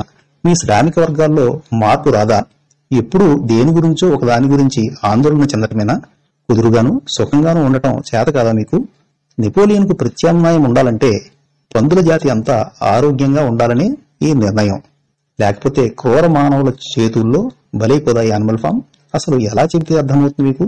మిమ్మల్ని ఈ ఫామ్ను బాగు చేయటం నా వల్ల కాదు కానే కాదు అని కోపంతో ఊగిపోతూ ఉంటాడు స్క్వేలర్. ఇప్పుడు ఏమన్నామని అంత కోపం? నువ్వే చెప్పు స్క్వేలర్. అడుగుతాయి జంతువులు విస్మయంగా. కామ్రేడ్స్ మరో విషయం గురించి మీరు అదే పనిగా విమర్శిస్తున్నారు. మీకేదో ఆహార పదార్థాల కోత విధిస్తున్నట్టుగా మీలో మీరే అపోహపడుతున్నట్టున్నారు. తప్పు కామ్రేడ్స్ అది పూర్తిగా నిరాధారమైనది. అంటాడు స్క్వేలర్. అదేంటి స్క్వేలర్? నువ్వే కదా మాటిమాటికి మా ముందుకొచ్చి రేపటి నుండి మీకు ఇచ్చే ఆహార పదార్థాల్లో కోత విధిస్తున్నామని చెప్పేవాడివి. నువ్వు ఎన్నిసార్లు చెప్పలేదు? మేము ఎన్నిసార్లు వినలేదు? నీవే ఒకప్పుడన్న మాటల్ని నీ ఇష్టం వచ్చినట్టు మార్చేస్తున్నావు. దెప్పి పొడుస్తాయి జంతువులు స్క్వేలర్ని. అక్కడికే వస్తున్నా. ఆహార పదార్థాల్లో సర్దుబాటు చేయబోతున్నాం అనే నా మాటల్ని ఆహార పదార్థాల్లో కోతలు విధిస్తున్నట్టుగా మీరు పొరపాటుగా అర్థం చేసుకుని నాపై నిందలు వేస్తున్నారా? అందుకే జంతువులన్నిటికీ విద్య నేర్పాల్సిందే అని అనేవాడు స్నోబాల్. అలా చేస్తేనే బాగుండేదేమో. సరేలే అధికార ప్రతినిధి అన్న తర్వాత ఇటువంటి నిందలు తప్పవని నాకు తెలుసు. కామ్రేడ్స్ జోన్స్ జమానాలో మీరు ఎప్పుడైనా carrot beetroot cabbage barley oats గోధుమలు లాంటి ఆహార పదార్థాలను కనీసం రుచి చూశారా వాడు కేవలం గడ్డి కుడితి మాత్రమే ఇచ్చేవాడు. కాకపోతే అప్పుడప్పుడు కుళ్ళిపోయిన కూరగాయలు పాడైపోయిన దుంపలు కూడా మన మొహాల మీద పడేసేవాడు అనుకోండి అది వేరే విషయం అంటాడు స్కేలర్. కానీ అప్పుడు కడుపు నిండా ఆహారం లభించేది. ఇప్పుడు తిన్న కాసేపటికే మళ్ళీ ఆకలేస్తోంది. దానికి ఏమంటావు? అడుగుతాయి జంతువులు స్క్వేలర్ని అదంతా మీ దురభిప్రాయం. ఒక మోపు గడ్డిలో ఎన్ని పోషక విలువలైతే ఉన్నాయో కేవలం ఒక బీట్రూట్లో కానీ ఒక క్యారెట్లో కానీ అంతకంటే ఎక్కువ పోషక విలువలే ఉన్నాయన్న గొప్ప గొప్ప శాస్త్రజ్ఞులు తేల్చిన సత్యాన్ని మీరు ఎలా కాదనగలరు? అంటాడు స్క్వేలర్ స్క్వేలర్ నీవు చెప్పే పోషక విలువలు అంటే ఏంటో నేను చెప్పలేను కానీ పని చెయ్యాలంటే మా కడుపులు నిండాలి కదా. ఖాళీ కడుపులతో ఎలా పని చేయటం? తినటం ఇలా అయ్యిందో లేదో మళ్ళీ అలా ఆకలేస్తోంది అంటుంది క్లోవర్. అదంతా మీ అపోహ కామ్రేడ్స్. ఎంత ఎక్కువ తింటే అంత బలం అనేది మీలో చాలా లోతుగా పాతుకుపోయిన దురభిప్రాయం. నేనైతే గట్టిగా చెప్పగలను. ఇప్పుడు మీకు ఇస్తున్న ఆహారం ఎంతో ఆరోగ్యవంతమైనది అని. యానిమల్ ఫామ్గా అవతరించిన తరువాత ఏ ఒక్క జంతువుకైనా కనీసం జలుబు చేయడం చూసామా రోగాలు రొస్టులతో ఏ జంతువైనా చనిపోయిన ఉదాహరణ ఒక్కటంటే ఒకటి చెప్పండి. అంటాడు స్క్వేలర్. వాటిలో అవే కాసేపు చర్చించుకున్నట్టుగా కనపడతాయి జంతువులు. నిజమే. నాకైతే ఏ ఒక్కసారి అనారోగ్యం రాలేదు. జలుబు కూడా చేసింది లేదు అంటుంది ఒక జంతువు. మీకు అంతా తెలుసు కామ్రేడ్స్ కానీ ఒప్పుకోరంతే అంటాడు స్కేలర్.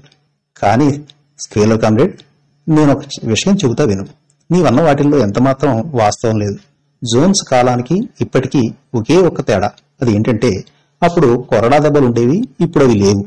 అప్పుడు జంతువుల కడుపులు బాగా నిండేవి ఇప్పుడు అలా కాదు. నిరంతరం ఆకలితో అలమటించిపోతున్నాయి జంతువులు. మీకులాగా ఏ పని చేయకుండా కేవలం పెత్తనం మాత్రమే చేసేవాళ్ళకైతే ఆ క్యారెట్లు బీట్రూట్లు సరిపోతాయేమో. కానీ ఒళ్ళుంచి పనిచేస్తున్న మాకు మాత్రం ఆ కొద్దిపాటి ఆహారం సరిపోవట్లేదు. ఇది కేవలం నా వ్యక్తిగత అభిప్రాయం మాత్రమే కాదు మా అందరిదీను అని తేల్చేస్తుంది క్లోవర్. సరే కామ్రేడ్స్ నెపోలియన్ దృష్టికి మీ ఆవేదనను తీసుకువెళ్ళే ప్రయత్నం చేస్తా అంటాడు స్క్వీలర్. మాకిచ్చే ఆహారం పెంచేలా చెప్పు స్క్వీలర్. జంతువులన్నీ కలిసికట్టుగా ప్రాధేయపడతాయి స్క్వీలర్. ఇవన్నీ కాసేపు పక్కన పెట్టండి.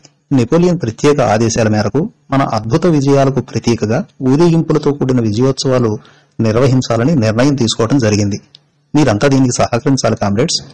అంటాడు స్కేలర్. అలా అనేసి తన దారిని తను ఫామ్ హౌస్ వైపుగా వెళ్ళిపోతాడు. జంతువులన్నీ ముక్త కంఠంతో ఓ అలాగే కామ్రేడ్ స్కేలర్ అంటాయి. అసలు విషయం చెప్పకుండానే వెళ్ళిపోయాడు స్కేలర్.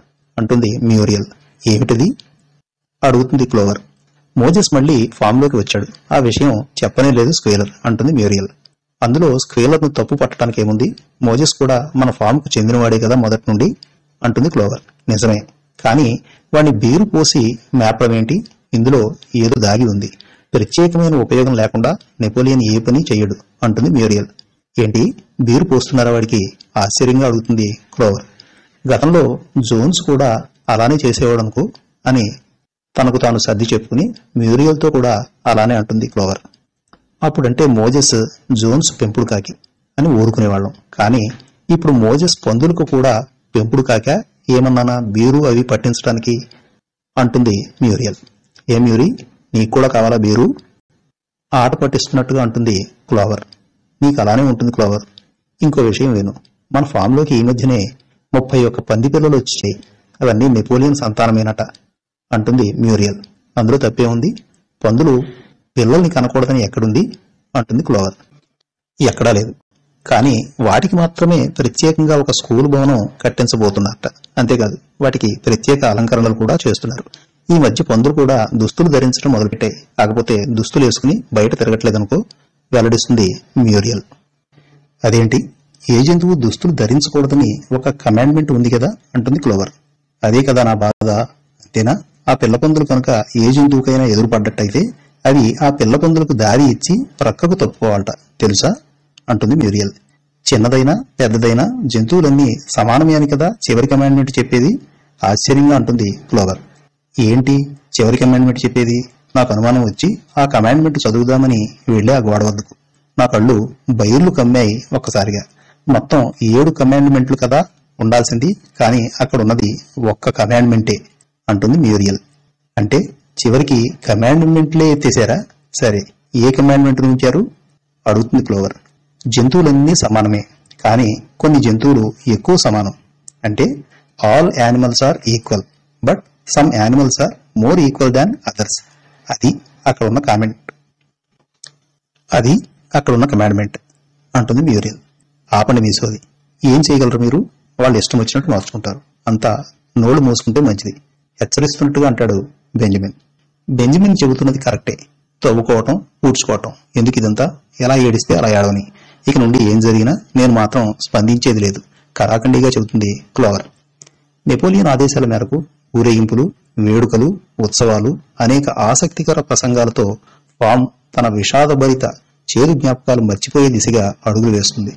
జంతువుల్లో కూడా ఒక విధమైన నూతనోత్సాహం వెళ్ళి విరుస్తూ ఉంటుంది. ఫామ్ కూడా గణనీయమైన అభివృద్ధి సాధిస్తుంది. ఇంగ్లాండ్ దేశంలో ఎక్కడ విన్నా ఈ యానిమల్ ఫామ్ అభివృద్ధి గురించిన చర్చలే. నెపోలియన్ ఒక తిరుగులేని నాయకుడిగా చలామణి అవుతూ ఉంటాడు. ఫామ్ కూడా క్రొత్త జంతు సభ్యులతో నిండిపోతుంది. తిరుగుబాటు తరం దాదాపుగా అంతరిస్తుంది. చుట్టుపక్కల ఫామ్ల యజమానుల్లో అసలు ఈ యానిమల్ ఫామ్లో అభివృద్ధి ఎలా జరుగుతుందో తెలుసుకోవాలనే ఆసక్తి రోజు రోజుకు అధికమవుతూ ఉంటుంది. ఒక రోజు ముహూర్తం పెట్టుకుని మరీ యానిమల్ ఫామ్ను విజిట్ చేయడానికి ఇతర ఫామ్ల యజమానులు వస్తారు. మిస్టర్ ఫిల్కింగ్టన్ ఆ బృందానికి నాయకత్వం వహిస్తాడు. అయితే ఈ మధ్యకాలంలో కొన్ని దురదృష్టకర సంఘటనలు కూడా చోటు చేసుకుంటాయి ఫామ్లో. బాక్సర్ బాక్సర్ అంటూ గావు కేకలు పెడుతూ ఉంటాయి పావురాలు. అవి ఆకాశంలో అదే పనిగా అటు ఇటు తిరుగుతూ ఒక ఆందోళనకర వాతావరణాన్ని సృష్టిస్తాయి. ఏమిటి? ఏమైంది బాక్సర్కు ఆత్రంగా అడుగుతుంది క్లోవర్. బెంజమిన్ దూరం నుండి అరుస్తూ వేగంగా పరిగెట్టుకుంటూ రావడం చూస్తాయి కొన్ని జంతువులు. క్లోవర్ వెంటనే బయలుదేరు. బాక్సర్ బండి చక్రాల్లో నలిగిపోతున్నాడు. అంటాడు బెంజమిన్. అంతా కదలండి. జంతువులన్నీ కట్టగట్టుకుని బయలుదేరతాయి అటువైపుగా. చెబితే వినడు కదా ప్రాణాల మీదకు తెచ్చుకుని ఉంటాడు. అంటుంది క్లోవర్. జంతువులన్నీ బాక్సర్ పడిపోయిన స్థలానికి చేరుకుంటాయి అలా అయితే. బాక్సర్ ఏమైంది నీకు? ఇప్పుడు ఎలా ఉంది? అడుగుతుంది క్లోవర్. బండి చక్రాల కింద అచేతనంగా పడి ఉన్నాడు బాక్సర్. ముక్కులోంచి రక్తం కూడా కారుతోంది. అసలు కదలటం లేదతను అయ్యో బాక్సర్ ఎలా పడిపోయావు? జాలిగా అడుగుతాయి జంతువులు. ఎవరైనా నెపోలియన్కు ఈ విషయాన్ని తెలియపరచండి వెంటనే అంటాడు బెంజమిన్. అప్పుడే ఉరుకులు పొరుగులు పెడుతూ అక్కడికి చేరుకుంటాడు స్క్వేలర్. ఎవరూ కంగారు పడకండి. ఇప్పుడే పావురాల ద్వారా మాకు ఈ విషయం తెలిసింది. వెంటనే దుర్ఘటనా స్థలికి వెళ్ళి బాక్సర్కి ఏమైందో తెలుసుకురమ్మని నన్ను పంపించాడు నెపోలియన్. ఆందోళన పడవలసిన అవసరం ఎంతమాత్రం లేదు. మీ వెనక మేమంతా ఉన్నాం. అన్న భరోసా ఇస్తాడు స్క్వేలర్ ముందు బాక్సర్ను పైకి లేపుదాం ఆ తరువాతే మాటలు. ఉపన్యాసాలకు సమయం కాదు. స్క్వేలర్కు చొరక అంటించినట్టుగా అంటాడు బెంజమిన్. నా ముందు కాళ్ళు పైకి లేపుతున్నా. వీటిని పట్టుకుని పైకి లేచి నిలబడటానికి ప్రయత్నించు. లే బాక్సర్ లేచి నిలబడు. ఏమీ కాదు నీకు అంటుంది క్లోవర్. నెమ్మదిగా లేవటానికి ప్రయత్నించు బాక్సర్ అంటూ తన ముందు కాలును అందిస్తాడు బెంజమిన్. జంతువులన్నీ బాక్సర్ లేచి నిలబడటానికి తలో చెయ్యి వేస్తాయి. ఎలా అయితేనే లేచి నిలబడగలుగుతాడు బాక్సర్. ఎలా ఉంది బాక్సర్? అడుగుతుంది క్లోవర్ నెమ్మదిగా మాట్లాడటానికి ప్రయత్నిస్తూ బాక్సర్ అంటాడు ఇలా.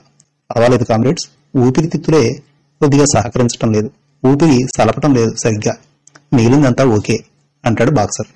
ముందు మన స్టాళ్ళకు చేరుకుందాం. అన్నీ అక్కడే. ఎవరూ మాట్లాడద్దు. గట్టిగా అరుస్తాడు బెంజమిన్. జంతువులన్నీ తమ తమ స్టాళ్ళకు చేరుకుంటాయి. బాక్సర్ స్టాల్లో మెత్తటి గడ్డి పరచబడుతుంది. బాక్సర్ను దానిపై పడుకోబెడతాయి జంతువులన్నీ.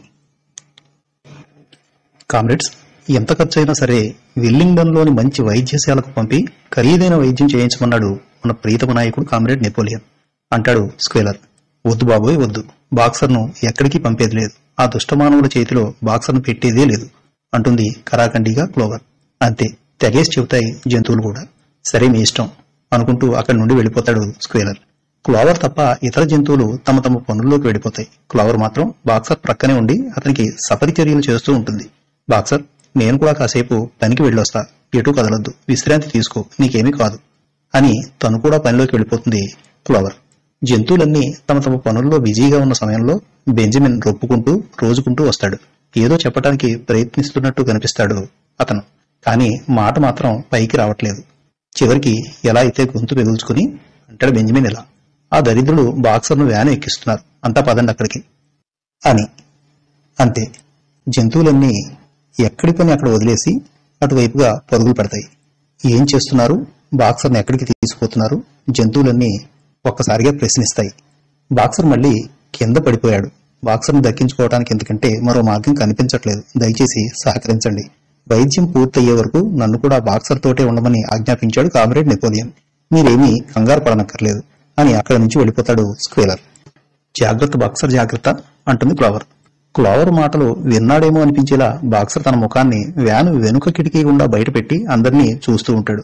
అతని నోటికి ఒక తెల్లటి ప్లాస్టర్ వేసి ఉంటుంది. Bye bye Boxer get well soon అంటూ వ్యానుతో పాటు పరుగులు పెడుతూ ఉంటాయి జంతువులు. ఒరే పిచ్చి జంతువు ఎదవల్లారా ఆ వ్యాన్పై ఏం రాసుందో ఒకసారి చదివి చావండి అంటాడు బెంజమిన్ చాలా కోపంగా. ఉండండి నేను చదువుతా. అంటూ ముందుకొస్తుంది మ్యూరియల్ అది అలా అంటూనే ఏదో చదవటానికి ప్రయత్నించే లోపే దాన్ని ప్రక్కకు నెట్టేసి బెంజమిన్ తన స్వీయ నియమాలకు విరుద్ధంగా తనే చదవటం మొదలు పెడతాడు. "ఓ, చదవటం ఎలానూ రాదు. వినన్నా చావండి. ఆల్ఫ్రెడ్ సిమన్స్ హార్స్ స్లాటరర్ మరియు glue boiler Willingdon dealer in hides and bone meal kennels supplied. అర్థమైందా? అది అంటాడు బెంజమిన్ ఊగిపోతూ. నాకేమీ అర్థం కాలేదు. అది కూడా నువ్వే చెప్పొచ్చుగా అంటాయి జంతువులు. వాళ్ళు బాక్సర్ని తీసుకుపోతోంది హాస్పిటల్కు కాదు గుర్రాల కొవ్వుతో వ్యాపారం చేసేవాడి దగ్గరికి. బాక్సర్ను చంపేయటానికే తీసుకుపోతున్నారు వాళ్ళు. దమ్ముంటే వెళ్ళి బాక్సర్ను రక్షించుకోండి వెర్రి జంతువు వెదవల్లారా ఉక్రోషం పట్టలేక గట్టిగా నేలను తన్నుతూ పిచ్చి పిచ్చిగా అరుస్తూ ఉంటాడు బెంజమిన్. జంతువుల అరుపులు అరణ్యరోధనే అవుతాయి. బాక్సర్ను ఎక్కించుకున్న వ్యాను జంతువులు చూస్తుండగానే కనుమరుగైపోతుంది. మరి తరువాత బాక్సర్ను ఏ జంతువు చూసింది లేదు. ఈ సంఘటన జరిగిన మూడు రోజుల తరువాత స్క్వేలర్ ఏదో వివరణ ఇచ్చే ప్రయత్నం చేస్తాడు. క్లోవర్ బెంజమిన్ అదిగో స్క్వేలర్ వస్తున్నట్టున్నాడు. బాక్సర్ గురించి ఏమైనా చెబుతాడేమో ఆదుర్తాగా అంటుంది Muriel. Comrades very very sorry. ఎంత ప్రయత్నించినా బాక్సర్ మనకు దక్కలేదు. స్నోబాల్ సలహా మేరకు విషం పూసిన బుల్లెట్లను బాక్సర్ మీద ప్రయోగించారు ఫ్రెడ్రిక్ మనుషులు. దాంతో బాక్సర్కు చేసిన వైద్యం ఫలించలేదు. ఏం చేస్తాం? Creatures propose God disposes. అన్న మాట ఉండనే ఉందిగా అంటాడు స్క్వేల్. జంతువులన్నీ చాలాసేపు బాధపడతాయి. తరువాత వేటి పనుల్లో అవి నిమగ్నమైపోతాయి. పొలంలో కలుపు తీస్తూ ఉన్న మ్యూరియల్ ఒక్కసారిగా తల పైకెత్తి చూస్తుంది. ఏ క్లోవర్ అటు చూడు వాళ్ళందరూ ఎందుకు వస్తున్నారు మన ఫామ్లోకి? అని అడుగుతుంది క్లోవర్ని. నిజమే ఎవరు వాళ్ళందరూ? తను కూడా ఆశ్చర్యపోతూ అడుగుతుంది క్లోవర్. అంతమంది మనుషులు వస్తున్నారేమిటి? ఆడవాళ్ళు కూడా ఉన్నారే వాళ్ళల్లో. జంతువులన్నీ గుసగుసలాడుకుంటాయి. వాటిలో అవి మళ్ళీ యుద్ధం తప్పదా? ఆందోళనగా అడుగుతుంది క్లోవర్. నెపోలియన్ కూడా ఉన్నాడు వాళ్ళతో యుద్ధానికి అయి ఉండదు అంటుంది మ్యూరియల్. వాళ్ళలో అవి మాట్లాడుకుంటుండే లోపే అనేక డాగ్ కార్ట్స్లో చాలా మంది మనుషులు జంతువులు పనిచేసే విధానాన్ని చాలా దగ్గరగాను నిశితంగాను పరిశీలిస్తూ ఉంటారు. సర్లే మనకెందుకు? మన పని ఏదో మనం చేసుకుంటే పోలా? అంటుంది క్లోవర్. ఆ సాయంత్రం ఫామ్ హౌస్లోని డైనింగ్ హాల్లో వివిధ ఫామ్ల యజమానులతో కలిసి పందులు పార్టీ చేసుకోబోతున్నట్టు తెలిసిపోతుంది జంతువులకు. క్లవర్ నీకు ఈ విషయం తెలుసా? ఇందాక ఒక వ్యాన్లో విష్కీ బాటిల్స్ ఉన్న ఎన్నో పెట్టెలను దించేసి వెళ్ళిపోయాడు వింపర్. తెలియజేస్తుంది మ్యూరియల్.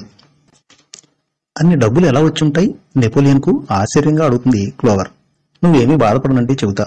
బాక్సర్ను అమ్మగా వచ్చిన డబ్బుతోనే వాటిని కొన్నారట. పందులు వాటిలో అవే గుసగుసలాడుకుంటుంటే దొంగచాటుగా విన్నా. తెలియజేస్తుంది మ్యూరియల్. ఇంత జరిగిన తర్వాత నేను బాధపడితే మాత్రం లాభం ఏంటి మ్యూరియల్ అయినా సరే అటువంటివి చెప్పకు. విని తట్టుకోలేను నేను అంటుంది క్లోవర్. అక్కడ ఏం జరుగుతుందో చూసొద్దాం పదండి అంటాయి జంతువులు. బెంజమిన్ మ్యూరీ పదండి అటో ఇటో తేల్చేసుకుందాం అంటుంది క్లోవర్. లోపల డైనింగ్ టేబుల్ వద్ద అటు ఆరు పంది ప్రముఖులు ఇటు ఆరుగురి వరకు ఫామ్ల యజమానులు టేబుల్ చివరిలో ఉండే కుర్చీలో నెపోలియను కూర్చునుంటారు. అందరి ముందు మగ్గుల్లో బీరు నింపబడి ఉంటుంది. ఫాక్స్వుడ్ యజమాని మిస్టర్ విల్కింగ్టన్ ఏదో చెప్పడానికి లేచి నిలబడతాడు.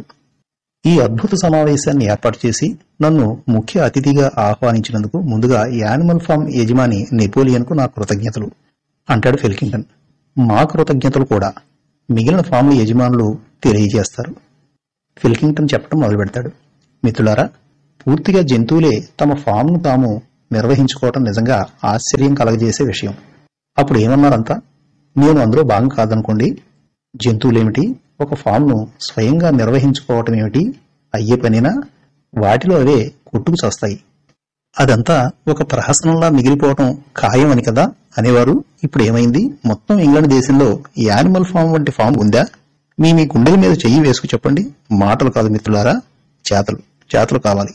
ఇందాక చూశాం కదా జంతువులు అవి వంచిన తల ఎత్తకుండా వాటి పని అవి చేసుకుపోతున్న తీరు. మన శ్రామిక వర్గానికి ఇది సాధ్యమయ్యే పనేనా?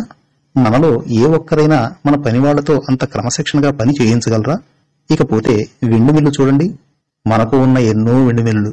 వట్టి ఉత్సవ విగ్రహాలు కాక మరి ఏమిటి ఉత్తినే చూడటానికి కాక మరి ఏ ప్రయోజనం ఉంటుంది వాటితో? వాటికి ఉన్న రెక్కలు మాత్రం ఎప్పుడూ తిరుగుతూనే ఉంటాయి. యానిమల్ ఫామ్లోని వెండి మిల్లును చూడండి. దానికి బిగించిన వివిధ యంత్ర భాగాలను చూడండి. ఎన్ని పనులు చేస్తున్నాయో? మన వాళ్ళు రాసిన విజ్ఞాన గ్రంథాలను క్షుణ్ణంగా చదివి వాటిలోని సారాన్ని గ్రహించి తమ వివిధ అవసరాలకు అనుగుణంగా వాటిని మలచుకుని జంతువులు పొందుతున్న ప్రయోజనాల గురించి ఒక్కసారి ఆలోచించండి. మన వాళ్ళు రాసిన విజ్ఞాన గ్రంథాలను మనం ఏనాడైనా ఇంతలా ఉపయోగించుకున్నామా? చెప్పండి ఫ్రెండ్స్. ఇండియన్స్ కూడా వేదాలు తమవేనని ఇతర దేశాల వాళ్ళు వాటిని సంగ్రహించి సాంకేతికంగా ఎంతో అభివృద్ధి చెందుతున్నారని గగ్గోలు పెట్టడం మనకు తెలుసున్నదే కదా. ఇప్పుడు యానిమల్ ఫామ్లో జరుగుతున్న దానికి ఇండియన్స్ చేస్తున్న ప్రచారానికి పెద్ద తేడా ఏముంది చేత కాకపోతే సరి. మంచి ఎక్కడున్నా గ్రహించాల్సిందే. ఇండియన్స్ తమవిగా చెప్పుకునే వేదాల సారాన్ని గ్రహించి మనకు అనుకూలంగా ఎన్నో విజ్ఞాన ఆవిష్కరణలు చేసిన మనలాగానే యానిమల్ ఫామ్ కూడా మన విజ్ఞాన గ్రంథాలను వంట పట్టించుకుని ఎంతో గణనీయమైన అభివృద్ధి సాధించింది. ఇది తిరుగులేని సత్యం. అంతా ఒప్పుకు తీరవలసిన వాస్తవం. ఏమంటారు ఫ్రెండ్స్? అంటాడు ఫిల్కింగ్టన్. ముమ్మాటికి వాస్తవం మిస్టర్ ఫిల్కింగ్టన్. ఫామ్ల యజమానులందరూ ఏకీభవిస్తారు ఫిల్కింగ్టన్ వాదనతో. ఈ సందర్భంలో నేను ఒక తీర్మానం చేస్తున్నా. మనందరికీ ఈ యానిమల్ ఫామే ఆదర్శం కావాలి. మన అభివృద్ధికి తన వంతు సహకారాన్ని అందించవలసిందిగా యానిమల్ ఫామ్ను మరీ ముఖ్యంగా మిస్టర్ నెపోలియన్ను వేడుకుంటున్నా అంటాడు ఫిల్కింగ్టన్. మిస్టర్ ఫిల్కింగ్టన్ మా అందరి తరపున వకాల్తా తీసుకుని ఈ అద్భుత తీర్మానం చేసినందుకు ముందుగా మీకు మా కృతజ్ఞతలు. మీ తీర్మానాన్ని ఏకగ్రీవంగా ఆమోదిస్తున్నామని చెప్పడానికి మిక్కిలి సంతోషిస్తున్నాం. అంటారు ఫామ్ల యజమానులు. అందరికీ నా కృతజ్ఞతలు. ఈ యానిమల్ ఫామ్ అభివృద్ధి కోసం మన డియర్ ఫ్రెండ్ నెపోలియన్ ఆరోగ్యం కోసం చీర్స్ ఫ్రెండ్స్ మరోసారి చీర్స్ అని అందరి హర్షధ్వానాల మధ్య తన సీటులో కూర్చుంటాడు ఫిల్కింగ్టన్. Cheers friends cheers. మిత్రుడు నెపోలియన్ కూడా తన స్పందన తెలియజేయవలసినదిగా అభ్యర్థిస్తున్నాం అని తమ తమ స్థానాల్లో కూర్చుంటారు ఆయా ఫామ్ల యజమానులు. టేబుల్ పెద్దల హర్షధ్వానాల మధ్య తన స్పందన తెలియజేయటానికి లేచి నుంచుంటాడు నెపోలియన్. మిత్రులారా నా ఈ కొత్త సంబోధన మీకందరికీ వింతగా అనిపించవచ్చు మారాలి మిత్రులారా మారాలి. పరిస్థితులకు అవసరాలకు తగ్గట్టుగా మారాలి. ఇప్పుడు దాకా ఒక జంతువు మరో జంతువును పలకరించేటప్పుడు కామ్రేడ్ అని సంబోధించుకోవటం పరిపాటి. కానీ మిస్టర్ ఫిల్కింగ్టన్ చేసిన ప్రసంగాన్ని ఆద్యంతం విన్న నాకొకటి అనిపించింది. మానవ సమాజానికి ఆ కామ్రేడ్ అనే సంబోధన రుచించట్లేదని. మానవ సమాజం నుండి మమ్మల్ని దూరం చేస్తున్న ఆ కామ్రేడ్ అనే సంబోధన పదాన్ని ఈ క్షణం నుంచే నిషేధిస్తున్నా అని ప్రకటిస్తాడు నెపోలియన్. అంతే. హర్షధ్వానాలతో ఆ ప్రదేశం నిండిపోతుంది చాలాసేపటి వరకు. టేబుల్ పెద్దలందరూ లేచి నిలబడి స్టాండింగ్ ఓవేషన్ ఇస్తారు నెపోలియన్కు. మరో ముఖ్య విషయం ఫ్రెండ్స్ మిస్టర్ ఫిల్కింగ్టన్ తన ప్రసంగంలో మాటిమాటికి యానిమల్ ఫామ్ యానిమల్ ఫామ్ అంటూ అనేక సార్లు మమ్మల్ని మిగిలిన ఇంగ్లాండ్ ఫామ్ల నుండి వేరు చేసినట్టుగా అనిపించింది. అందుకే ఫ్రెండ్స్ ఈ క్షణం నుండి యానిమల్ ఫామ్ స్థానంలో మా పూర్వ నామధేయమైన మేనర్ ఫామ్ను తిరిగి ప్రవేశపెట్టడం జరుగుతుందని తెలియజేస్తున్నాను. ఇక నుండి మా ఫామ్ను కేవలం మేనర్ ఫామ్గా మాత్రమే గుర్తించాలన్నది నా విన్నపం. చివరగా మరో విషయం. నాలుగు కాళ్ళు మంచివి రెండు కాళ్ళు చెడ్డవి అనేదాన్ని ఇక నుండి నాలుగు కాళ్ళు మంచివి రెండు కాళ్ళు మరింత మంచివిగా మార్చేస్తున్నా ఫ్రెండ్స్ అని ప్రకటిస్తాడు నెపోలియన్. మరోసారి టేబుల్ పెద్దలందరూ తమ తమ స్థానాల్లో లేచి నిలబడి స్టాండింగ్ ఓవేషన్తోనూ తమ తమ హర్షధ్వానాలతోనూ ఆ ప్రదేశాన్ని ఊపేస్తారు. కాసేపు ఏలలతోనూ కేరింతలతోనూ చప్పట్లతోనూ మారుమ్రోగిపోతుంది ఆ ప్రాంతం. ఇకపోతే మా సహకారాన్ని మిస్టర్ ఫిల్కింగ్టన్ ఎంతగానో అభ్యర్థించాడు. తెలివనేది ఏ ఒక్కడి సొత్తు కాదు ఫ్రెండ్స్ ఇదంతా మీ సంపదే. దాన్ని మేము కొంతవరకు ఉపయోగించుకున్నాం. అంతే. మా వంతు సహకారం అందరికీ ఎప్పుడూ ఉంటుందని తెలియజేస్తున్నా. ఇక ఇక్కడ ఆసీనులైన టేబుల్ పెద్దలకు సమస్త ఇంగ్లాండ్ దేశవాసుల సుఖశాంతులకు ఇవే నా చీర్స్ ఫ్రెండ్స్ అని ముగిస్తాడు తన ప్రసంగాన్ని నెపోలియన్. అంతే. టేబుల్ పెద్దలందరూ ఒక్కసారిగా లేచి నిలబడి కరతాళ ధ్వనులతో ఆ ప్రాంతాన్ని ఊపేస్తారు. అందరి ముగ్గుల్లో మళ్ళీ బీరు నింపండి. తీసుకోండి ఫ్రెండ్స్. మొహమాట పడకండి. కాసేపు సరదాగా గడుపుదాం. అంటాడు స్క్రీనర్. నెమ్మదిగా పేకాట కూడా మొదలవుతుంది. అప్పటి వరకు జరుగుతున్న తతంగాన్ని కుతూహలంగా పరికిస్తున్న జంతువులు నెమ్మదిగా అక్కడి నుండి బయలుదేరతాయి. అలా కొంత దూరం వెళ్ళాయో లేదో ఫామ్ హౌస్ నుండి పెద్ద పెద్ద అరుపులు వినపడి మళ్ళీ వెనక్కి వచ్చిన జంతువులు వాటి కళ్ళను అవే నమ్మలేకపోతాయి లోపల ఒకటే గందరగోళ వాతావరణం. అందరి ముఖాలు పిడిగుద్దులతో ఉబ్బిపోయి ఉన్నాయి. ఏది పంది ముఖమో ఏది మనిషి ముఖమో తెలియని పరిస్థితి. అన్ని ముఖాలు ఒకేలా అందరి గొంతులు ఒకేలా ఉన్నాయి. మరి